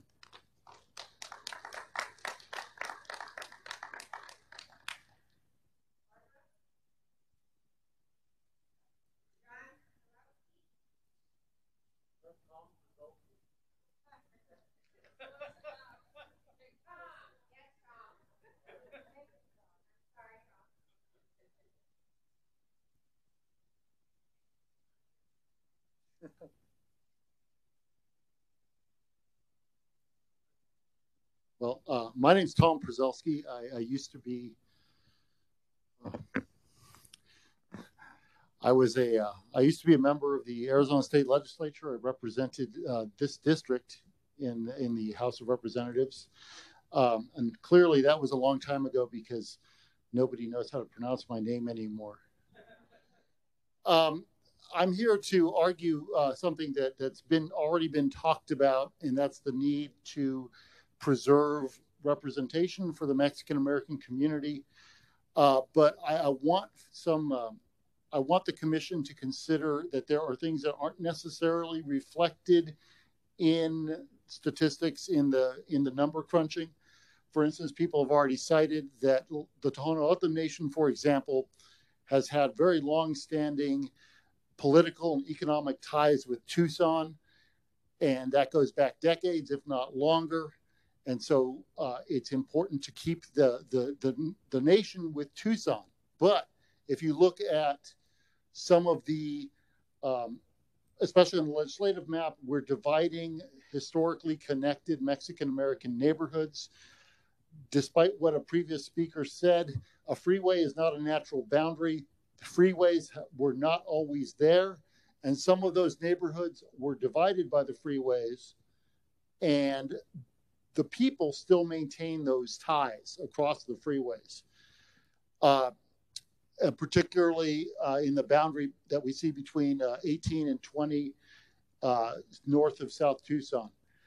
Uh, conversely, when we talk about some of the, the other communities outside of Tucson that are majority Latino communities like uh, like Nogales, Douglas and, and Bisbee to a lesser extent, those families have ties in Tucson. And these are very old ties. These are, uh, you know, we, we talk about the Mexican American community being both very new because there's an immigrant, there's constantly a new immigrant population, but it's also very old. Uh, you know, families that have been here for generations, uh, like you know, as as uh, as Supervisor Grijalva mentioned, uh, you know, her her father, her grandfather, like my grandfather, was a, was a vaquero, and uh, our families have been here for a very long time. So I just ask the commission to consider these things, to do a little more consulting with the both the tribal nations and with the Mexican American community. Consult some of those. Some of those uh, proposals that have been coming out of uh, some of the community groups and just think about these communities uh, before you start dividing them uh, and, and consider history, consider uh, old family ties, consider old political ties uh, before one starts chopping things up because potentially you're diluting political power. And that is certainly inconsistent with not only the Voting Rights Act, but also the language that has enabled this this commission. So uh, keep those things in mind. Uh, thank you.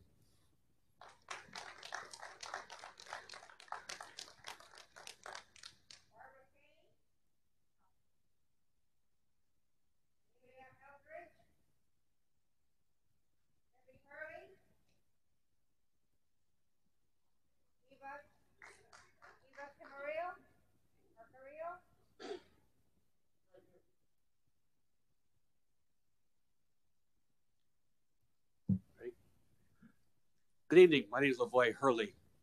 I live on the east side of uh, Tucson in the unincorporated Tanque Verde Valley area. I know I'm not quite the last person, but uh, it's getting late. I'll cut to the chase.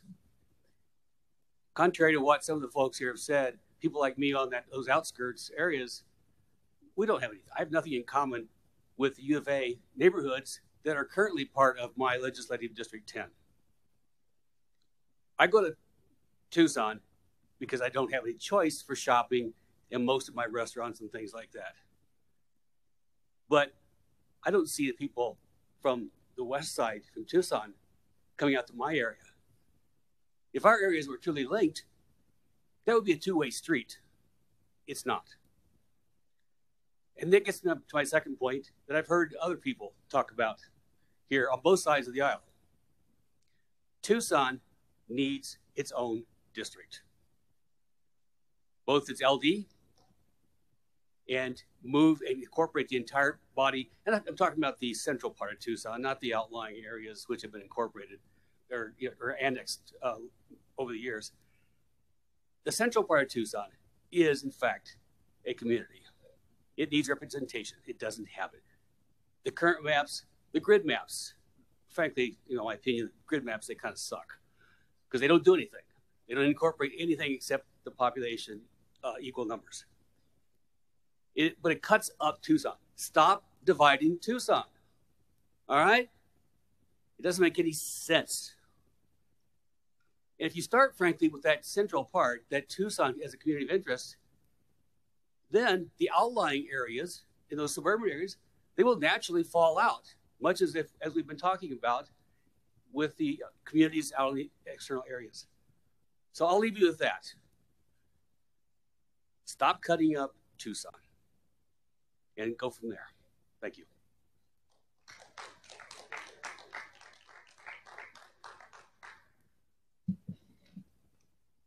As Ms. Carrillo is making her way up here, next five speakers and the final five speakers George Leva, Sabrina Serena Leonard, Kay Davis, Nichols Lockwood, David Herrero.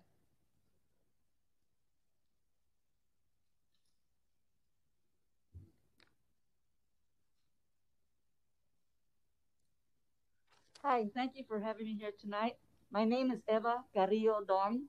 My family has lived here all of our lives as my grandmother was born here in 1908 before we even became a state.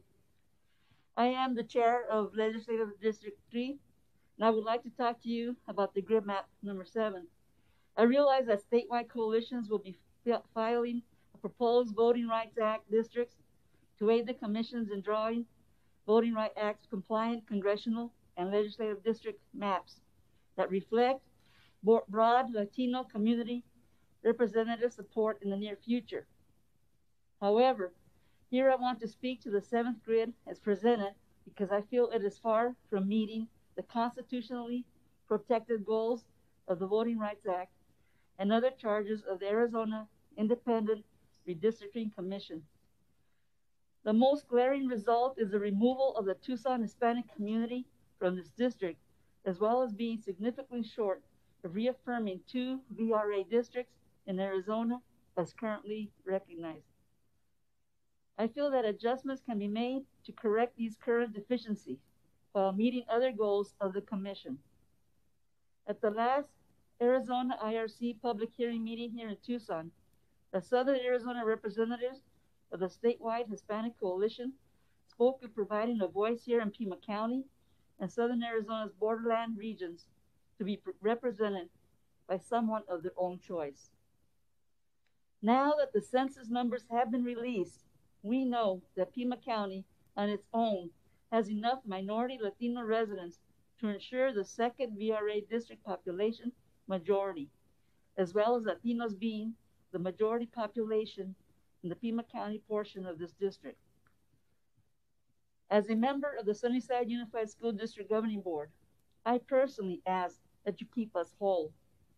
We are a very diverse majority minority community as a matter of fact, existing Tucson and Pima County neighborhoods within the current CD boundaries reflect historic Latino neighborhoods and their connections to each other for decades and has been reflected in past congressional and legislative districts. Tucson City Council wards 1 and 2 as majority minority Latino wards should remain whole and see in the census significant minority and Latino neighborhoods of Ward 3 help make up the majority Latino portion of the Pima County's portion of the second majority minority Latino VRA compliant district. The University of Arizona is surrounded by neighborhoods, including ones with significant minority Latino populations with historic connections to the university and to each other, with the university being the magnet that brings them all together. Tucson and Pima County are home to the Tohono O'odham and Yaqui nations and their people are an integral part of our region's identity. They've always been an important part uh, throughout my childhood. And they must remain whole as nations and in our southern Arizona borderlands, region's majority minority Latino district. It is not just and is disrespectful that they not be included as a voice in their own neighborhoods. I just ask that the Commission to work fairly to define and refine the lines for reestablishing the second Voting Rights Act as we move forward. Thank you.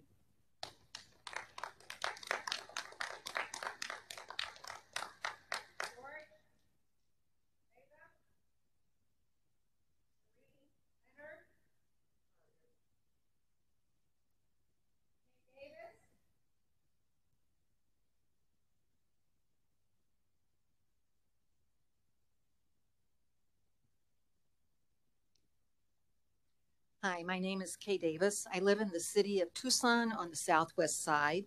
And since moving here, I've learned much about the tribal communities of our state. Current district boundaries have the Tohono O'odham Nation in several districts. They do not respect the community of interest of the Tohono O'odham Nation. I urge you to consider map LD0009 the Tohono O'odham Nation needs to be primarily in a district associated with the Tucson metro area and Pima County.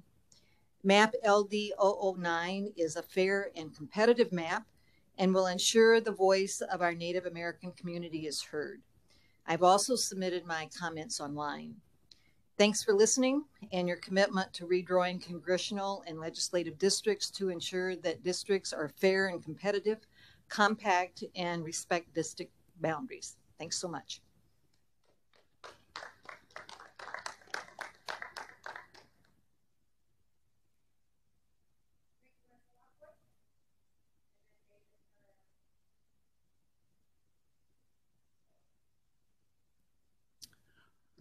Thank you, commissioners. I'm here representing LD9, but that's not what I want to discuss.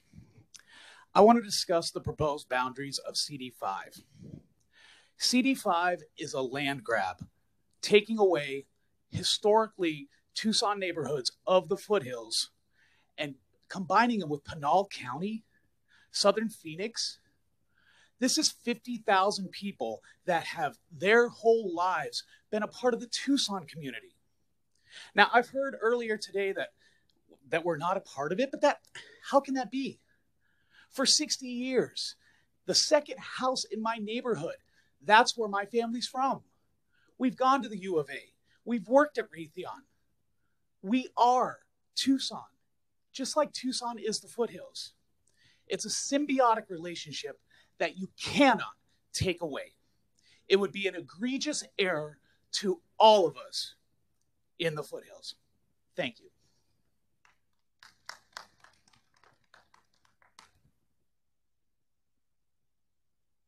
Commissioners and listening audience, our last speaker is David Herrera.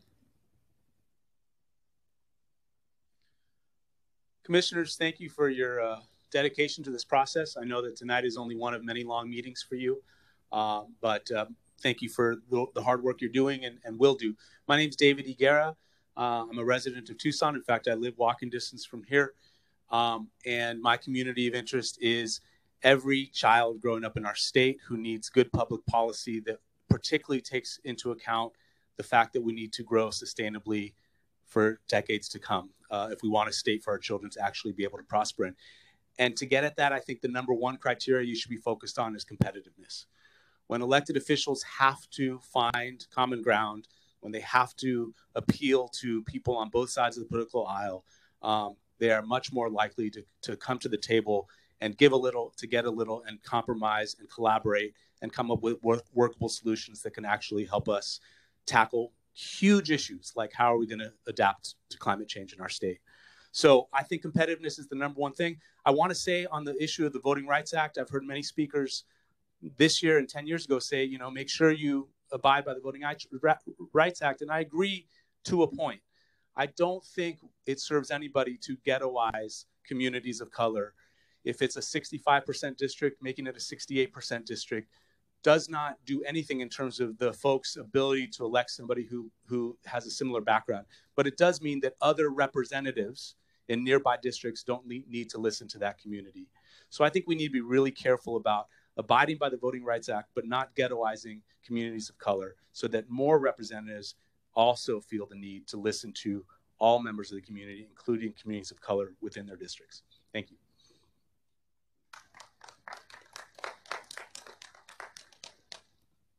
Pro Tem Chair and members of the Commission and listening audience. That concludes our speakers at the Tucson location. Okay, um, it looks like we're at the end here, and everybody here in Scottsdale is cleared out. But um, I appreciate everybody that's sticking in there in our Tucson location, and so uh, we will Yes, thank you for for hanging in there. We we appreciate it. But rather than relying purely on the interpretation of the comments today, we encourage you to go online and submit a map to us using our mapping software. You know, we did hear of uh, the complications, but we're working hard to make it as easy as possible. So look at our mapping process at irc.az.gov. Uh, this will ensure that we correctly understand your definition of your community. Please encourage your friends and neighbors to share your thoughts as well. Uh, anyone can do this online as we've been uh, discussing, and we encourage again. Uh, continue to uh, log in. We will be continuing these meetings, and we hope to hear from everybody. So, with that, we want to say thank you for everybody participating, our staff, legal counsel. And so we will call this meeting adjourned. Safe travels, everybody, and have a great evening. Good night.